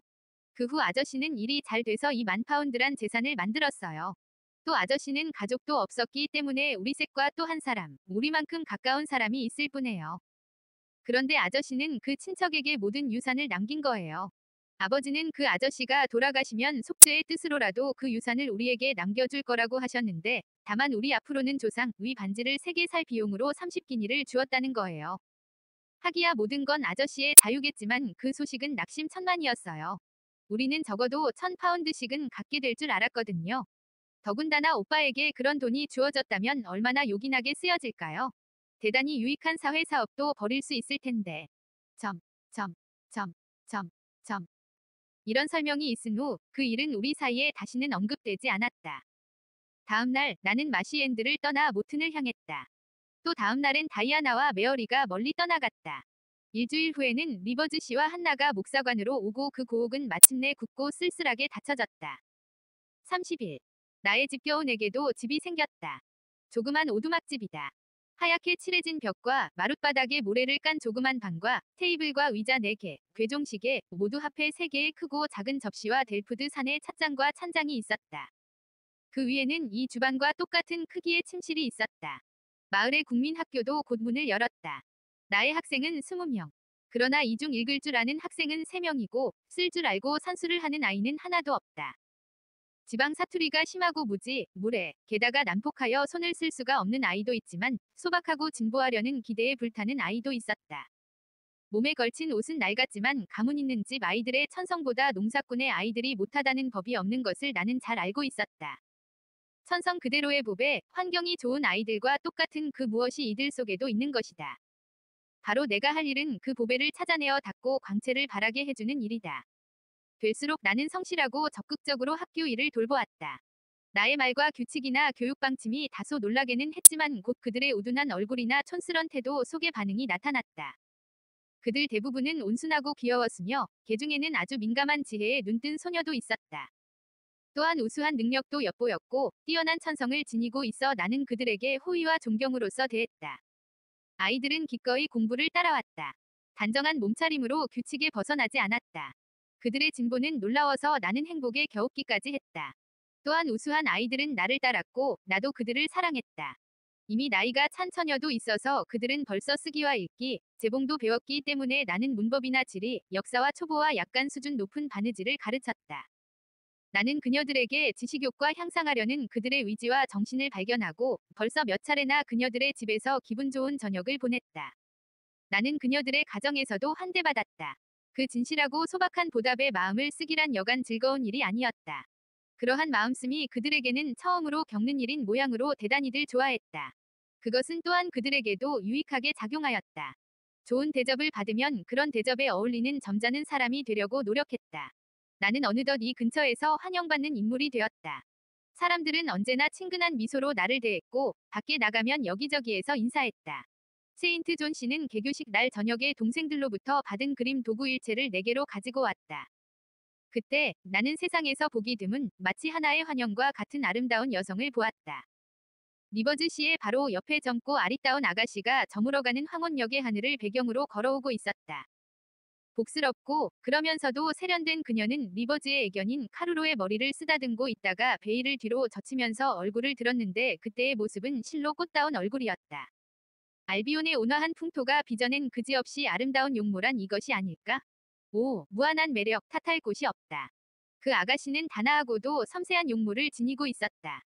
마치 그린 것처럼 크고 까만 눈에 깊은 그늘을 주는 속눈썹과 또 눈썹은 선명했으며 매끄러운 흰 이마의 뺨은 계란형으로 미라고 할 만한 조건은 모두 갖춰져 있는 듯했다. 그 기막힌 예술품에 나는 감탄하고 또 찬미했다. 그녀도 역시 자연의 창조물인 것이다. 로자몬드 얼리버 양입니다. 하고 세인트 존 씨가 말했다. 리버즈 선생이 학교를 열고 또 여자 선생님이 오셨다는 얘기를 아버지가 하시더군요. 그래서 만나보려고 온 거예요. 모튼이 마음에 드시나요? 그녀의 말투나 태도에는 아직 어린 티가 배어 있었다. 그러나 선의에 찬 소박함이 있었다. 자연의 미와 재력을 겸비한 여성, 그녀에겐 어떤 행운의 별이 따르고 있는 걸까? 좋아질 것 같아요. 그럴 만한 이유도 있고요. 아이들은 생각하신 만큼 열심이던가요? 네, 물론이죠.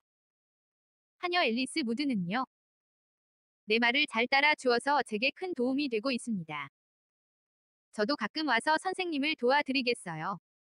하고 그녀는 덧붙였다. 이따금 방문하는 것은 내게 기분 전환이 될 거예요. 나는 변화 있는 생활을 좋아하니까요. 이번에 그녀는 옆에 말없이 서 있는 세인트 존 씨에게 말을 걸었다. 요즘은 통 베일장에 안 오신다고 아버지가 그러시던데요. 오늘 밤은 아버지 혼자 계세요. 몸이 좀 불편하신 것 같던데 함께 가뵙지 않으시겠어요? 올리버 선생님을 찾아보기엔 적절한 시간이 못 됩니다. 하고 세인트 존 씨가 대답했다. 적절한 시간이 못 된다고요? 어머나, 지금이야말로 아버지는 말동무가 있었으면 하실 텐데요. 공장 문이 닫히면 아버지는 볼 일도 없어요. 자, 리버즈 씨, 같이 가시는 거죠. 왜 그렇게 망설이고 또 침울해 하세요? 오늘 밤은 안 되겠습니다. 로자몬드 양. 아무래도 안 되겠어요. 세인트 존 씨는 마치 자동 인형처럼 말했다. 이처럼 거절하기가 얼마나 힘든 일인지는 그만이 아는 것이었다. 좋아요. 그처럼 고집하시니 이만 저는 돌아가야겠어요. 이슬도 내리고 하니 언제까지 기다릴 수는 없는 거려. 안녕. 그녀가 손을 내밀자 그는 잠깐 손을 대다가 안녕히 하고 마치 메아리처럼 낮고도 공허한 목소리로 반복해 말했다. 그녀는 돌아서다가 곧 다시 되돌아왔다. 어디 편찮으신지요? 하고 그녀는 물었다. 이 물음은 지당했다. 세인트 존의 얼굴은 그녀의 드레스처럼 창백했다. 아주 건강합니다. 하고 그는 잘라 말했다. 그러고 잠깐 고개를 숙여 보이고는 집을 나섰다. 그들은 서로 다른 길을 갔다. 그녀는 두 번이나 뒤돌아보았지만 그는 똑바로 들판을 가로질러 갔다. 타인의 고뇌와 자기 희생의 이 모습은 타인의 고민은 아랑곳 없이 자기의 고민만을 염두에 두고 있는 나의 생각을 빼앗아 가고 말았다. 다이아나 리버즈는 오빠에 대해서 죽음처럼 굳건하다 고 말한 적이 있다. 그 말은 정확했다고 나는 생각하고 있었다. 32. 약속대로 얼리버 양은 종종 학교에 들렀는데 그녀는 언제나 승마 도중에 오기 때문에 제복을 입고 말을 탄 하인을 데리고 망아지를 타고 학교의 입구로 천천히 달려오곤 하였다. 보라색의 승마복 두 볼을 스쳐 어깨에서 물결치는 고수머리 위에 까만 비로드의 아마존 모자를 쓴 그녀의 놀랍도록 아름다운 모습은 좀처럼 다른 사람들에겐 상상이 안 가는 모습이었다. 그런 눈부신 차림으로 그녀는 흙내가 물씬한 교실로 들어와 아이들의 시선을 끌었다. 그녀가 오는 것은 언제나 리버즈 씨가 담당하는 교리 문답 시간으로 이 여성 방문자의 눈은 젊은 목사님의 심장을 이미 날카롭게 꿰뚫은 모양이었다. 그는 그녀를 보지 않고서도 그의 본능은 그녀를 느낄 수 있었다. 물론 그녀도 자기의 매력을 알고 있다. 그녀가 나가 버리면 세인트 존 씨의 마음은 아마도 그녀를 뒤따라가 전 세계를 버리고라도 후회 없이 그녀를 되찾아올 마음이었으리라. 그러나 그는 천국에 이르는 한 가닥의 길을 그로 인해 포기하지는 않았다. 진정한 낙원으로 이르는 한 조각 희망을 그녀의 사랑과 바꾸려 하지는 않았다. 얼리버 양은 내가 숙식하는 방에도 자주 들렀다. 어느 날 그녀는 내가 그린 그림을 발견하고는 놀랍다는 듯이 소리를 질렀다. 어머나, 이걸 당신이 그렸어요. 정말 굉장해요. S거리의 제일 가는 학교 선생님보다 더 잘 그렸어요. 아버지께 보여드리고 싶어요. 제 초상화를 그려주실 수는 없어요. 네, 그려드리지요. 하고 나는 대답했다. 나는 이처럼 완벽하게 아름다운 모델을 만난 것에 완전히 흥분했다. 나는 질이 좋은 두꺼운 종이를 꺼내 정성을 다해 대생을 했다. 그리고 시간이 늦었으므로 다음 날에 또 와줄 것을 부탁했다. 그녀는 내가 그림을 그린다고 부친께 전한 모양인지 다음 날에는 얼리버 씨가 딸과 함께 나를 방문했다. 키가 크고 머리가 희끗희끗한 점잖은 사람으로 내게는 더없이 정중한 태도를 보였다. 그는 딸의 초상이 마음에 들었는지 꼭 완성시켜 달라고 말했다. 그리고 내일은 베일장으로 와서 하루를 천천히 지내라고 초대해 주었다. 내가 있는 동안 로자몬드는 기분이 좋아서 떠들어댔다. 그녀의 부친은 차를 마시며 모튼 학교에서의 나의 근무 태도를 몹시 칭찬했다. 그는 리버즈 가나 리버즈 씨에 대해서도 대단한 존경을 품고 있었다. 그처럼 훌륭하고 재능 있는 청년이 선교사로서 떠나는 것은 참 딱한 일이라고 말했다. 왜 귀중한 일생을 그곳에 버리려 하는 것인가를 그는 말했다. 그것만으로도 로자몬드의 부친은 딸과 세인트 존과의 결혼을 방해하지 않을 생각인 것은 확실했다. 올리버 씨는 분명 재산보다는 리버즈의 가문이나 성직을 더 생각하는 모양이었다. 11월 5일 이날은 휴일이었다. 집안 청소를 끝내자 나의 하녀는 일페니를 받고 좋아라고 돌아갔다. 나는 이제 오후 시간을 내 맘대로 지낼 수 있는 것이다. 나는 몇 페이지인가 되는 도이치 어휘 번역을 한 시간 동안 했다. 그리고 로자몬드 양의 초상화의 마지막 손질을 하느라 한참 정신이 팔려 있을 때 노크 소리가 나고 곧 세인트 존 씨가 모습을 나타냈다. 휴일을 어떻게 지내시나 해서 들렀습니다. 하고 그는 말했다. 설마 여러 가지 생각으로 우울증에 빠져 있는 건 아니겠지요. 아, 좋습니다. 그림을 그리시는 동안은 쓸쓸하지 않을 테니까. 여태 것은 잘 참았지만 아직도 난 미덥지가 않군요. 밤에 읽으시라고 책을 한 권 가져왔어요. 그는 한 권의 시집을 테이블 위에 놓았다. 나는 그 마미온에 정신이 팔렸다. 세인트 존 씨는 허리를 굽히면서 나의 그림을 보았다. 그러자 그의 큰 키가 놀라움으로 해서 뒤로 휘었다. 그는 입을 다물었다. 나는 그를 쳐다보았다. 그는 나의 시선을 피했지만 나는 그의 가슴속을 알았다. 분명히 그때만은 일시적이나마 내가 그보다 나은 위치에 있음을 느꼈다. 나는 그 순간 될 수 있으면 그를 도우려고. 그 초상화 어때요? 닮았나요? 하고 나는 주저없이 물었다. 담단이요?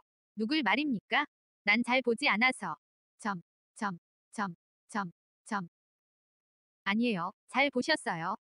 내가 갑자기 대담하게 말했기 때문에 그는 더욱 놀라 자빠질 정도였다. 나는 다시 말했다. 목사님은 꽤 천천히 보였어요. 못하면 한 번 더 보세요. 나는 일어나서 그림을 건넸다. 참, 잘 그렸어요. 매우 부드럽게 맑은 색채예요. 대생도 먹아름답고 정확하군요.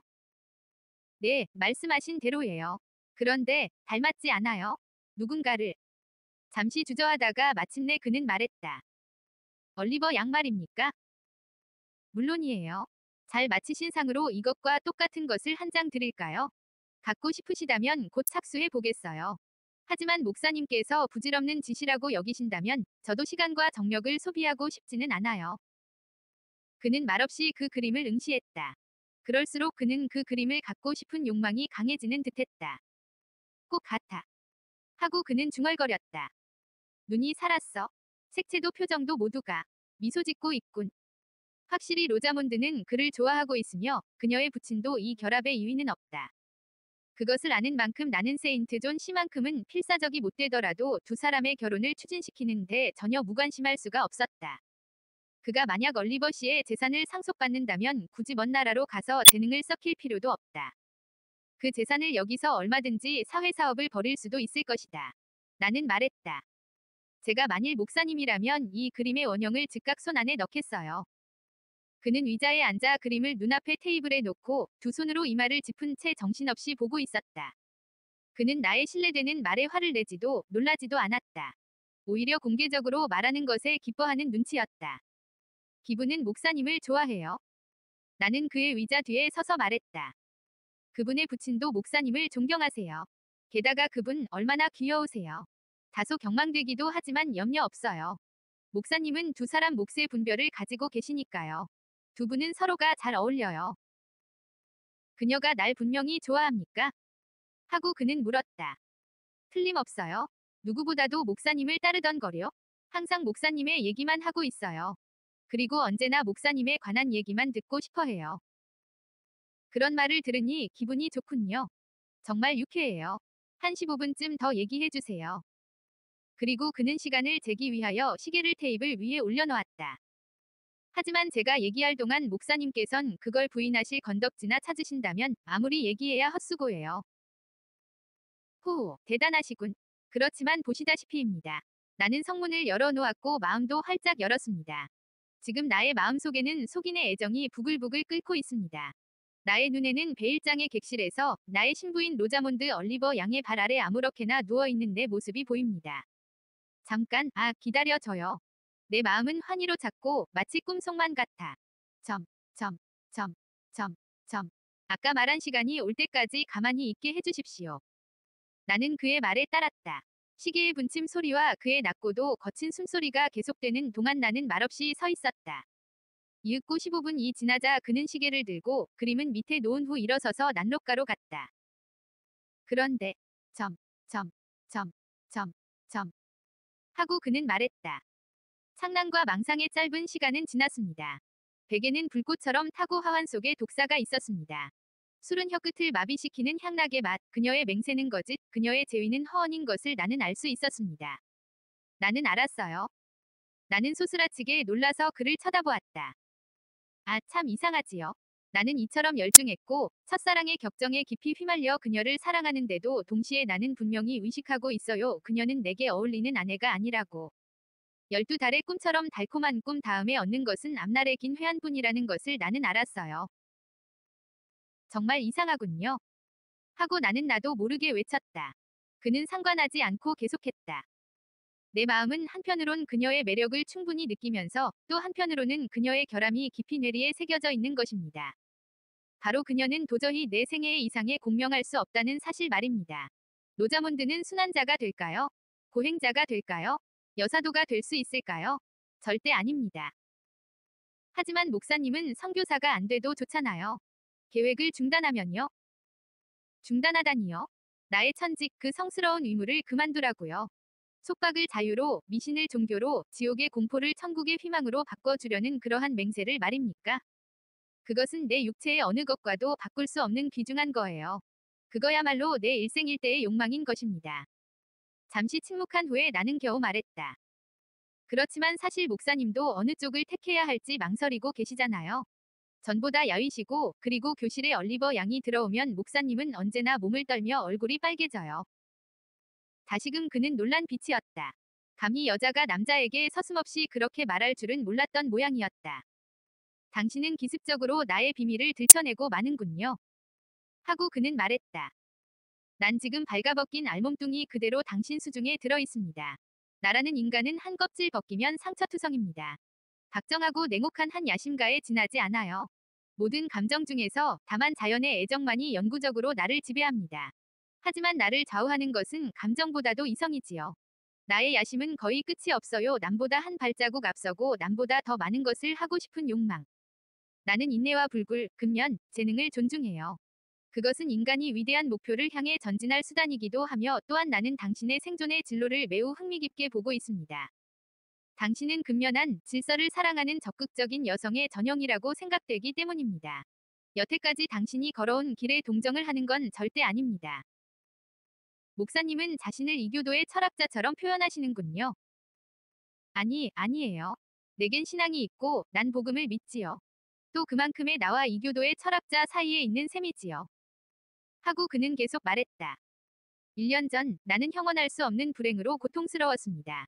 목사직을 택한 내 자신의 회의를 느끼기도 했고 목사가 아닌 직업 정치가를 동경하고 군인의 명예에 마음이 끌리기도 했어요. 명성에 눈멀어 권력에 아첨하는 속인 근성이 나라는 부목사의 하얀 법에 아래서 물결치고 있었습니다. 이윽고 암흑 같은 싸움 속에서 한 가닥 빛이 보이고 비로소 나는 구원받았습니다. 나는 마침내 선교사가 되기로 결심한 것입니다. 그 결심 이후에 나의 마음은 돌변해서 자연 발생적인 사랑의 싹으로 박애라는 울창한 밀림을 육성하였습니다. 왜소한 자신을 위해 권력과 명예를 바라는 욕망으로부터 주의 왕국을 넓히는 야심 십자가의 깃발 밑에 승리를 바라는 야심을 종교로서 형성한 것입니다. 그는 말을 마치고 테이블 위에 놓인 모자를 집어들며 다시 한번 초상화를 보았다. 아, 이 순수한 아름다움. 하고 그는 중얼거렸다. 이 세상의 장미, 란 이 사람을 가리키는 것이다. 이것을 목사님께도 한 장 드릴까요? 필요 없어요. 그게 무슨 소용이 됩니까? 그는 그림 위에 화면을 더럽히지 않으려고 손 밑에 깔고 그러고는 얇은 종이를 덮었다. 그 하얀 종이 위에서 새삼 그의 시선을 사로잡은 게 무엇인지 나는 알지 못한다. 그러나 그의 시선은 그곳에 끌려들어 느닷없이 그것을 들어 세밀히 들여다보았다. 그러고는 이해할 수 없다는 듯한 위하한 얼굴로 나를 돌아다보았다. 번개처럼 빠르게 그의 시선은 내 얼굴이며 몸 구석구석을 훑어 지나갔다. 그의 입술은 말을 하려는 듯 보였으나 그는 그것을 삼켰고 난 마침내 그 의도를 물었다. 왜 그러세요? 아니, 아무 일도 아닙니다. 짧은 대답과 함께 그가 얇은 종이를 원위치로 돌려놓으면서 그 끝을 아주 조금 찢어 장갑 속에 넣는 것을 나는 보았다. 그는 급하게 눈인사를 보내고는 안녕히 계세요. 하고 사라져 갔다. 나는 종이를 살폈다. 그러나 색깔을 알아보기 위해서 붓으로 여기저기 물감을 묻혀 놓았을 뿐 아무 곳에도 이상한 구석은 보이지 않았다. 33. 세인트 존 씨가 돌아간 후로 눈이 계속 내렸다. 밤새 눈보라가 휘몰아치더니 다음 날엔 살을 에이는 듯한 지독한 눈보라가 앞을 가로막았다. 저녁까지 계속된 눈 때문에 골짜기엔 사람도 다닐 수 없었다. 나는 덧문을 내리고 밖에서부터 눈이 들이치지 못하도록 가만히로 막고는 마구 불을 지폈다. 그러고는 모든 소리를 삼켜버리는 폭풍에 귀 기울이면서 한 시간 동안 난로가에 앉아 있었다. 이윽고 나는 촛불을 켜고 마비온을 읽기 시작했다. 그리고 시의 운율에 어느덧 폭풍 소리를 잊고 있었다. 그때 밖에서 무슨 소리가 났다. 바람에 문이 흔들린다고 나는 생각했다. 그러나 빗장이 벗겨지고 울부짖는 듯한 어두운 눈보라 속에서 뛰어들어온 것은 세인트 존 리버즈였다. 커다란 그의 몸을 감싼 외투는 고드름처럼 하얗게 되어 있었다. 이런 밤, 더군다나 길이 막힌 골짜기를 더듬어 누가 찾아오리라고는 상상도 못했다. 어머나, 무슨 일이라도 생겼나요? 웬일이세요? 하고 나는 물었다. 아니, 아무 일도 없습니다. 꽤 놀라시는군요. 제인. 하고 그는 대답했다. 그는 외투를 벗고 걷어찬 가마니를 제자리에 돌려놓은 후 발에 덮인 눈을 털었다. 깨끗한 마루를 더럽혔지요. 오늘 밤만은 용서하십시오. 하고 그는 말하며 불곁으로 다가왔다. 여기까지 오느라 혼났습니다. 눈이 허리까지 쌓였더군요. 다행히 눈이 아직도 부드러웠지만. 그런데 무슨 볼일이라도. 하고 나는 그만 말해 버렸다. 손님한테 그런 질문을 너무 하잖소. 그러나 굳이 대답하자면 난 잠시 당신과 얘기가 하고 싶었답니다. 그는 의자에 앉았다. 나는 어제의 그의 거동이 생각나서 어쩌면 그의 머리가 약간 돌았는지도 모른다고 생각했다. 그러나 그가 돌았다면 이건 또 지나치게 침착하고 냉정한 미치광이가 아닐 수 없다. 젖은 머리에 눈을 털어내고 하얀 얼굴을 난로에 가까이 하고 있는 것을 보면 흡사 그는 하나의 대리석 조각품 같았다. 나는 그가 이해할 만한 말을 내게 해줄까 싶어 잠자코 기다렸다. 그러나 그는 손을 턱에 손가락은 입에 대고 무언가 깊은 생각에 잠겨 있었다. 그 손가락이 얼굴처럼 야위어 있는 것이 내 마음을 어둡게 했다. 이야기가 하고 싶다고 말한 그는 언제까지나 입을 열 기색이 아니었다. 그럼 좋아요. 나는 마음속으로 중얼댔다. 말하기 싫으면 그냥 그렇게 계세요. 난 책이나 계속 읽을 거예요. 나는 촛불의 심지를 자르고 다시 책을 손에 들었다. 그러자 이윽고 그가 몸을 움직였으므로 나의 눈도 그를 따랐다. 그러나 그는 모로코 가죽의 수첩을 꺼내어 그 속에서 편지를 찾아 묵묵히 그것을 읽었다. 그러고는 전대로 접어넣고 다시 명상에 잠겼다. 괴종시계가 여덟 번을 울렸다. 그 소리에 그는 제정신으로 돌아왔다. 잠깐 책을 놓고 이리 와주세요. 하고 그는 말했다. 나는 유혹에 가득 찬 채 그가 시키는 대로 했다. 당신이 꼭 들어야 할 얘기가 있소. 미리 얘기하지만 그 내용은 다소 진부한 데가 있을지도 모르오. 하지만 진부한 얘기도 세 사람의 입을 통하면 어느 정도 싱싱한 맛이 당기게 마련이오. 그런데 나중에는 참신하건 진부하건 어쨌든 이야기는 간단합니다. 지금부터 20년 전 어느 가난한 부목사와 문벌 있는 따님이 서로 사랑하여 두 사람은 주위의 반대에도 무릅쓰고 결혼에 이르렀습니다. 그로부터 1년이 채 못되어 이 철없는 부부는 둘 다 죽어버리고 뒤에 딸 아이를 하나 남겨놓았습니다. 이 아이는 태어나자 곧 자선시설에 맡겨졌는데 자선원에서는 이 의지할 데 없는 고아를 부유한 어머니 쪽의 친척에게 보내버렸습니다. 바로 외삼촌 댁인 이름을 밝혀도 좋겠지요 게이트헤드의 리드 부인에게 맡겨진 것입니다. 아니, 왜 놀라십니까? 그 부인은 10년 동안 이 아이를 키웠지만 그 후엔 그 아이를 로우드 학원으로 보냈습니다. 잘 아시지요? 당신이 오래 있었다는 그 학교 말이에요. 그 학교에서 그녀 생활은 모범적이었답니다. 그래서 당신처럼 그녀도 학교에서 선생이 되었고 그 지방을 떠나 로체스타라고 하는 사람의 보호 밑에 있는 아이의 가정교사로 가게 된 것입니다. 목사님. 나는 그의 말을 가로막았다. 당신 가문은 잘 알아요. 하고 그는 말했다. 잠깐만 참으세요. 이제 거의 끝나가니 끝까지 들어주세요. 나는 로체스타 씨의 인간됨은 전혀 모릅니다. 그러나 한 가지 분명한 사실은 그는 이 젊은 아가씨에게 정식 청혼을 했고 드디어 결혼하려는 마당에 그 아가씨는 그에게 미친 그러나 살아있는 아내가 있다는 것을 알았지요. 마침 어떤 사건이 생겨서 그 가정교사의 존재를 확인해야만 했을 때 그는 비로소 그녀가 없어진 것을 알았습니다. 언제, 어디로, 어떻게 사라졌을까요?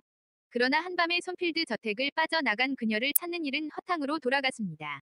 이 지방에도 구석구석 수사해 봤지만 전혀 그녀의 소식은 알 수 없었습니다. 그런데도 사태는 그녀를 찾아야만 하도록 진전되고 있습니다. 모든 신문에 광고가 나고 내게도 브리그즈라는 변호사로부터 상세한 내용이 담긴 편지가 와 있습니다. 참 이상스러운 얘기지요. 그럼 한 가지만 가르쳐 주세요. 그토록 잘 아시니 반드시 내게 가르쳐 주실 수 있을 거예요. 로체스타 씨는요? 어디서 어떻게 하고 계신가요? 그분은 안녕히 계신가요? 저는 로체스타 씨에 대해서는 전혀 몰라요. 지금 말한 편지에도 그에 대해선 아무것도 씌워 있지 않아요. 그보다 오히려 그 가정교사의 이름 그리고 그녀가 정체를 나타내지 않으면 안 되는 까닭을 당신은 들어야 하겠지요. 그럼 손필드 저택엔 아무도 가지 않았어요. 로체스타 씨를 만난 사람은 없는 거예요. 아마 없을 겁니다. 하지만 그분께 편지로 문의했겠지요. 물론입니다. 그래서 회답은 어땠습니까? 그걸 누가 가졌어요? 브리그즈 씨에 의하면 그 편지는 부인의 필적으로 앨리스 페어팩스로 서명되어 있었습니다. 나는 등골이 오싹해지고 가슴이 마구 떨려왔다. 그렇다면 내가 제일 두려워했던 일이 의심할 여지도 없이 일어난 것이다. 그는 대륙의 어딘가로 곱비 끊어진 절망의 말에 매어져 헤매 다니는 것일 게다. 극심한 고통에서 헤어날 마취제로서 그는 무엇을 구할까? 나는 차마 그 대답을 할 용기가 나지 않았다. 가엾은 나의 주인님. 점, 점, 점, 점, 점. 세인트 존이 말했다. 당신 입으로 그 가정교사의 이름을 대지 않으니 이젠 내 입으로 말하는 수밖에 없겠군요. 잠깐만, 자, 여기 있습니다. 그리고 다시금 아까의 수첩을 꺼내어 조심스레 펼쳤다. 그 사이에서 급하게 찢기운 종이 조각이 나왔다. 나는 그 종이의 종류와 하늘색, 주홍색 등등의 물감 무늬로서 그것이 곧 그 뜯어낸 초상화의 커버인 것을 알았다. 그는 일어나서 그것을 내 눈앞에 내밀었다. 분명한 내 필적으로 제인 에어 라는 이름이 인디언 잉크로 씌어져 있었다. 아마도 그림에 정신이 팔려 무심히 내 사인을 적었던 것이리라. 브리그즈 씨는 내게 제인 에어라는 사람에 관해 편지를 보내왔습니다. 하고 그는 말했다. 당신은 이제 거짓은 버리고 당신 이름을 시인하겠지요. 네, 네. 하지만 브리그즈 씨는 어디 계세요? 목사님보다도 로체스타 씨 일을 더 잘 알고 있을 거예요. 그는 런던에 있습니다. 그가 로체스타 씨의 일을 알고 있는지 어쩐지는 나는 모르겠어요. 그가 관심을 가지고 있는 것은 그런 게 아니니까요. 당신은 딴 곳으로만 흘러가서 본 이야기는 잊고 있군요. 브리그즈가 왜 당신을 찾는지, 무슨 용무가 있는지 당신은 알고 싶지 않은가요? 그래요. 무슨 일 때문인가요? 당신의 아저씨인 마데이라의 에어씨가 돌아가셨다는 것, 그가 전 재산을 당신에게 남겼기 때문에 이제 당신은 부자가 되었다는 것을 알려주려는 거지요. 그뿐 다른 일은 없습니다. 제가 부자가 됐다고요? 네, 당신은 부자입니다. 막대한 재산의 상속자가 됐어요. 두 사람은 잠시 침묵에 빠졌다. 지금 새로운 카드가 한 장 젖혀졌다. 빈곤의 최하 바닥으로부터 부의 절정으로 올라선다는 것은 정말 멋진 일이다. 정말 헌해질 만큼 뿐만 아니다. 말로만 들었던 나의 오직 하나였던 혈육은 죽어버렸다. 내게도 아저씨가 있다는 얘기를 들은 후 나는 언젠가는 그를 만난다는 기대를 품고 있었다. 그러나 그것마저 이제는 허망한 꿈이 되었고 대신에 재산이 내게 남겨졌다. 이 얼마나 기적 같은 은혜인가. 자립할 수 있다는 것은 무엇보다도 좋은 일이다. 이 희망은 내 가슴을 부풀어 오르게 했다. 겨우 양미간이 펴졌군요. 이번엔 당신의 재산이 얼마나 되는지를 물어야지요. 얼마나 되는데요? 아마 2만 파운드라고 하지요. 뭐 대단하지는 않습니다. 2만 파운드라고요. 나는 숨이 막혔다. 기껏해야 4, 5천 파운드일 거라고 생각했었다. 내 모양을 보고 이때껏 웃어본 일이 없는 세인트 존 씨가 웃음을 터뜨렸다. 이거야말로 점, 점, 점, 점, 점. 하고 그는 말했다. 당신이 만약 살인죄를 범하고 이제 그 범죄를 폭로당했다 해도 더 이상 놀란 얼굴은 안 될 겁니다. 하지만 액수가 너무 큰 거려. 잘못된 게 아닐까요? 잘못은 없을 겁니다. 숫자에 잘못 말해요. 2000파운드가 점, 점, 점, 점, 점. 숫자가 아니에요. 글자로 이만 파운드라고 분명히 적혀 있습니다. 나는 다시 한번 한 사람 목도 못 먹는 사람이 백 사람 몫의 음식이 놓여있는 테이블 앞에 앉은 것 같은 기분이 되었다. 리버즈 씨는 일어서서 외투를 입었다. 이렇게 눈보라가 심하지만 않다면 혼자서 쓸쓸해할 당신을 위해 한나라도 보내줄 텐데. 멍하니 있는 당신을 혼자 두긴 안 됐지만 그래도 가야겠지요. 자, 그럼 안녕히. 점, 점, 점, 점, 점. 그가 문고리를 잡았다. 내 머릿속에 어떤 생각이 번개처럼 스쳤다. 잠깐만 기다려주세요. 나는 소리쳤다. 왜요? 전 브리그즈 씨가 왜 목사님께 문의해온 건지를 알고 싶어요. 브리그즈 씨는 목사님의 친지인가요? 어떻게 시골 목사님에게 그런 것을 부탁했을까요? 하지만 난 목사예요. 그는 말했다. 때로는 묘한 일에도 관계하는 게 목사라는 직업이지요. 다시 한 번 빗장 소리가 났다. 아니에요. 그걸로는 납득할 수가 없어요. 하고 나는 외쳤다. 사실 그 석연찮은 변명은 나를 납득시키기보다는 오히려 호기심 어린 무언가가 담겨 있었다. 이 얘기에서 제일 이상한 것이 바로 그 점이에요. 하고 나는 덧붙였다. 그걸 솔직히 얘기해 주세요. 후에 내가 기회를 봐서 점, 점, 점, 점, 점. 안 돼요. 오늘 밤 지금 당장 해주세요. 나는 그가 돌아보는 틈을 타 문을 막아섰다. 그는 난처한 얼굴이 되었다. 시원하게 말씀하시기 전까진 보내드리지 않아요. 하고 나는 말했다. 지금은 별로 얘기하고 싶지 않아요. 해야 돼요. 지금 해주셔야 해요. 다이아나와 메어리를 통해 알려드리면 좋을 텐데. 그러나 그의 반대는 나의 열의에 더욱 기름을 붓는 격이었다. 그 갈증을 덜어 달라고 나는 한사코 보채었다. 내가 좀처럼 남의 말에 굴하지 않는 고집쟁이란 걸 잘 아시잖습니까? 그런 말로 넘어가지는 않아요. 저도 마찬가지의 여자인 거요.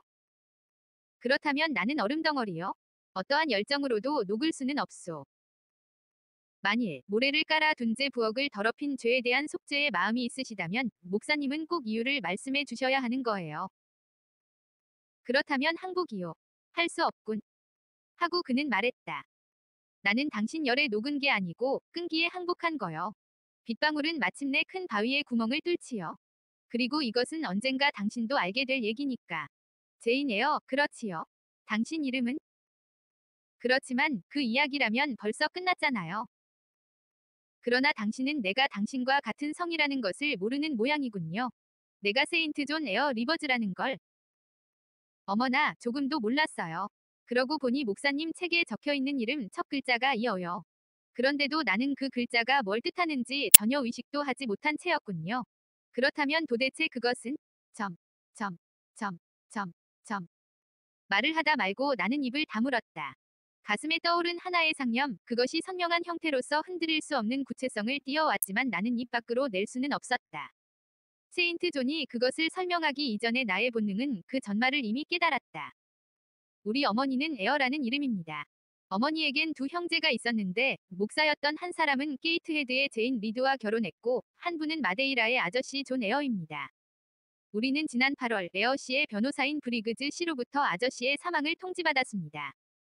그리고 아저씨가 전 재산을 아저씨의 동생의 딸인 제인 에어에게 남긴다는 것도 알았습니다. 우리 아버지와 이 아저씨는 평소에 감정이 안 좋았으므로 아저씨는 우리를 전혀 무시한 거지요. 또 몇 주일 전에 브리그즈 씨는 행방이 묘연한 유산 상속자에 대하여 알아볼 도리가 없겠는가는 편지로 물어왔습니다. 나는 우연히도 종이 위에 갈겨 쓴 몇 글자로 해서 그 사람을 발견한 것입니다. 이제 그만하면 다 아시겠지요? 그렇게 말하고 그는 나가 버리려고 했으나 나는 문을 막아서서 그를 보내지 않았다. 아니, 제게도 얘기를 시켜주세요. 하고 나는 말했다. 그는 조금도 동요하는 기색이 없이 모자를 손에 들고 내 앞에 서 있었다. 나는 말했다. 그럼 목사님의 어머니는 제 아버지의 누님이시군요. 그렇습니다. 그럼 제겐 고모님이고요. 그는 고개를 끄덕였다. 그리고 저의 아저씨 존은 목사님의 아저씨도 되고요. 목사님과 다이아나와 메어리는 존 아저씨의 여동생의 아이고 전 존 아저씨의 남동생의 아이로군요. 바로 그렇습니다. 그럼 목사님 남매는 저와는 이종사촌이 되고 우리 피의 절반씩은 같은 근본에서 나온 것이 되네요. 그렇소. 우리는 사촌간이니까. 나는 그를 보았다. 오빠를 이제 남에게 내세워 자랑할 수 있는 오빠를 찾아낸 것이다. 또한 내가 젖은 섬돌에 몸을 내던지고 그 무하 하우스의 낮은 부엌 창문으로 들여다본 두 자매는 나와 핏줄이 통하는 사람들이었다. 그리고 현관에 쓰러져 죽어가는 나를 구해 주었던 그 위험에 찬 젊은 신사도 결국은 나의 형제였다.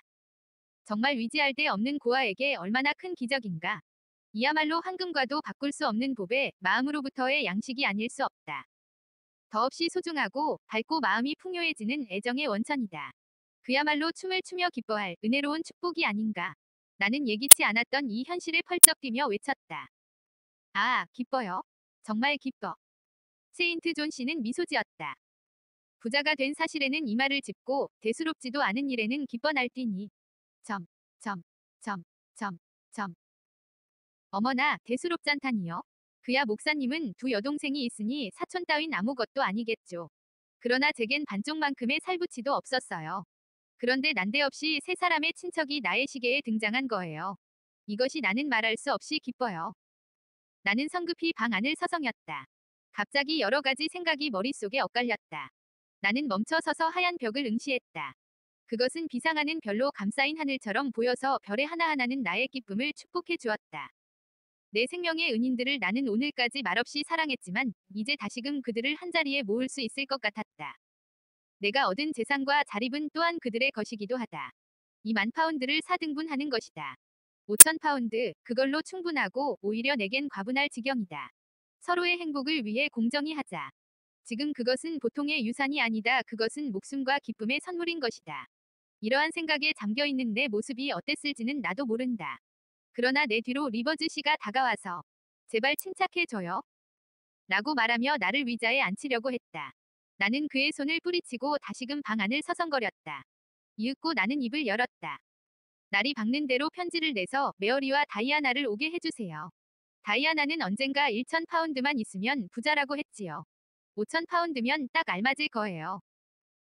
당신은 너무 열에 들떴군. 내가 너무 갑작스런 말들을 해서 아마 머리가 혼돈된 것인가 보오. 리버즈님, 더 이상 저를 초조하게 만들지 마세요. 전 이성을 잃지 않았어요. 목사님이 오해하고 계신 거예요. 아니, 혹은 일부러 그러시는 건가요? 좀 더 설명해 주지 않겠소. 무얼 말해요? 설명이 필요 있나요? 그 2만 파운드는 아저씨의 조카 넷이 공평히 분배하는 거예요. 그럼 5천 파운드씩이 되는 걸 목사님도 아시지요. 그만큼의 재산이 생겼다는 걸 여동생에게 편지로 알려달라는 거예요. 당신에게 재산이 생겼다는 얘기겠지요. 전 욕심꾸러기가 아니에요. 악마처럼 은혜를 모르지도 않아요. 그리고 이젠 저도 가정과 가족을 가질 거예요. 전 무아하우스가 좋아요. 그래서 그곳에서 살 생각입니다. 게다가 사랑하는 다이아나와 메어리, 나는 이 사람들과 평생을 같이 살겠어요. 사실 2만 파운드는 법률상으로는 저의 소유겠지요. 그러나 정당하게 하기 위해 난 이 방법을 택한 거예요. 말하자면 저의 절대적인 여분을 가져달라는 것 더 길게 말할 것 없이 찬성하세요. 부탁이에요. 난 이미 결정했으니까요. 당신은 흥분해서 그렇게 말하고 있는 것입니다. 그것이 본심인지 어쩐지는 며칠 더 생각해 봐야 알겠지요. 아, 목사님의 의심이 저의 성의에 대해서라면 안심이에요. 그렇다면 이 결정의 정당성은 인정하시는 거죠. 일종의 정당성은 인정합니다. 그러나 일반적인 습관에는 어긋나는 일이지요. 재산은 당신의 것이 분명하고 자기 손으로 그 돈을 번 아저씨가 그것을 누구에게 주든 그것은 자유이니까요. 결국 그것은 당신의 것이 되었습니다. 나로서는 점, 점, 점, 점, 점 하고 나는 말했다. 이것은 양심이며 곧 감정의 문제라고 생각해요. 저의 감정에 맡기고 따라주세요. 지금은 그렇게 생각할지도 모르지요. 하고 세인트 존 씨는 말했다. 당신은 재산을 갖는 것이 어떤 것인지를 통 모르니 말예요. 이만 파운드는 엄청난 거지요. 그로 해서 어떤 사회적 지위가 약속될지도 모르고 또 장래에 어떤 운명이 전개될지도 모르지요. 거기까지는 당신도 생각지 못했겠지요. 게다가 점, 점, 점, 점, 점. 그렇다면 목사님은 점, 점, 점, 점, 점. 하고 나는 말을 막았다. 제가 가지고 있는 동기간에 대한 애정을 거부하려는 건가요? 여동생으로서 받아들이고 그렇게 인정하길 꺼리시는 거예요. 제인, 나는 기꺼이 당신의 오빠가 되겠습니다. 동생들도 언니가 되어줄 것입니다. 당신의 정당한 권리를 침해하지 않는 조건에서. 오빠라고요? 내게서 백리나 저만큼 계신 오빠? 언니요? 남들과 땀을 흘려 일하고 있는 언니. 동생인 나는 부자이고 그것도 제 손으로 번 것도 아니에요. 가질 자격도 없는 나란 소유자의 주머니엔 황금이 가득하고 당신들은 무일푼의 가난. 그야말로 대단한 평등과 형제애로군요. 어쩌면 그리 부러운 애정일까요? 하지만 제인, 당신이 원하는 그 가족적인 애정, 가정의 행복은 다른 길로도 얻을 수 있습니다. 결혼하는 거지요? 결혼요. 당치도 않은 말씀이에요. 저는 결혼하지 않겠어요. 적어도 사랑 때문에 나와 결혼할 사람은 아무도 없어요. 나는 자신을 금전의 투기 대상으로 삼고 싶지 않아요. 핏줄이 통하고 깊은 공감을 가질 수 있는 사람과 가까이 살고 싶어요. 다시 한 번 저의 오빠가 되어 주신다고 말씀해 주세요. 그 말을 들으면 기쁘고 행복해지는 것 같아요. 다시 한 번 그렇게 말씀해 주세요. 나는 자신 있게 말하리다. 나는 여태껏 동생들에게 사랑으로 대해왔소. 그만한 가치가 있는 동생들에 대한 존경, 동생들의 재능에 대한 찬미의 마음으로 둘을 사랑했소. 또한 당신도 신념과 뛰어난 두뇌가 있소. 당신의 취미며 성격은 다이아나와 메어리에 뒤지지 않소. 당신은 항상 나의 기분을 좋게 해주었소. 벌써 나는 당신과의 대화로서 몇 번이나 마음의 위안을 받았는지 모르오. 그러므로 나는 이미 세 번째의 여동생을 맞을 마음의 준비가 되어 있소. 고맙습니다. 그 말만으로 오늘 밤은 매우 만족한 기분이에요. 이젠 돌아가셔도 좋아요. 더 이상 여기에 계시면 목사님의 깊은 사려 때문에 내 가슴이 다시 답답해지니까요. 학교 일은 이제부터 어쩔 생각입니까? 미스예요. 폐쇄합니까? 아니에요. 후임자가 나서기까지는 계속 제가 맡아볼 거예요. 이 대답에 그는 머리를 끄덕이며 미소를 지었다. 우리는 악수를 하고 헤어졌다. 유산에 관한 일 처리를 나의 결심대로 하기는 퍽힘이 들었다. 그러나 나는 내 주장을 한치도 꺼기려 하지 않았기 때문에 재산을 정당히 분배하자는 내 마음이 진실임을 인식한 그들도 내심으로 나의 의도가 옳다는 것을 느꼈으며 만약에 그들이 내 입장이었더라도 나와 꼭 같이 처리했을 것임을 깨달았기 때문에 사촌들은 드디어 내 뜻에 따랐다. 그리하여 드디어 조정 재판을 걸었고 판사로 임명된 얼리바 씨와 또 한 사람의 변호사가 내 의견에 찬동함으로써 나는 겨우 목적을 이룰 수 있었다. 양도 증명에 따라 세인트 존과 다이아나, 메어리와 나는 각각 꽤 많은 재산을 분배해 가졌다. 34. 크리스마스가 되어서야 겨우 모든 일은 끝났다. 이젠 축제의 계절이다. 이곳을 이별하기란 마음 섭섭한 일이라고 생각하면서 나는 학교를 폐쇄했다. 많은 학생들이 나를 따르고 있어서 가슴이 뭉클했다. 그들은 헤어지는 마당에도 변함없이 솔직하고 깊은 애정을 보여주었다. 더럽혀지지 않은 순수한 그들의 마음속에 내 모습이 뚜렷이 새겨진 것을 보고 나는 감격했다. 이후에도 매주 한 시간씩 수업하기로 약속해 주었다. 나는 학교 열쇠를 리버즈 씨에게 맡겼다. 그리고 목사관에 있는 한나를 데리고 무아하우스로 가 다이아나와 메어리를 맞을 준비를 했다. 나는 행복감에 사로잡혀 정신없이 일했다. 한나도 또한 열심히 했다. 집에는 장난감이 엎어진 듯 분주했다. 솔질을 하고 먼지를 털고 닦고 요리를 하는 등 내가 쾌활하게 일하는 것을 보고 한나는 매우 좋아했다. 사실 뒤죽박죽이 된 속에서 하루하루 질서가 잡혀져 가는 것은 매우 즐거운 일이었다. 며칠 전 나는 가구를 구입하러 거리로 나갔다. 집안을 나의 생각대로 장식할 수 있도록 허락을 받은 터라 그것에 쓸 비용을 사촌 오빠가 내게 주었다. 만사는 내 생각대로인 것이다. 거실과 침실은 그대로 두었다. 다이아나와 메어리는 현대식으로 변모한 방보다는 이전의 순수한 테이블이나 의자에 더 애착을 가지고 있을 것이 틀림없다.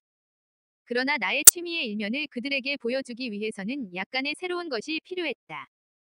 그래서 나는 짙은 색의 새 양탄자와 새로 맞춘 커버, 거울, 화장대 위에 놓은 화장 상자 등을 주문해왔다. 모두가 화려한 대신에 신선미가 감도는 것들이었다. 객실은 구석의 마호가니의 가구와 진홍의 커튼으로 면목을 일신했다. 마침내 목요일이 되었다. 사촌들이 도착할 날짜인 것이다. 채 어둡기 전에 부엌은 말끔히 정돈되었으며 방마다 빨갛게 불이 지펴졌다. 한나와 나는 옷을 갈아입고 기다렸다. 부엌에서 차를 마시면서 먹을 과자를 준비하고 있을 때 첫 번째로 세인트 존이 모습을 나타냈다. 난로가로 와 서서 그는 말했다. 어때요? 집안일엔 만족했나요? 나는 대답 대신 집안을 손질한 솜씨를 구경해 달라고 그에게 말했다. 나는 그의 앞에 서서 한 바퀴 집안을 돌았다. 그런데 그는 방안을 약간 들여다보았을 뿐이었다. 그리고 짧은 시일에 이만큼 손질하느라 퍽 애썼다고 말해주었다. 그러면서도 집안이 전보다 달라져서 새롭다거나 살맛이 있다는 말은 한마디도 없었다. 그의 침묵에 나는 아주 실망하여 혹시나 내가 그의 옛 추억에 관한 곳을 잘못 손질하지나 않았나 싶었다. 나는 약간 풀이 죽어서 그것을 물어보았다. 절대 그렇지 않아요. 추억거리는 모두 잘 보존되어 있군요. 하고 그는 말했다. 사실 그 점에 대해선 칭찬해 드리고 싶어요. 이방이 배치에 대해서도 얼마나 신경을 쓰고 시간을 소비했는지 잘 알겠군요. 그런데 그 책은 어디 있습니까? 내가 책장을 가리키자 그는 그것을 꺼내 가지고 창가로 가서 읽기 시작했다. 나는 갑자기 깨달았다. 그는 어느 누구에게도 좋은 남편이 될 수 없다. 그의 아내가 되는 일은 지극히 힘들 것이라고. 점, 점, 점, 점, 점. 나는 그의 얼리버 양에 대한 사랑의 성질을 생각해 보았다. 그것은 그가 말했던 것처럼 단지 감각적인 사랑에 불과할 뿐이라고 생각지 않을 수 없었다. 그가 평온한 가정생활을 마다하는 것도 무리는 아니야. 그가 선교사가 되고자 한 것은 매우 현명한 처사였어. 라고 나는 생각했다. 도착하셨어요. 아가씨들이 오셨어요. 하고 안방 문을 열고 한나가 소리쳤다. 동시에 늙은 카루로가 지저댔다. 나는 뛰어나갔다. 마부가 막마차의 문을 여는 참이었다. 다음 순간 나의 얼굴은 모자책 밑에 부드럽게 흐르는 메어리의 머리에 닿고 다이아나의 굽슬거리는 앞머리에도 닿았다. 그녀들은 즐겁게 웃으며 나와 한나에게 키스를 했다. 기뻐 날뛰는 카루로의 머리를 쓰다듬으며 그녀들은 안부를 묻고 집 안으로 들어섰다. 서릿발 같은 저녁 공기에 파랬던 그녀들의 안색은 이내 활활 타오르는 난롯불에 조금씩 녹아갔다. 마부와 한나가 짐을 나르는 동안 두 사람은 세인트 존에 대해서 물었다. 그때 마침 안방에서 그가 나왔다. 동생들은 그의 목에 매달렸다. 그는 조용히 동생들에게 키스하고 나직한 목소리로 오느라 수고했다고 말했다. 그러고는 잠시 동생들의 이야기에 귀 기울이고 있더니 나중에 안방에서 다시 보자면서 도망치듯이 나가버렸다. 나는 2층으로 가기 위해 두 사람의 촛대에 불을 켰다. 두 사람은 나의 뒤를 따랐다. 그녀들은 새 커버나 양탄자, 채색이 잘 된 꽃병들로 방안이 새로워진 것을 보고 마음속에서 우러나오는 치아를 했다. 나의 실내 장식 솜씨가 그들의 취미에 맞고 나의 노동이 그녀들의 귀향에 한 가닥 색채를 더한 것을 알고 나는 만족했다. 그날 밤은 즐거웠다. 그녀들의 기쁨에 넘친 말은 세인트 존의 침묵을 보충하고도 남았다. 마음껏 우리는 대화했다. 세인트 존은 동생들과의 재회는 기뻐했지만 그녀들의 정열, 터질 듯한 환희에는 동조하지 않았다. 그녀들의 귀향은 기뻤으면서도 그로 인한 환희의 소동이며 어지러운 대화 같은 것에는 다소 역겨워하고 있었다. 그는 좀 더 차분한 벗을 원했던 것이라고 나는 생각했다. 티타임이 끝나고 한 시간쯤 후 누군가가 현관문을 두드렸다. 4마일이나 떨어진 농가의 청년이 임종을 앞둔 모친을 위해 목사님을 부르러 온 것이다. 세인트 존은 아무 소리 없이 외투를 입었다. 그는 정각 9시에 나갔는데 한밤중이 돼서야 겨우 집으로 돌아왔다. 대단히 지치고 배가 고팠던 모양이었지만 오히려 그리고 가기 전보다 행복해 보였다. 할 바를 다 했고 노력으로서 자기를 이겨낸 데 대하여 그는 만족하고 있었다. 우리들 세 여자에게는 더없이 즐거운 또한 세인트 존에게 무척 불쾌했던 모양인 크리스마스 주간이 끝났다. 우리들은 다시금 평화롭고 조용한 전처럼의 규칙적인 공부 습관으로 돌아갔다. 세인트 존도 집에 있는 시간이 많아졌다. 그는 우리와 같은 방에서 몇 시간씩 같이 있을 때도 있었다. 메어리는 그림을 그렸다. 다이아나는 감탄스럽게도 전부터의 계획대로 백과사전의 통독에 착수했다. 나는 도이치어에 몰두했다. 한편 세인트 존은 그의 진로에 있어서 절대 빠뜨릴 수 없는 동양의 언어를 배우고 있었다.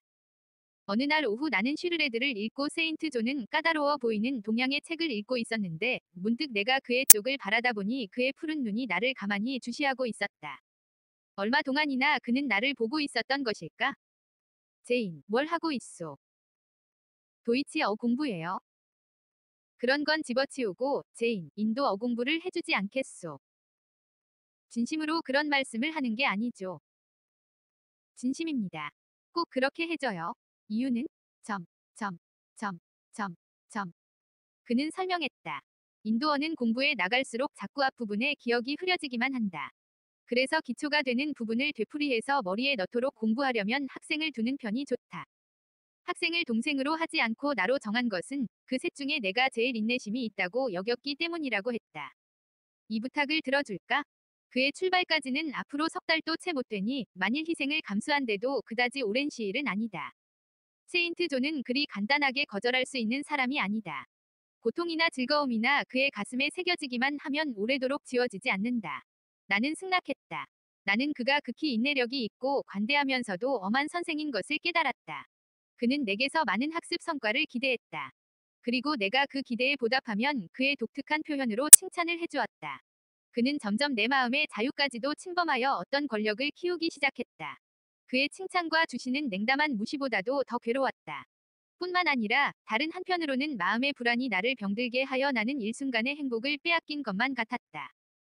아마도 사람들은 내가 이 같은 환경과 운명의 변화로서 로체스타 시에 대한 일을 잊어버렸는가도 의심스러워할 것이다. 유산 문제로 브리그즈 씨와 서신 왕래를 했을 때 나는 로체스타 씨에 대하여 이모저모를 물었으나 그는 아무것도 알고 있지 않았다.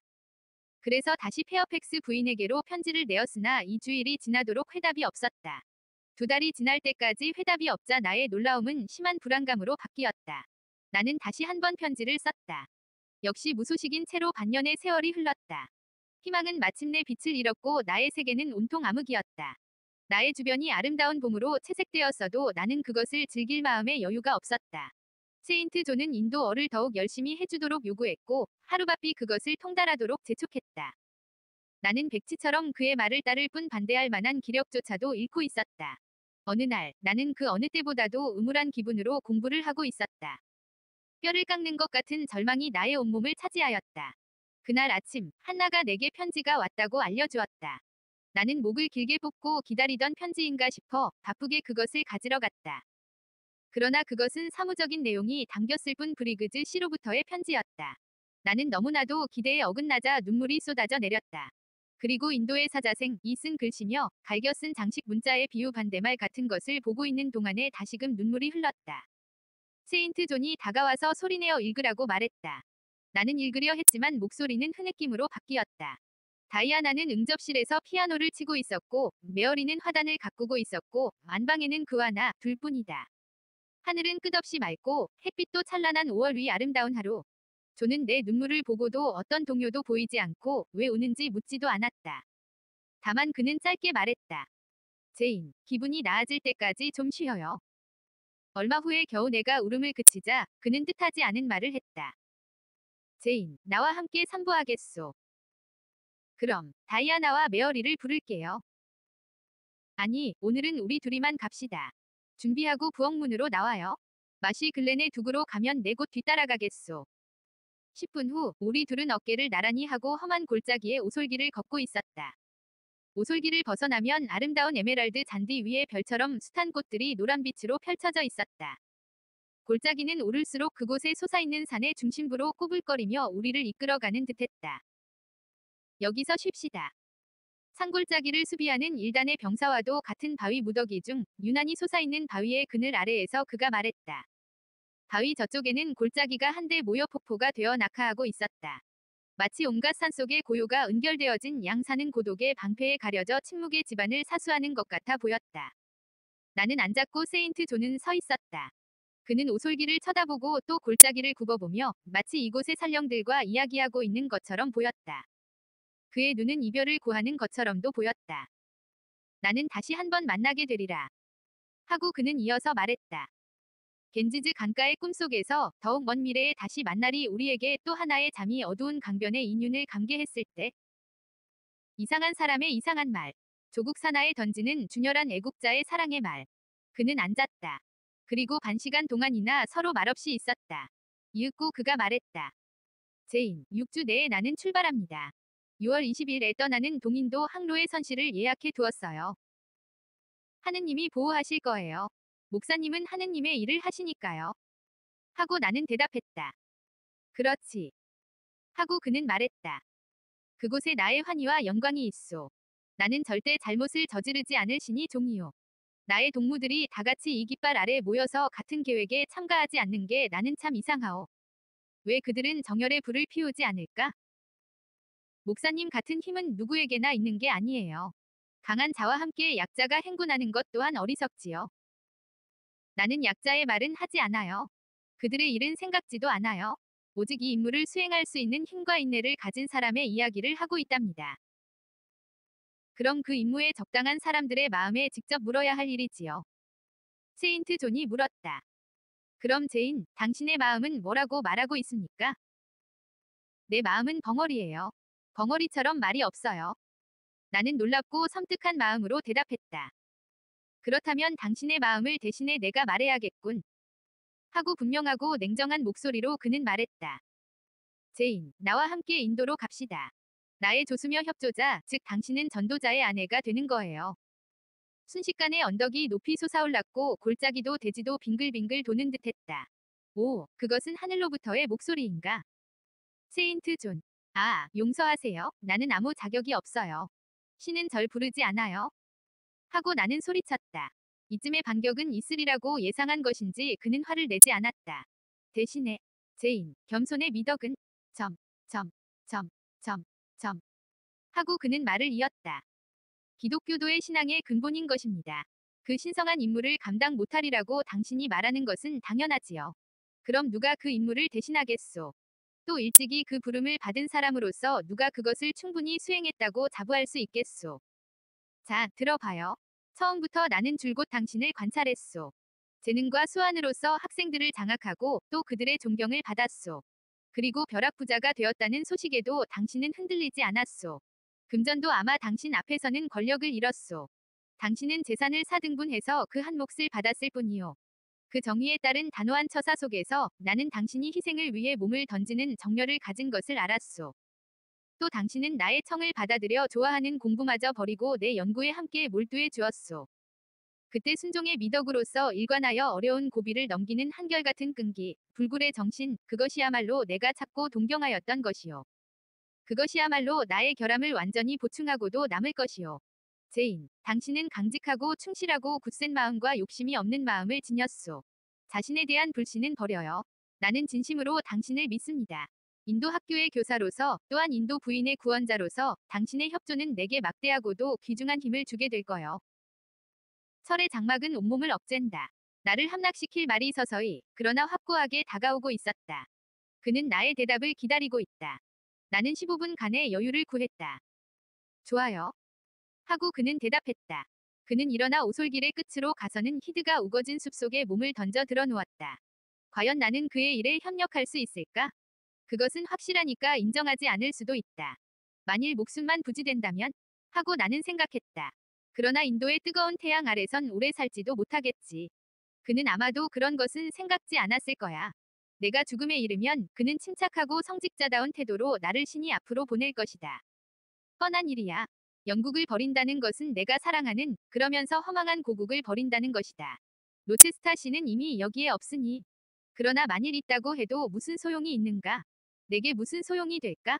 나의 일은 그분 없이 해나갈 일이다. 잃어버린 보람을 찾아 새 출발을 할 일이란 영광에 찬 사람에게나 주어지는 일이 아니라면 신이 명하시는 일이 아닐까? 사랑을 짓밟히고 희망을 빼앗긴 자의 공허한 마음을 채우기 위해 가장 적절한 일이 아닐까? 과연, 네? 라고 대답해야만 할 것이다. 그러나 몸이 떨린다. 인도에 간다는 것은 나의 죽음을 재촉하는 듯한 아필이 내 눈에 환히 내다 보인다. 나는 손발이 닿도록 죽어라고 일함으로써 세인트 존을 만족시킬 것이다. 그는 절대로 날 사랑하지 않을 것이다. 그러면서도 그는 생각도 못했던 나의 정력과 재능을 칭찬할 것이다. 오라. 나도 그처럼 몸을 돌보지 않고 일할 수는 있다. 그것으로서 그의 요구에 응할 수는 있다. 그러나 하나의 조건, 애정도 갖고 있지 않으면서 그의 아내가 되길 내게 요구하는 실로 무서운 조건이 있다. 그의 모든 사랑의 표현은 모두가 주의를 위해서 지불되는 희생의 일종이라는 의식을 내가 견딜 수가 있을까? 아니 그럴 수 없다. 그런 순교는 언어 도단이야. 절대로 그런 고난은 견디지 못해. 단 아내가 아니고 여동생으로서라면 그와 함께 가도 좋다. 나는 언덕 쪽으로 시선을 돌렸다. 이쪽으로 고개를 돌린 그의 눈동자가 날카롭게 빛났다. 그는 일어나서 내게로 걸어왔다. 언제까지나 제가 자유의 몸이라면 함께 인도로 가겠습니다. 그 말은 석연치 않군요. 설명해 주시오. 하고 그는 말했다. 오늘까지 목사님은 제 사촌 오빠였고 전 동생이었어요. 앞으로도 그러고 싶어요. 목사님과 전 결혼하지 않는 게 좋아요. 그는 머리를 흔들었다. 당신이 친동생이라면 문제가 있지만 그렇지가 않으니 우리는 결혼으로서 신성하고 견고한 결합을 해야 하오. 달리는 할 수 없어. 나는 협력자가 필요하오. 형제 아닌 아내로서 내가 이 세상에서 지배할 수 있고 또 죽기까지 절대로 내 곁에서 떠나지 않을 유일한 협력자가 말이오. 그의 말에 나는 소름이 끼쳤다. 뼛속까지 그의 억센 힘이 스며들어 손발이 가차없이 그에게 붙들린 것만 같았다. 저 말고 다른 분을 찾아주세요. 목사님께 가장 적합한 점, 점, 점, 점, 점. 그건 안 돼요. 당신은 나와 함께 가겠다고 말했소. 잊지 말아요. 그 말을. 조건부로 점, 점, 점, 점, 점. 좋아요. 근본적으로는 나와 같이 영국을 출발할 것이고 그 후에 일에 협력한다는 데에는 이의가 없을 테니. 목사님이 바라신다면 저는 저의 활동력에 전부를 바치겠습니다. 목사님은 나 자신을 요구하는 건 아니잖아요.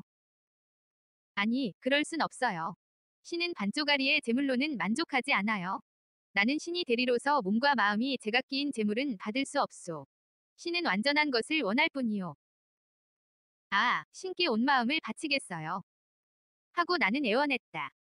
목사님께는 내 마음이 필요한 게 아니에요. 이 말의 어조와 그에 따른 감정에는 다소 비아냥거리는 빛이 스쳤는지도 몰랐다. 나는 세인트 존이 두려웠던 것이다. 어디까지가 성인이고 어디까지가 보통 사람인지 가늠할 수 없었던 내가 이러한 말을 주고받는 동안에 그것을 표면으로 내다볼 수 있게 되었다. 그의 성격의 진면목이 내 눈앞에 너무나 선명히 떠올랐다. 그는 과오를 범하기 쉬운 인물이다. 나는 머리를 끄덕였다.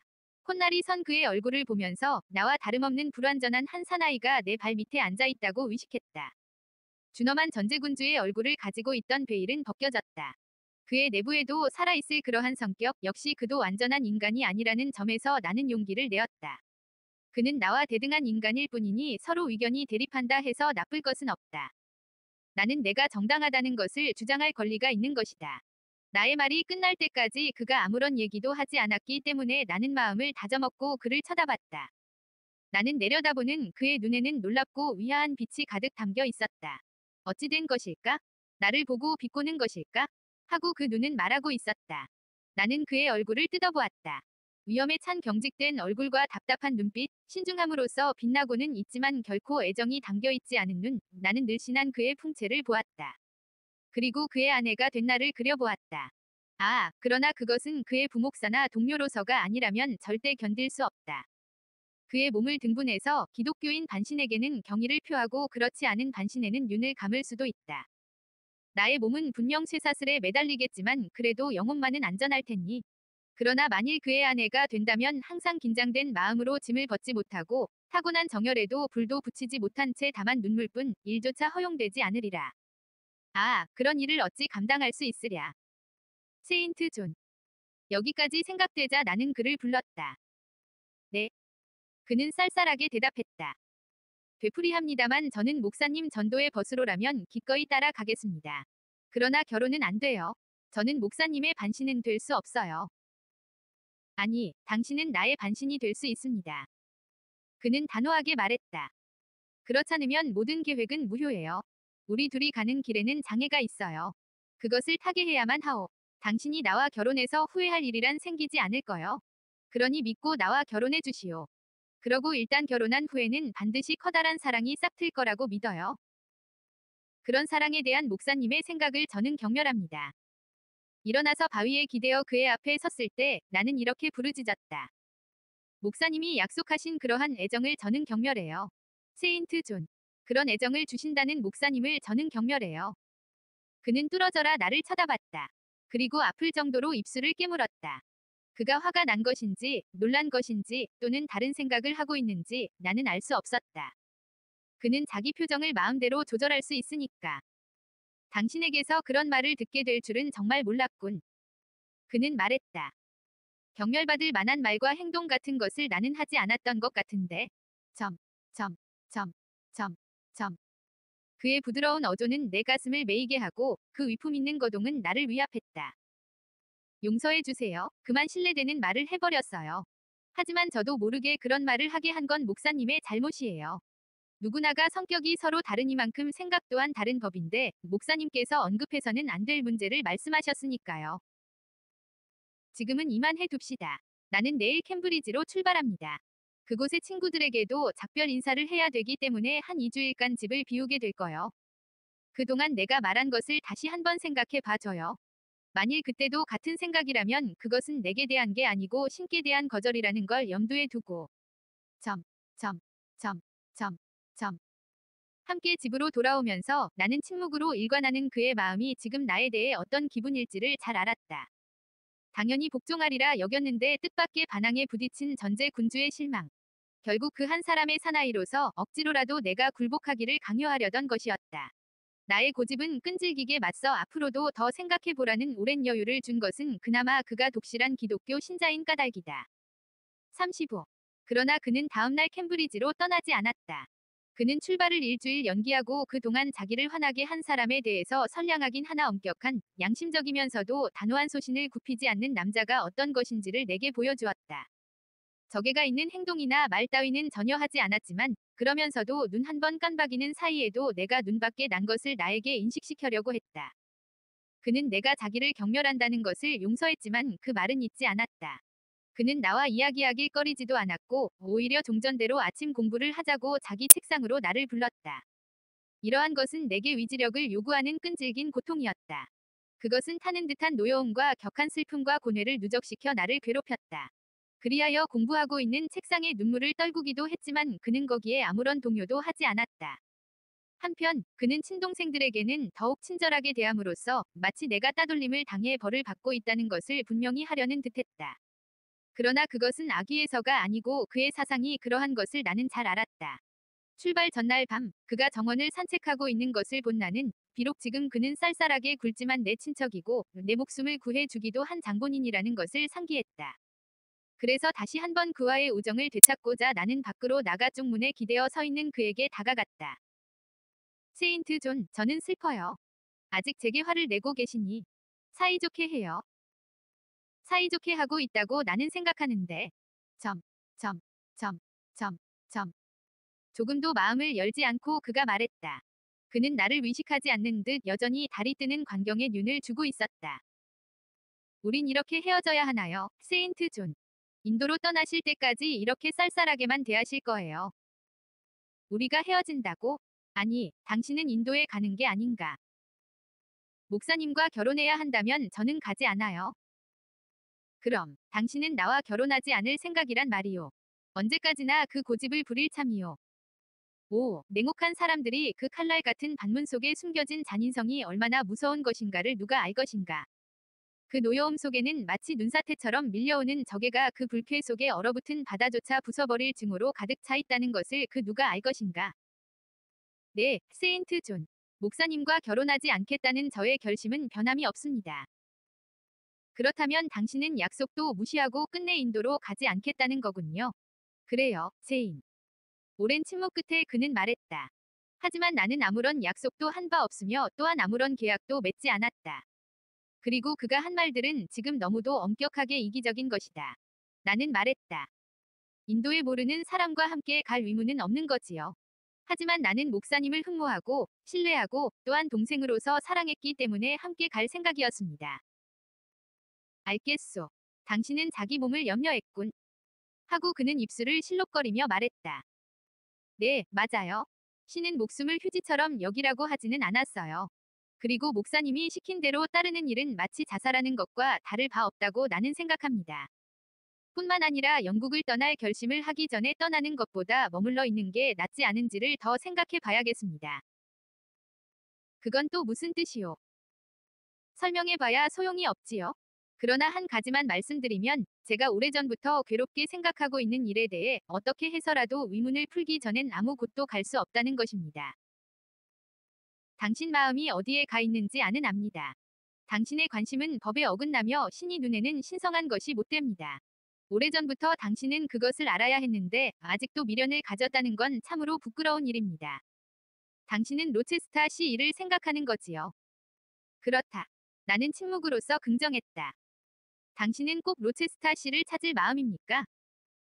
그분이 어떻게 되었는지 저는 꼭 알아야겠어요. 그렇다면 나로서는 당신을 내 기도 속에서 생각할 밖에요.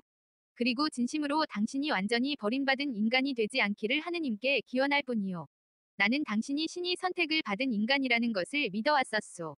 그러나 신은 인간의 눈과는 역시 달랐소. 하느님의 뜻은 이루어지리다. 라는 말을 던진 채 그는 쪽문으로 나가 골짜기 쪽으로 사라져 버렸다. 안방에 들어가자 무언가 깊은 생각에 잠겨있던 다이아나가 나의 어깨에 손을 얹고 내 얼굴을 들여다보았다. 그녀는 나보다 훨씬 키가 컸다. 제인. 하고 그녀는 말했다. 세인트 존과 무슨 일이 있지? 훨씬 전부터 묻고 싶었지만 도무지 짐작이 안 가. 오빠는 보통 사람이 아니란 말이야. 하지만 왜 그는 제인과 둘이서만 있으려고 하고 늘 곁에 잡아두려 할까? 메어리와 나는 오빠가 제인과의 결혼을 원하는 게 아닐까 생각했어요. 그래요. 내가 그의 아내가 되기를 바라고 계세요. 다이아나는 기쁜 듯이 손뼉을 쳤다. 역시 우리가 희망한 대로야. 그럼 제인, 결혼하는 거야. 그렇게 되면 세인트 존도 영국에서 살 거 아냐. 어림도 없어요, 다이아나. 나더러 결혼하자는 건 인도에서의 괴로운 일을 함께 할 협력자로서 필요할 뿐이에요. 어머, 기막혀라. 그녀는 소리쳤다. 그 나라에 가면 제인은 석 달도 못 살아요. 그건 분명해. 가면 안 돼. 간다고 승낙했나, 제인. 나는 결혼은 싫다고 했어요. 그래서 오빠는 화를 냈어요. 네, 대단히, 다시는 날 용서하지 않을 거야. 그런 건 제정신이 아니야. 오빠의 구혼을 거절한 것은 참 잘했어요. 그렇다면 제인은 오빠를 사랑하고 있지 않은 거야. 네, 남편으로서는 그래도 오빠는 미남인걸. 그러나 난 보는 바와 같이 못난이잖아요. 게다가 오빠는 털끝만큼도 날 사랑하지 않아요. 오빠가 제인을 사랑하지 않는다는 걸 어떻게 알지? 그건 그의 말을 통해서지요. 그가 배우자를 원하는 것은 나 자신이 아니라 내 직무라고 몇 번이고 설명했어요. 나를 사랑으로서가 아닌 같이 일할 수 있는 여자로라고. 물론 그건 그래요. 하지만 내 이치대로라면 사랑하는 것에 적합치 않다면 그것은 결혼하는 것에도 적합치 않은 거예요. 안 그래요, 다이아나? 상대방을 도구로밖에 생각지 않는 남자와 일생을 같이 한다는 것을 생각할 수조차 없는 끔찍한 일이잖아요. 물론이야. 부자연스러운 일이야 인정할 수 없어. 그러나 그분은 자신의 커다란 목적만 염두에 두고 계세요. 그 때문에 약하고 보잘것없는 것들의 감정이나 요구에는 동정이 없지요. 그러니 약자는 그분이 걷는 길 위에서 짓밟히지 않도록 가까이 하지 않을 일이지요. 어머, 돌아오셨어? 난 저리 가겠어요. 그러나 저녁 식사 때 나는 또 그와 얼굴을 마주하지 않을 수 없었다. 식사를 하는 동안 그는 다른 때와 별다른 것 같지 않았다. 그는 내게 느꼈을 마음속의 분노를 신이 가호로 가라앉힌 모양이었다. 그리하여 다시 한번 나를 용서했다고 생각한 모양이었다. 그는 묵시록의 제21양을 저녁 기도 전이 성경 봉독으로 택했다. 이기는 자는 이것을 유업으로 얻으리라. 나는 저희 하느님이 되고 그는 내 아들이니 그러나 두려워하는 자와 불신하는 자와 점, 점, 점, 점, 점 등등은 불과 유황으로 타는 못의 장기라니 이것이 둘째 사망이니라. 이 구절은 이상한 전율을 느끼게 했다. 그 어조가 약간 변했기 때문에 그 구절을 말할 때 그의 눈이 내게 향해 있다는 것을 나는 알았다. 다음에 기도 때에도 그의 온 정신력이 기울어져서 그의 장렬한 열성이 눈뜨게 되었다. 그는 깊은 마음으로 정복하려는 마음을 굳게 하려고 기도했다. 마음 약한 자에게 힘을, 우리를 잃은 양에게 인도를, 이 현세와 육체의 유혹이 좁은 문에서 불러들이고 있는 사람들을 위해서 최후의 일각 안에 돌아오기를 기구했다. 나는 이 기도를 하는 그의 열성에 매우 놀랐다. 그것은 약해지기는 커녕 점점 더 강해져서 나는 감동하고 마침내는 두렵기까지 했던 것이다.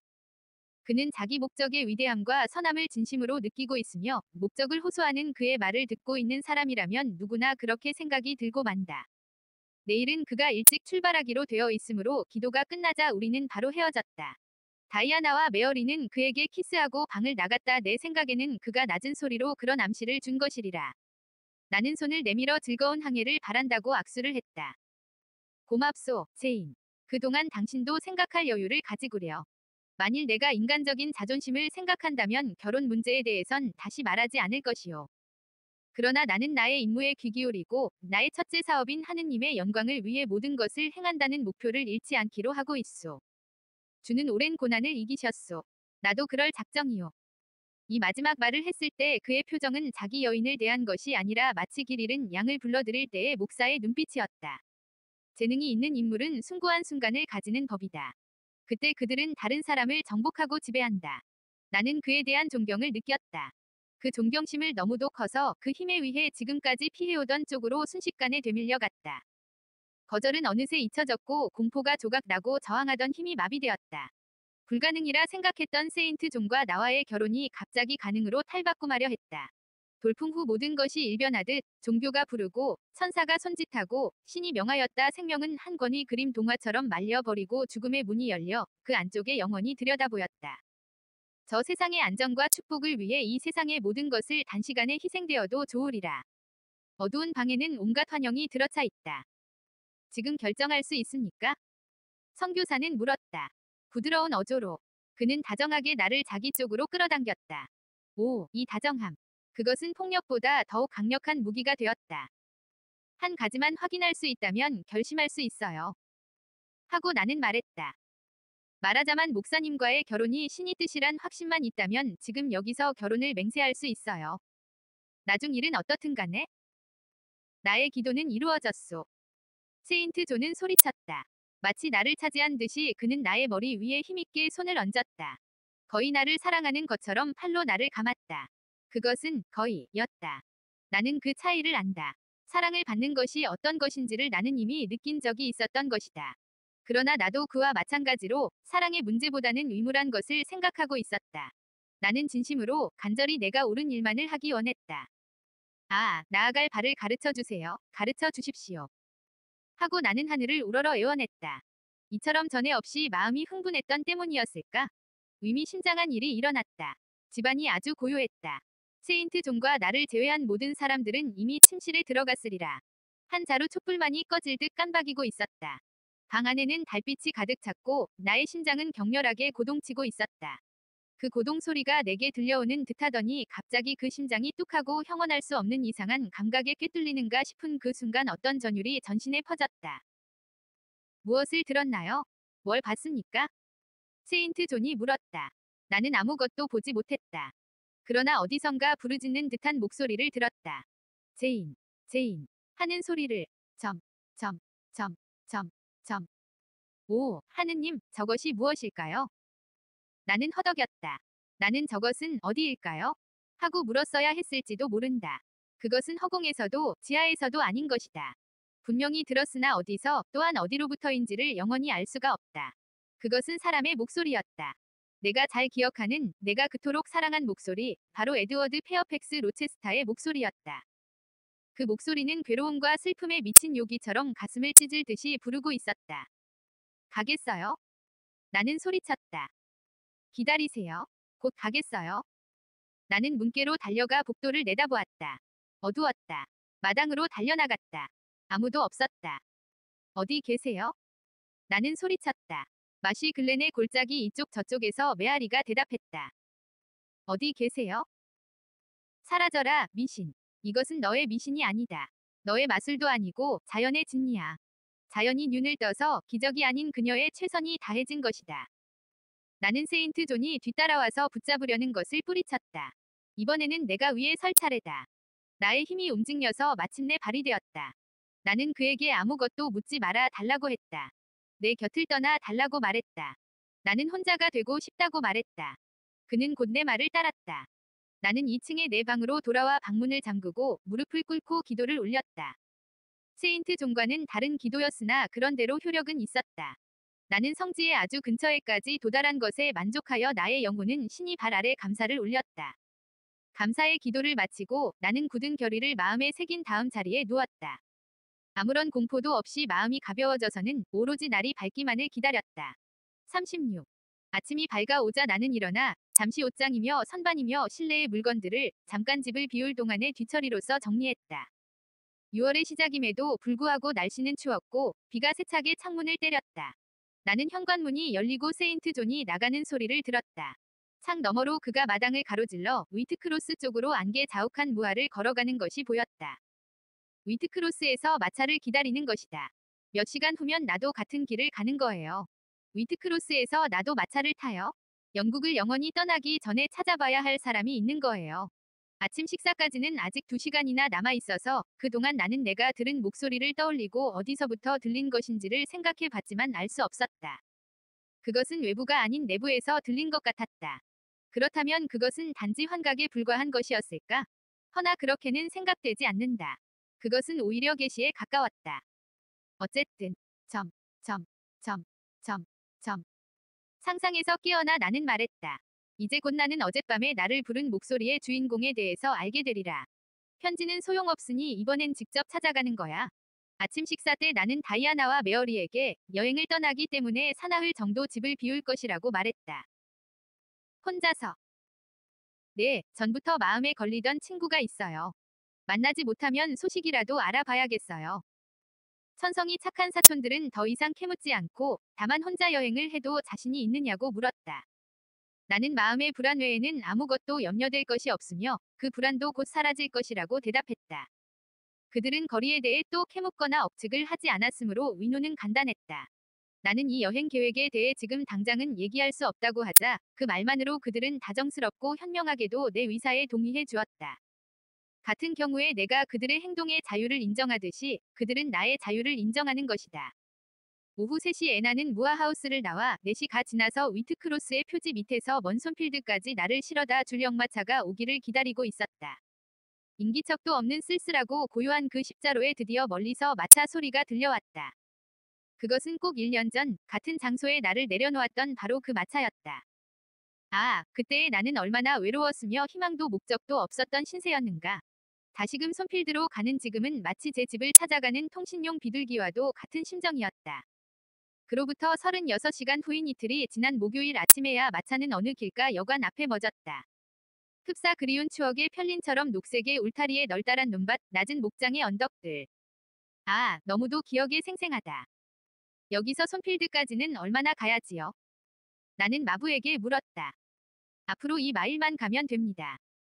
여행은 끝났다 나는 마음속으로 중얼거렸다. 집은 내가 다시 오기까지 마부에게 맡겨두고 나는 곧장 걸어갔다. 햇빛에 반사한 여관 간판은 로체스타 아함즈라고 씌어져 있었다. 내 마음은 뛰었다. 눈앞에 쪽문이 보였다. 그 저쪽으로 펼쳐진 들이야말로 내가 손필드를 떠나던 날 정신없이 헤어나온 들판인 것이다. 어디로 가야 할지 마음이 정해지기도 전에 나는 어느새 그 한가운데 있었다. 어쩌면 이렇게 빠른 걸음. 나중에는 달리기까지 했다.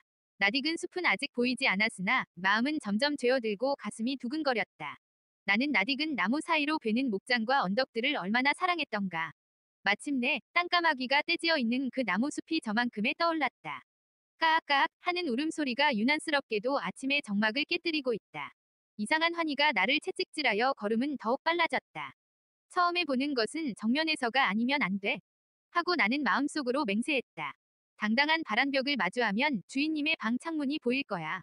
그분은 일찍 일어나시니 거기에 서 계실지도 몰라. 아니면 과수원이나 마차기를 산책하실지도 모르고.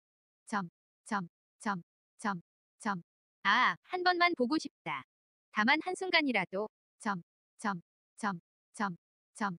나는 어느덧 과수원의 낮은 울타리를 따라 모퉁이를 돌고 있었다.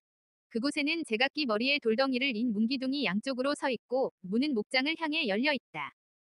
한쪽의 문기둥 뒤에서 나는 저택의 정면을 보고자 조심스레 목을 내밀었다. 그렇게 하면 바람벽이며 창문, 현관 등을 한눈에 볼 수 있으므로 어느 침실의 블라인드가 걷혀져 있는지 그것을 확인하고 싶었다. 이 순간의 나의 마음을 비유한다면 즉 이끼 낀 냇가에 잠들어 있는 애인을 본 연인이 그를 깨우지 않고 그 아름다운 모습을 한눈에 보고자 한다. 사방이 고요한 가운데 그는 소리 없이 풀 위를 걸어가 그녀의 얼굴 위에 허리를 굽혔다. 그리고 그녀의 얼굴 위에 덮인 얇은 베일을 벗긴다. 바야흐로 그의 눈은 미에 그치인 따뜻하고 꽃처럼 아름답고 평화스러운 얼굴을 보리라고 기대한다. 번개불처럼 던지 그 일별. 그러나 지금 그 눈은 움직이지 않는다. 그는 소스라친다. 벼랑간에 미친 듯이 방금까지는 손도 대지 않던 그 몸을 으스러지도록 두 팔을 껴안는다. 그는 애인이 잠든 줄 알았으나 이미 그녀는 돌처럼 싸늘한 시체였다. 나는 호화로운 저택 쪽으로 조심스레 눈을 주었으나 그곳엔 까맣게 타버린 폐허만 남아 있었다. 아, 침실의 창가에서 누군가 움직이는 기색은 없을까 싶어서 남몰래 엿보느라고 기둥 뒤에 숨어 있을 필요는 없었다. 문이 열리는 소리를 염려하거나 마치 길에 인기척이 나지 않을까 염려할 필요는 없었다. 잔디며 뜰은 마구 짓밟혀 있었고 출입구는 구멍이 뻥 뚫려 있었다. 마치 지난날 내가 꿈에 본 것처럼 아주 높고 허물어져 가는 벽만이 구멍으로 보임직한 창들을 몇 개 달고 있을 뿐이었다. 지붕도, 바람벽도, 굴뚝도 모두 허물어졌다. 그리고 주위는 죽음과도 같은 침묵, 쓸쓸한 폐허와 고요로 꽉 차 있었다. 내가 보낸 편지에 회답이 없었던 것도 이러고 보면 무리는 아니다. 큰 불에 불탄 자국. 도대체 이런 일이 일어나다니. 어떠한 손실이 여기에 따랐을까? 누구의 짓일까? 무서운 의문이었다. 허물어진 벽과 폐허로 변한 내부를 잠시 살펴본 나는 이 재앙이 요즘의 일이 아닌 것을 알았다. 왜냐하면 젖은 잡동산이 속에 분풀이 무성하게 자라 있었다. 돌이며 무너진 대들보 사이에 잡초가 나 있었다. 그렇다면 아, 이 폐허의 불행한 주인은 어디로 갔는가? 어느 나라로? 어떠한 운명 아래? 나의 눈은 대문 가까운 곳에 교회당 탑에가 있었다. 저 좁은 대리석 집에 로체스타가 처마를 나란히 하고 있을까? 이러한 의문에는 대답을 얻을 수 있을지도 모른다. 나는 곡길을 되돌아갔다. 모든 것은 역관집에 가 묻기로 하자. 손수 내 방으로 아침 식사를 가져온 주인에게 나는 물어볼 것이 있다고 잠깐 앉아주기를 부탁했다. 주인은 인품이 과히 떨어지지 않는 중년 남자였다. 주인님께선 손필드 저택을 아시나요? 하고 나는 물었다. 알고 말고요. 나는 그곳에서 지낸 적이 있답니다. 그러세요? 나는 그를 본 일이 없으니 내가 없었던 때일 거라고 생각했다. 돌아가신 로체스타님의 하인장을 지냈었지요. 돌아가셨다고요? 나는 숨을 헐떡이며 반문했다. 그럼 그분은 이미 내가 말씀드리는 것은 지금의 에드워드 아버님 이야기입니다. 하고 그가 설명했다. 나는 겨우 숨을 내쉬었다. 멈췄던 피가 다시 돌기 시작했다. 나의 로체스타 씨는 아직 살아계신 것이다. 얼마나 다행한 일인가? 로체스타님은 지금도 손필드에 계시나요? 묻지 않아도 뻔했건만 나는 어디 계신지를 직접 묻는 것을 삼갔다. 아닙니다, 손님. 거기엔 지금 아무도 살지 않아요. 아마 손님은 여기엔 처음인 모양이니 지난 가을의 일은 모르시겠군요. 손필드 저택은 지금 폐허랍니다. 바로 추수 무렵에 타 버렸지요. 정말 무서운 재앙이었습니다. 그처럼 훌륭한 집이 가구 하나 꺼내지 못한 채 폭삭제가 되어 버렸지요. 화재는 한밤중에 일어나 미처 소방차가 달려오기도 전에 건물은 화염 속에 휘말렸을지요. 나는 직접 보았습니다만 정말 무서운 광경이었어요. 한밤중에 나는 중얼거렸다. 그렇다. 그것이 처음부터 손필드의 운명의 시간인 것이다. 불은 어디서 났는지 밝혀졌나요? 모두 짐작들은 하고 있지요. 네, 알고 있어요. 그는 테이블 곁으로 바싹 다가 앉으며 낮게 말했다. 그곳엔 부인이 점, 점, 점, 점, 점. 뭐랄까, 미친 사람이 갇혀 있었어요. 하긴 그런 소문을 들은 것도 같아요. 그런데 그건 벌써 몇 해째 극비에 붙여진 일이라 그런 부인이 사실 있는지 어쩐지도 몰랐어요. 본 사람이 없으니 말이지요. 그런 부인이 저택에 있다는 소문만이 나돌았답니다. 그러니 어떤 신분이고 어떤 경위의 사람인지를 알 수 없었지요. 에드워드님이 외국에서 데려온 여자라는 사람도 있고 첩이라는 사람도 있었지요. 그런데 바로 1년 전에 참 이상한 일이 생겼습니다. 여기서 나는 내 이야기를 듣게 될 것 같아 두려웠다. 그래서 주인이 본 줄거리로 들어가도록 물었다. 그래서 그 여자분은 그 부인이 말입니다. 손님. 하고 그는 대답했다. 로체스타님의 부인으로 밝혀졌습니다. 우연한 일로 해서 알게 되었지만 그 되게 젊은 여자 가정 교사가 있었거든요. 로체스타님은 그분을 사랑. 점, 점, 점, 점, 점. 그렇지만 그 화제는 하고 나는 재촉했다. 그래서 에드워드님이 연애를 하셔서 로체스타님은 40 전후인데 그 여자는 채 20도 안 되었지요. 그 연배의 신사가 젊은 여자에게 반해서 그는 앞뒤도 분간 못하고 드디어 결혼까지 할 작정이었답니다. 그 이야기는 나중에 하시고요. 하고 나는 말했다. 저는 그럴 이유가 있기 때문에 우선 화제에 관한 것을 듣고 싶어요. 지금 말씀하신 정신 이상인 로체스타 부인과 화제는 무슨 관계가 있나요? 바로 그렇습니다. 그 여자 외에 불을 낼 사람이 어디 있나요? 그 미치광이의 시중을 드는 풀이라는 여자가 있었는데 그 여자는 일에 대해선 꽤 신용이 있고 쓸모가 있었습니다. 하지만 꼭 한 가지 진을 몰래 숨겨가지고 마시는 결점이 있었지요. 하긴 너무 신경 쓰는 일을 하니 그것도 무리는 아니지만 아무튼 미치광이 여자는 교활했기 때문에 풀 부인이 진을 마시고 녹아 떨어지면 그 호주머니에서 열쇠를 꺼내 가지는 것입니다. 그러니 그 여자가 방을 빠져나와 무슨 일을 벌일지 알 수 없지요. 언젠가 한 번은 주인님을 불에 태워 죽이려고 한 일도 있었다는 말도 있지요. 하여간 그날 밤에 그 미치광이는 우선 자기 옆방에 커튼에 불을 붙인 다음 2층에 있는 가정교사의 방으로 갔습니다. 아마 그간 사정을 알고 그 여자를 원망하고 있었던가 봅니다. 그래서 그녀는 거기 침대에다 불을 붙였지만 다행히도 그곳엔 아무도 자고 있지 않았지요. 가정교사는 벌써 두어 달 전에 달아나 버렸으니까요. 노체스타님은 마치 세상에서 제일 가는 보물이라도 잃은 것처럼 팔방으로 수색을 했지만 결국은 헛수고로 끝나고 말았습니다. 그래서 낙심한 나머지 성미가 매우 거칠게 변했어요. 본래는 매사에 신중하시던 분이었어요. 게다가 혼자 지내고 싶어서 가정부인 페어팩스 부인을 먼 친척 집에 보내 버렸습니다. 하긴 뒤처리에 신경을 써서 종신연금을 붙여준 모양입니다만 부인도 물론 받을 만한 자격은 있었지요. 노체스타님은 양녀인 아델 양도 학교에 넣어버리고 다른 지주들과는 일체 손을 끄는 채 혼자 지냈습니다. 네. 그럼 그분은 영국을 떠나신 게 아닌가요? 영국을요? 천만에요. 그분은 현관 밖으로는 한 발자국도 나오시지 않았습니다. 다만 밤에는 정신병자처럼 물론 정신이 돈 것은 아닙니다만 뜰이나 과수원 속을 유령처럼 헤매어 다녔지요. 주인님은 그 가정교사인 작은 계집이 오기 전까진 참 씩씩하고 당당하고 두뇌도 명석한 신사였습니다. 술이나 경마나 도박도 즐기지 않고 풍채는 별로 좋지 않았지만 그의 용기와 위기를 따를 사람은 아무도 없을 겁니다. 나는 그분을 어렸을 적부터 알고 있습니다만 그 에어인가 하는 계집 따위는 저택에 오기 전에 바다에라도 빠져버리는 게 나았을 걸 하고 몇 번씩이나 생각이 드는 거려. 그런데 불이 났을 때 로체스타 씨는 집에 계셨었나요? 그럼요. 그분은 이방 저방 다니며 하인들을 모두 깨우고 피신시켰지요. 그러고는 미치광이 부인을 구하려고 다시 불 속으로 들어가려고 했습니다. 그런데 그 미치광이는 지붕 위 바람벽 옆에 서서 팔을 휘저으며 1마일이나 떨어진 곳에서도 들릴 만큼 큰 소리로 고함을 치고 있었어요. 나는 이 눈과 귀로 똑똑히 보고 들었습니다만 그는 굉장히 큰 여자로 길고 검은 머리를 뒤집어 쓰고 있었습니다. 그 머리는 불길에 휘날리자 흔들거렸습니다. 그때 로체스타님이 우리들이 보고 있는 가운데 천장을 통하여 지붕 위로 올라갔습니다. 그리고 바사 하고 부르며 그녀에게로 다가갔지요. 그런데 바로 그 순간에 미치광이는 고함을 지르며 몸을 내던졌답니다. 번개불처럼 돌바닥 위로 떨어져 버렸지요. 죽었어요? 죽었냐고요? 아, 그럼요. 머리가 으스러져서 숨이 끊기고 말았습니다. 아이, 끔찍해. 네, 정말 무서운 광경이었답니다. 그는 몸서리를 쳤다. 그래서요? 하고 나는 말을 재촉했다. 그리고 저택은 몽땅 타버리고 지금은 바람병만 남았지요. 또 죽은 사람은 없었어요. 네, 차라리 그랬던 편이 나았을지도 모르지만요. 그건 또 무슨 말씀이세요? 가엾은 에드워드님. 그렇게 될 줄은 꿈에도 몰랐겠지요. 사람들은 그분이 이중 결혼을 하려고 했기 때문에 벌을 받은 것이라고 말들 하지만 아무래도 저는 딱해서 견딜 수가 없어요. 살아계신다고 그랬잖아요. 나는 외쳤다. 물론 살아계시지요. 그러나 차라리 돌아가는 게 나았다고들 말합니다. 왜요? 나의 피는 금세 식었다. 장남이 되어 버렸어요. 에드워드님이 전혀 앞을 볼 수 없게 되었어요. 나는 더 끔찍한 일을 상상하고 있었다.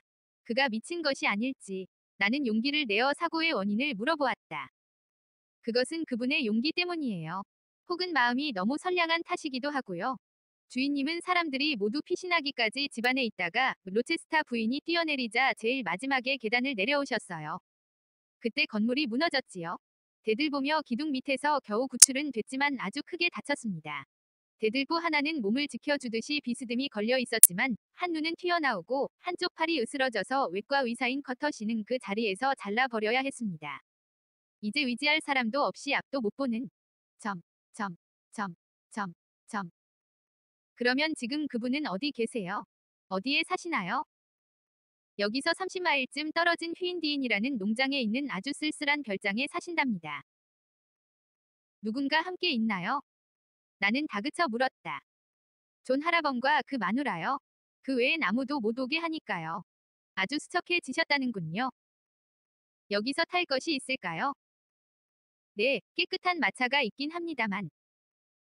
그럼 곧 준비해 주세요. 오늘 저녁까지만 마부가 날 휘인디인에 도착하게 해준다면 당신과 마부에겐 요금의 갑절을 지불해 드리겠어요. 37. 아무런 장식도 없이 그저 낡고 횡댕그렁한 휘인디인의 별장은 숲속에 묻혀 있었다. 사는 사람이나 가구도 없이 주인이 사냥을 갔을 때를 위하여 겨우 방이 두어 개 준비되어 있을 뿐이었다.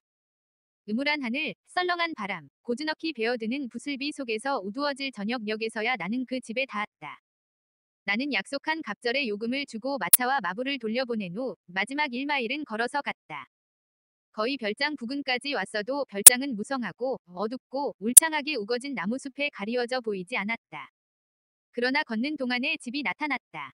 저녁 풍경 속에서는 나무들과 거의 분간할 수도 없게 젖은 녹색을 한 집이 시야에 들어왔다. 로체스타 아암즈의 주인 말대로 아주 쓸쓸한 곳이었다. 여기에도 사람이 살고 있을까? 나는 마음속으로 물었다. 좁은 현관문이 열리고 뭔가 사람 비슷한 것이 집에서 막 나오는 참이었다. 문은 천천히 열렸다. 하나의 그림자가 어둠 속으로 나와 계단 위에 섰다. 모자도 쓰지 않은 그 사나이는 비가 오는지 어쩐지를 알려는 듯이 손을 내밀었다. 나는 알았다. 비록 어둠 속이긴 했지만 그야말로 나의 주인 에드워드 페어팩스 로체스타인 것을. 나는 발을 멈추고 거의 숨이 막혀서 그를 지켜보았다. 풍채는 전과 다름없이 건강해 보이고 자세 역시 바르다. 머리를 까마귀처럼 까맣고 얼굴도 축나 보이지 않는다. 이 1년 동안에 어떤 슬픔이 있었더라도 그의 건장한 체력과 왕성한 활력을 죽일 수는 없었다. 그러나 그의 용모엔 변화가 보인다. 무언가 근접할 수 없게 하는 학대받은 울 속의 야수처럼 자포자기한 암울한 그 어두운 우수 속에서 느껴졌다. 잔인하게도 그 화만은 그의 황금색으로 빛나던 윤을 빼앗아가고 지금은 울 속에 갇힌 독수리 신세. 눈먼 삼손 같은 표정이 아마도 저렇지 않을까? 그는 층계 섬도를 내려서서 손으로 더듬으며 잔디로 왔다. 그것은 당당한 걸음걸이가 아니다.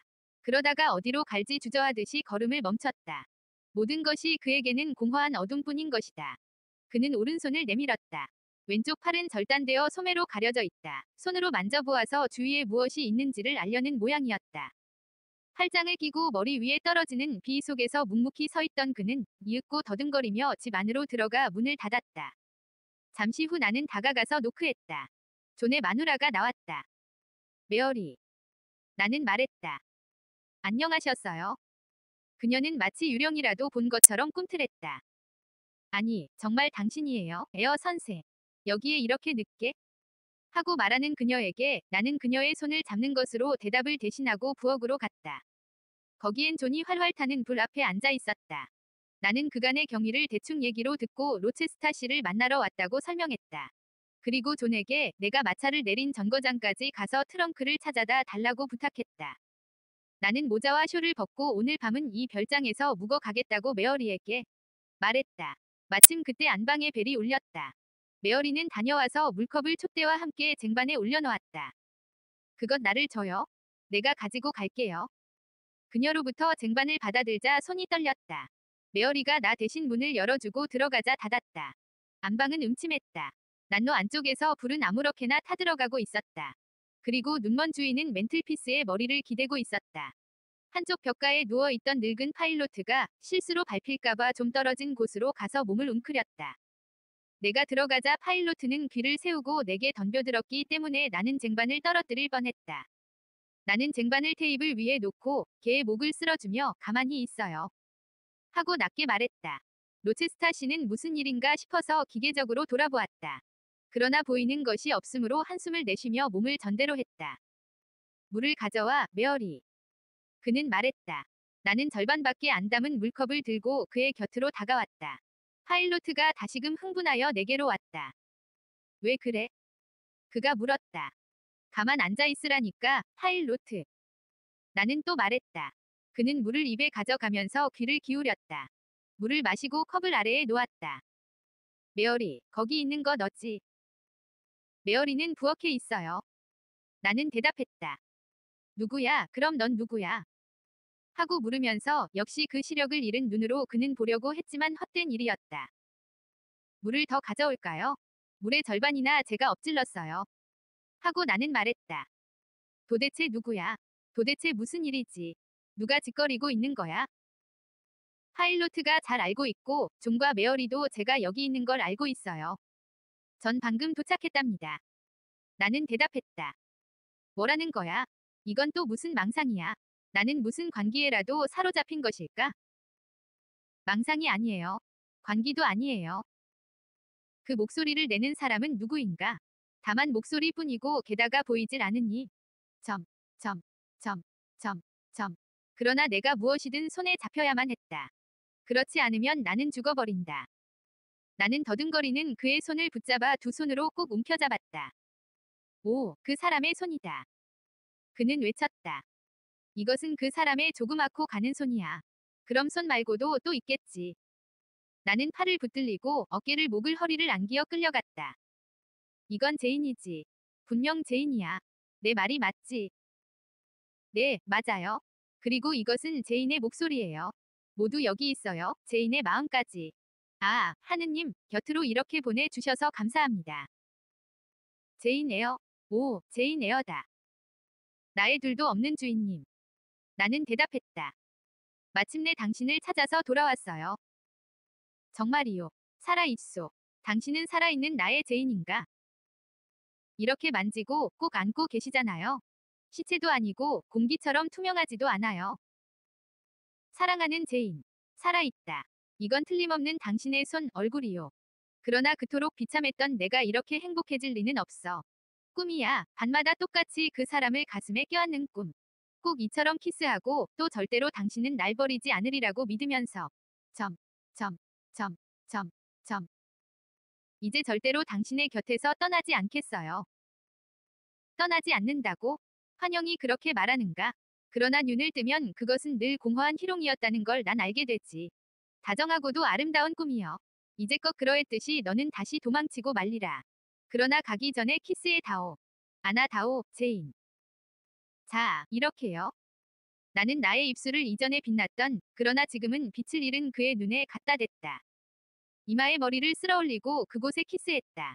갑자기 그는 몸을 일으키려고 했다. 이런 모든 것이 꿈이 아닌 것을 그제서야 그는 깨달은 듯했다. 제인이야. 그렇지. 그럼 당신은 정말 내게로 돌아왔소. 네. 그럼 당신은 어느 벌판엔가 시체로 누워있는 게 아니오. 집 없는 거지가 아니오. 아니에요. 이제 저는 독립했어요. 독립. 그건 또 무슨 뜻이오, 제인? 마데이라의 아저씨가 돌아가시면서 5천 파운드의 유산을 제게 물려주셨어요. 아, 이건 꿈이 아니야. 현실이야.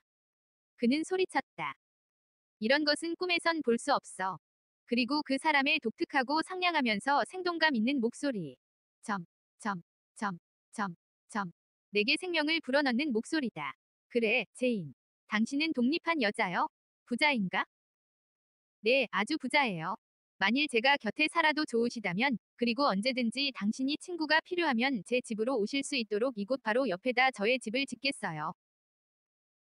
하지만 제인, 당신이 부자이면 당연히 당신을 돌볼 친구도 있을 게 아니오.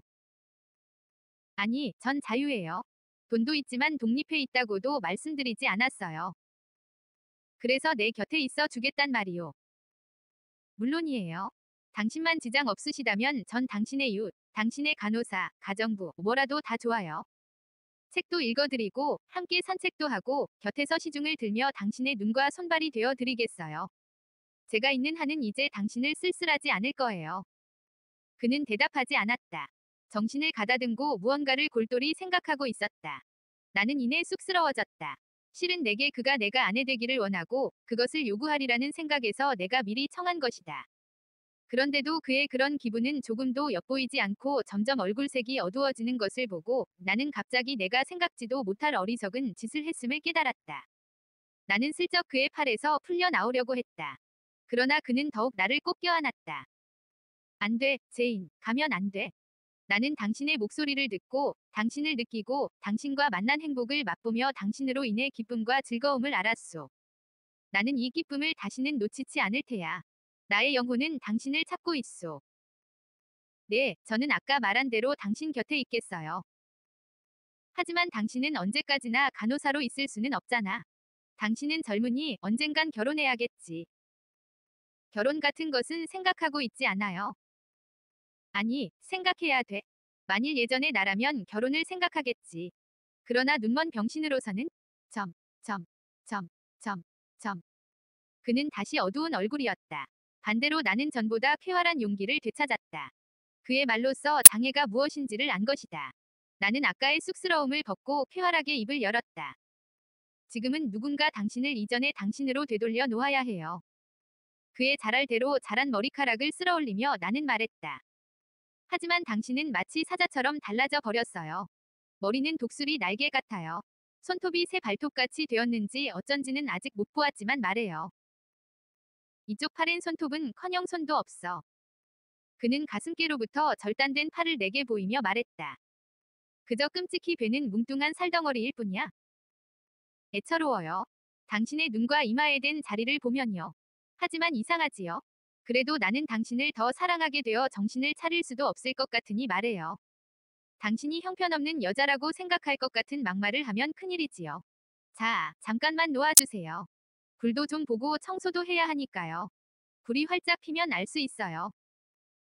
알 수 있어? 오른쪽 눈에 흐릿하게 좀 붉은 안개 같은 게 보이니 말이야. 촛대의 불은요. 아주 흐린 뽀얗게 빛나는 구름처럼만. 점, 점, 점, 점, 점. 저녁 식사는 언제 하세요? 저녁은 먹은 적이 없어. 그래도 오늘 저녁은 잡수세요. 전 배가 고파요. 당신도 그저 잊고 있을 뿐이에요. 메어리를 불러서 나는 다소나마 이 방을 기분 좋게 꾸미게 했다. 그리고 그가 즐길 듯한 식사 준비를 했다. 그의 곁에서 나는 마음 편히 있을 수 있었다. 그것은 내가 그에게 어울린다는 것을 알았기 때문이다. 나의 말 한마디 한마디가 그를 위로하고 또 용기를 주는 듯했다. 또한 그렇게 느끼는 것은 얼마나 행복한 일인가. 그의 앞에서 나는 행복하게 살 수 있었다. 마찬가지로 내 앞에서는 그도 행복했다. 눈은 멀었어도 그의 얼굴엔 미소가 가득 찼고 희열로 이마는 밝게 빛났다. 얼굴의 윤곽도 부드럽고 따뜻해졌다. 식사 후 그는 내게 여러 가지를 물어왔다. 어디에 있었으며 무엇을 했는지 어떻게 이곳까지 오게 되었는지를 그러나 나는 부분적으로 간단한 대답만을 했다. 나의 당연한 임무는 그를 격려하는 일분 깊은 이야기를 꺼내 쓸데없이 그의 격정의 마음을 일깨우고 싶지는 않았다. 그는 기운을 차렸다. 하지만 그것은 일시적인 것이어서 잠시라도 대화가 끊기면 그는 침착성을 잃고 내 손을 찾으며 제인 하고 부르는 것이었다. 그렇다고는 하지만 당신은 어떻게 이런 어둡고 쓸쓸한 밤에 불쑥 이 고독한 난로가로 올 수 있었을까? 메어리 대신 쟁반을 가지고 들어올 수 있었기 때문이지요. 그리고 지금 우리는 꿈처럼 즐거운 시간을 지내고 있소. 얼마나 내가 그동안 희망도 멋도 없는 암흑 같은 시간을 지내왔는지를 그 누가 알겠소. 밤낮을 모르며 불이 없다면 춥다고 먹을 것을 잊었을 때는 배고프다고 느낄 뿐인 하루하루. 그리고 주체할 수 없는 슬픔과 간혹 제인을 한 번이라도 보고 싶다는 미칠 것 같은 열망. 그래요. 당신을 한 번 껴안고 싶다는 욕망은 잃어버린 시력을 되찾고픈 욕망보다도 더 컸었으니 말이오.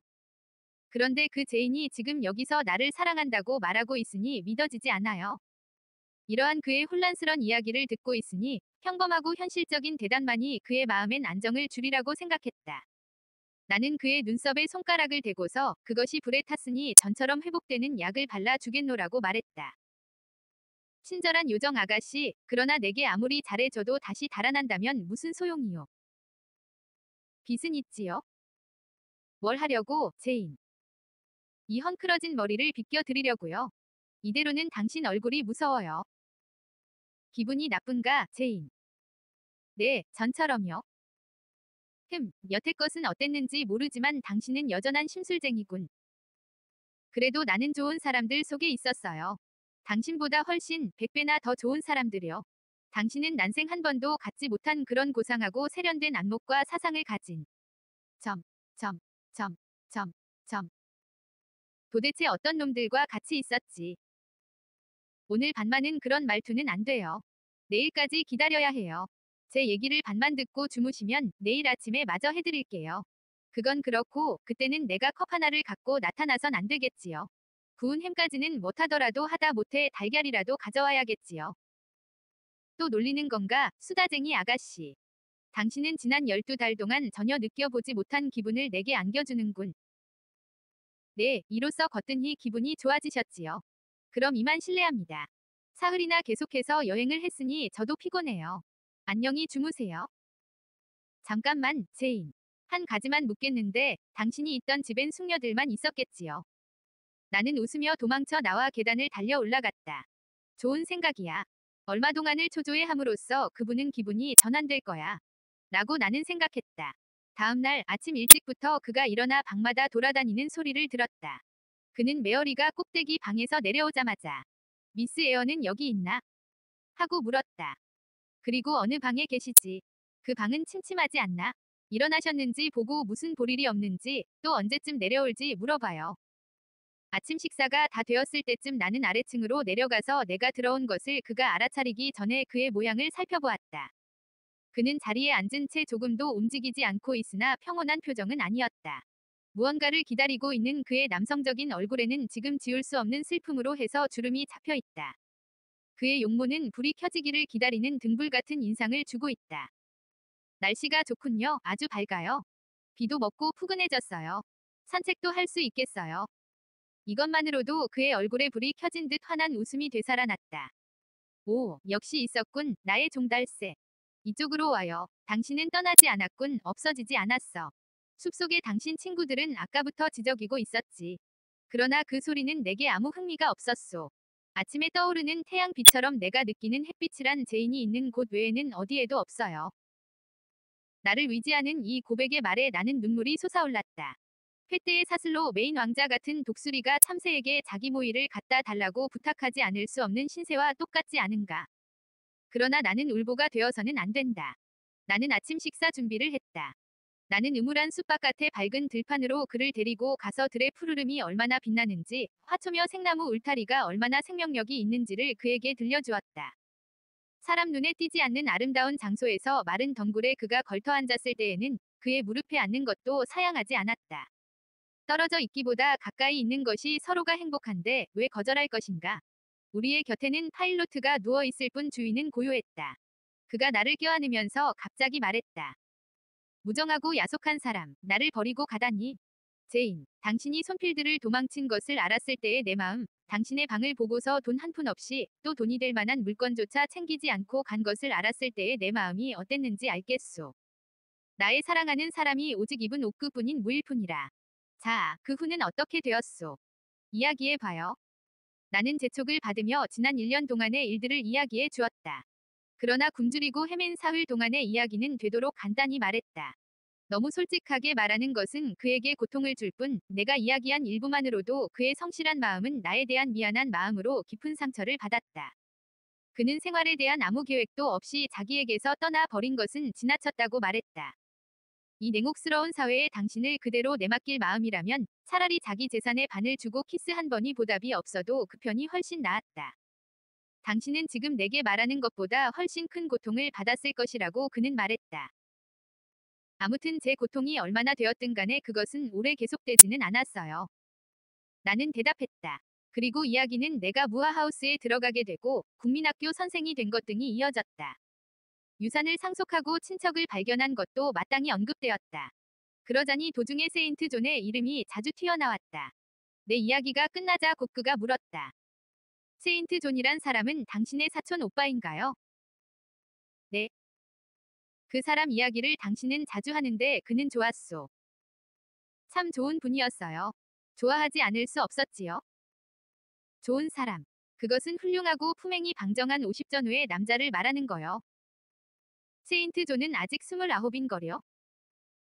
프랑스에서 말하는 jeune encore, 풋내기, 로군. 좋다, 는 것은 그런 미덕이 뛰어났다는 것보다 악덕은 범하지 않았다는 것인가. 피로를 모르는 적극적인 사람이었어요. 위대하고 숭고한 삶을 추구하는 사람이에요. 하지만 두뇌는 아마 허약한 편이겠지. 두뇌도 유연해요. 예민하지는 못했지만 건강한 편이라고 할 수 있지요. 교양은 더 말할 나위도 없는 사내인가? 세인트 존은 완성된 깊은 학문의 소유자예요. 거동은 당신 취미에 맞지 않겠지. 까다롭고 목사티가 나고.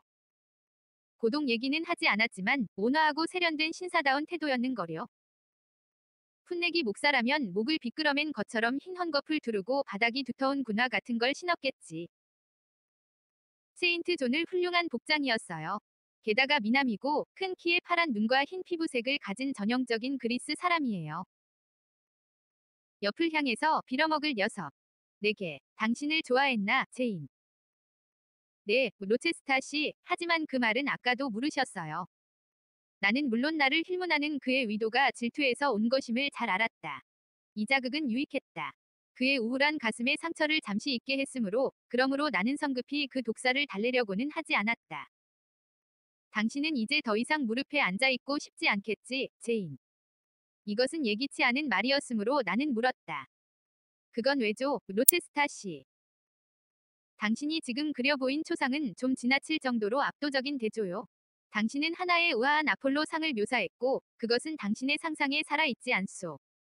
키가 크고 흰 피부에 파란 눈을 가진 그리스적인 프로필. 당신의 눈이 지금 보고 있는 것은 벌칸, 그리스 신화에 나오는 대장간의 신으로 못생겼음, 이요. 검은 살결의 어깨가 넓은 대장장이에 어울리는 사나이. 게다가 이젠 눈먼 병신이란 것도 생각지 않으면 안 돼. 저는 지금껏 그것을 몰랐군요. 그러고 보니 정말 벌칸 비슷도 해요. 조소, 그렇다면 언제든지 출발하시오.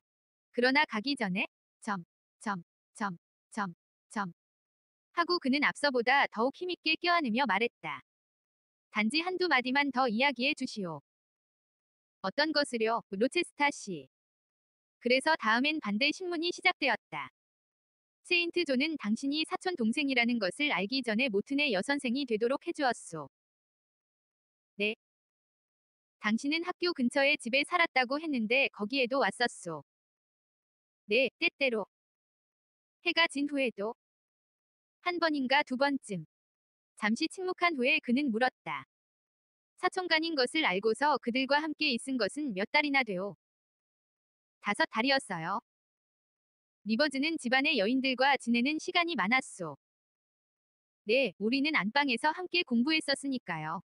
그는 창가에서 우리는 방 가운데의 테이블을 사용했지요. 그는 공부에 열심했나요? 네, 무척. 무엇을? 인도어요? 그는 당신에게 뭔가 가르치지는 않았소. 인도어를 약간. 리버즈가 당신에게 인도어를. 네, 그랬답니다. 그건 또 무슨 이유요? 당신에게 인도어가 무슨 소용이 있다고. 그는 나를 인도로 데려가고 싶어 했어요. 흠, 그것이 문제의 핵심이군. 그는 당신과 결혼하고 싶어 했소. 네, 제게 구혼을 했어요. 흥, 괜한 소리야. 날 골려주려고 잘도 그런 소리를 하는군. 말하기는 죄송하지만 사실이에요. 세인트 존은 끈기 있게 되풀이해서 당신과 같을 정도로 자기 의사를 관철시키려고 했어요. 제인 다시 한 번 말하지만 제발 가줘. 도대체 얼마나 같은 말을 되풀이시킬 거요? 왜 이렇게 내 무릎에 앉아 있는 거요? 가란 말이요. 저는 잊고 싶어요. 아냐. 잊고 싶을 리가 없지, 제인. 당신 마음은 지금 나에게 있지가 않고 사촌인 세인트 존에게 가 있어. 아, 방금까지만 해도 나는 제인이 오직 나 하나만의 것인 줄 알았건만 다른 사람을 사랑할 줄은 몰랐소. 그러나 한탄해서 뭐 하겠소. 제인, 가서 리버즈와 결혼해요. 그러시다면 아무쪼록 저를 놓아버리세요. 떠밀어 버리세요. 제 쪽에서 당신 곁을 떠날 마음은 없으니까요. 제인, 나는 지금도 당신의 목소리며 그 어투가 좋아요. 그 목소리는 너무도 거짓 없이 들려서 내게 새 희망을 안겨줘요. 그 목소리를 듣노라면 나는 다시 1년 전의 나로 돌아간 것 같은 느낌이요. 그러나 난 바보가 아니지. 가 주시오. 어디로 가라는 거예요? 당신 자신의 길로 당신이 선택한 남편과 함께. 그건 누구를 말하는 거죠? 그야 물론 세인트 존 리버즈이지. 그는 제 남편이 아니에요. 또 남편으로 맞고 싶지도 않아요. 나는 그 사람을 사랑하지 않을 뿐더러 그도 나를 사랑하지 않아요. 그가 내게 결혼하고자 한 것은 다만 내가 선교사의 아내로서 어울릴 거라고 생각했기 때문이에요. 그 사람은 분명히 선량하고 훌륭한 사람입니다만 내게는 더없이 냉엄한 사람이에요. 그의 곁에서 나는 행복해질 수 없어요. 내겐 조금도 애착을 갖고 있지를 않아요. 내게 대한 아무런 배려도 젊음조차도 인정하지 않아요. 다만 몇 가지 쓸모있는 정신적 특징만을 인정하지요. 그런데도 저더러 그 사람에게 가버리라고 말씀하세요. 나는 나도 모르는 사이에 몸서리를 치면서 본능적으로 내가 가장 사랑하는 주인에게 매달렸다. 그는 웃었다. 뭐야, 제인. 그게 정말인가? 당신과 그의 관계는 그랬었소. 절대로. 아, 질투 따윈 할 게 못 돼요. 저는 당신의 슬픔을 잊게 해주려고 좀 놀려댔을 뿐이에요. 화내는 것이 한탄보다는 낫겠다는 생각에서요. 제 마음은 송두리째 당신 거예요. 로체스타 씨. 당신께 바친 것이었고 운명이 당신에게서 나를 쫓아내어도 역시 당신 곁에 남는 거예요. 다시금 그는 미소를 지었다. 나는 그에게 위로를 준 것이다. 당신은 친구지간에 얘기를 했을 뿐이군, 제인. 네, 친구 사이에? 나는 약간 망설였다. 왜냐하면 나는 친구 이상의 것이고 그것을 어떻게 표현해야 할지 몰랐기 때문이었다. 그가 나를 도와주었다. 그렇지, 제인, 난 아내가 필요해. 어머, 그러세요. 왜? 뜻밖으로 들리오. 물론이에요. 그런 말씀 한마디도 하시지 않았잖아요. 듣고 싶지 않은 뜻밖의 이야기요. 누굴 선택하느냐에 따른 거지요. 제인 당신이 골라줘. 나는 당신의 결정에 따를 테야. 그럼 말해보세요. 당신이 가장 사랑하는 여성을. 나는 말하겠어. 내가 제일 사랑하는 여성 제인 나와 결혼해 주겠소. 네, 하고 말고요. 불쌍한 장님 손을 끌고 다니지 않으면 안 되는 사나이와. 네. 불구자에다 당신보다 스무 살이나 위고 당신이 시중을 들지 않으면 안 되는데도. 네, 그래요. 정말이요, 제인. 네, 진정입니다. 오, 사랑스러운 사람이여. 신이여, 나와 제인에게 축복과 보답을 주소서. 로체스타 씨, 만일 내가 내 평생에 선한 일을 했다고 하면, 만일 선한 생각을 가졌다고 하면 저는 이미 보답을 받았습니다. 당신의 아내가 되는 일이야말로 저로서는 이 지상 최고의 행복을 얻는 일이니까요. 그것은 당신의 희생 정신 때문에. 점, 점, 점, 점, 점. 희생요. 제가 무엇을 희생하나요? 굶주림에는 음식을, 기대에는 만족을 얻었어요. 자기가 사랑하는 것에 입술을 대고 자기가 믿는 것 위에 안식의 특권을 얻는 일이 왜 희생이 되나요? 그렇다면 희생은 기쁜 것이네요. 그리고 나의 무력을 인내하는 거라오, 제인. 나의 결함의 눈을 감아야 한다오. 그런 고생을 할 수 있겠소. 그런 것은 제겐 아무것도 아니에요. 저로서는 당신의 도움이 될 현재가 당신에 대한 사랑보다 훨씬 소중해요. 제인, 나는 여태껏 남의 도움을 받거나 인도되는 것이 싫었는데, 그러나 이제는 괜찮을 것 같소. 제인의 조그만 손가락에 내 손이 잡힌다는 건 참으로 즐거운 일이야. 제인은 내게 안성맞춤이야. 그러나 나는 당신의 마음에 들까? 발끝에서 머리끝 모든 것이. 그렇다면 이제 망설일 건 없소.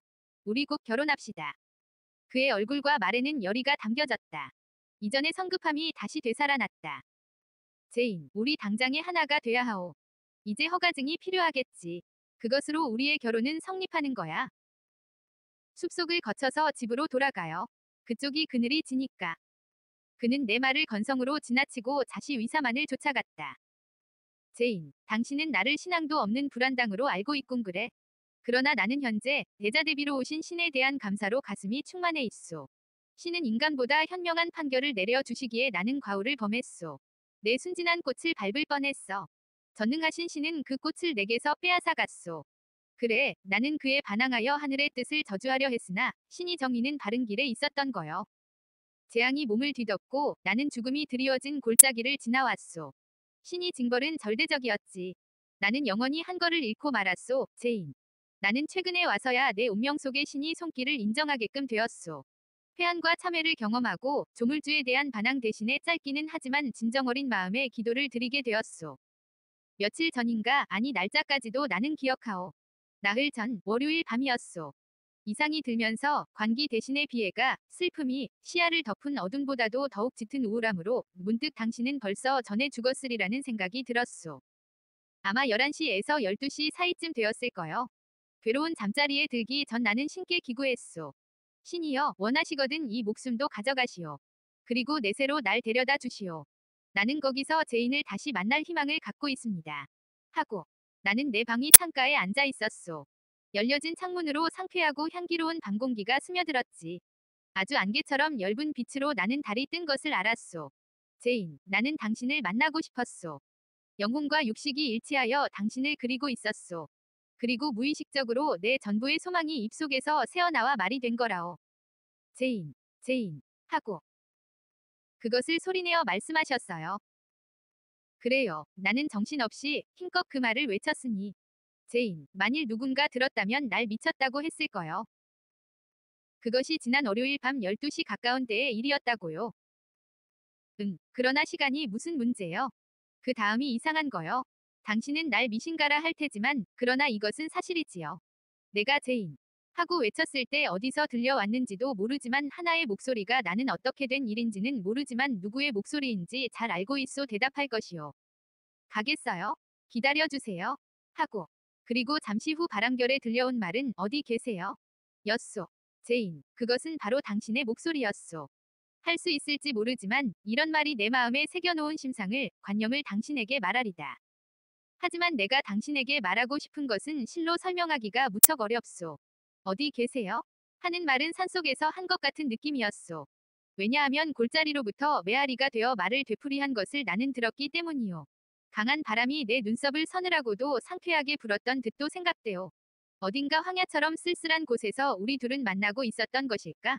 그러나 그 시각에 당신은 잠들어 있었겠지, 제인. 또는 당신의 영혼이 내게로 와 나를 위로한 것인지도 모르지. 나는 분명히 당신 목소리를 들었으니 말이오. 이것은 내가 여기 존재하는 것처럼 틀림없는 사실이야. 그건 당신의 목소리였어. 아, 그 월요일 밤에 나도 분명히 그 신비한 목소리에 귀를 기울이고 있었다. 그리고 그가 들은 것은 바로 그의 소리에 답한 내 목소리인 것이다. 나는 로체스타 씨의 이야기를 들으면서 그것에 대한 아무것도 고백하지는 않았다. 이 우연의 일치에는 사람 사이에 약이 되고 토론되기에는 너무도 인간이 어리석고 형언치 못할 무엇이 있는 것처럼 생각이 들었기 때문이다. 만일 내가 무언가를 얘기한다면 틀림없이 내 말에 상대는 심각한 인상을 받으리라. 가뜩이나 상하기 쉬운 그 마음이 초자연적인 일로 해서 더욱 그래야 할 이유는 없었다. 그래서 나는 이것을 나의 가슴 속에 숨기고 마음속으로 생각하는 것으로만 그쳤다. 나의 주인은 말을 계속했다. 어젯밤 너무나 뜻밖의 당신이 내 앞에 와 섰을 때 내게는 당신이 단지 목소리와 환영으로 그 한밤중의 속삭임과 산울림이 사라진 것처럼 곧 침묵과 소멸 속에 사라질 것이라고 생각했소. 아, 나는 신께 감사하오. 환영이 아닌 것을 알았소. 그래. 누구보다도 신께 감사드리오. 그는 나를 무릎에서 내려 일어나 경건히 모자를 벗으며 보이지 않는 윤을 아래로 깔고 말없이 기도를 드렸다. 마지막 구절만이 들려왔다. 조물주여, 감사합니다. 심판대에도 신은 자비로 대하셨나이다. 구세주여, 간절히 비오니 이제부터는 지금껏 살아온 것보다 광명된 나날을 누릴 수 있도록 용기와 힘을 주옵소서. 그러고 나서 그는 손을 내밀어 거리낌 없이 내게 안내를 부탁했다. 나는 그 사랑스러운 손을 잡아 입을 맞춘 다음 나의 어깨에 올려놓았다. 그보다 키가 작은 나는 그의 지팡이나 인도하는 손이 되기에 적합했다.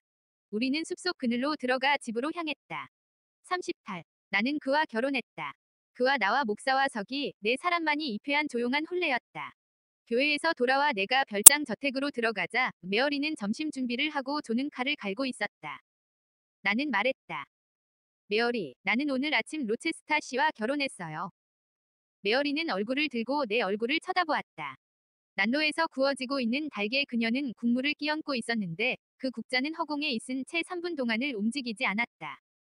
그와 꽃같은 시간 동안 존의 칼도 숫돌 위에서 쉬고 있었다.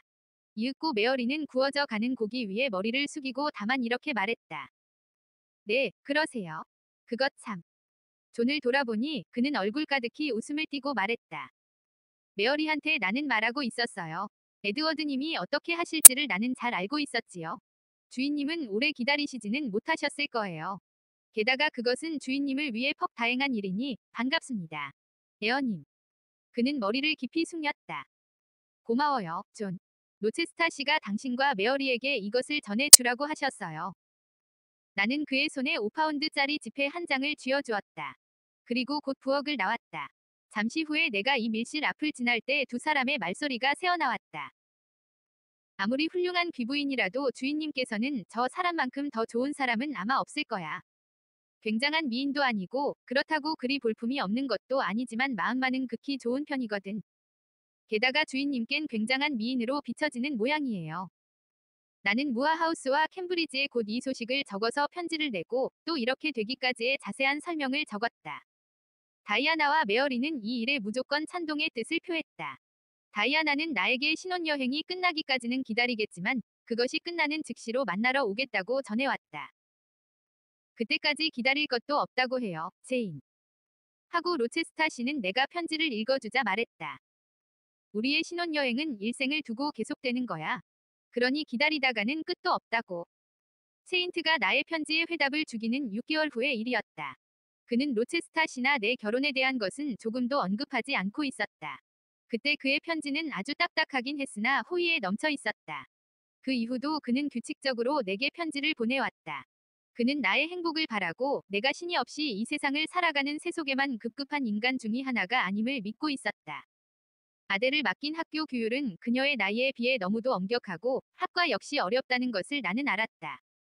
나는 다시 한번 그녀를 집으로 데려와 가정교사가 되어볼 생각이었으나 현실로 그것은 불가능했다. 나의 시간과 관심, 모든 것을 남편이 독점했기 때문이었다. 그래서 나는 규율이 조금은 덜한 내가 가끔 찾아갈 수도 있고 때로는 아들을 집으로 데려올 수도 있는 그런 학교로 옮겼다. 그녀는 얼마 안 가서 새 학교에 정을 붙였으며 공부에도 많은 진전을 보였다.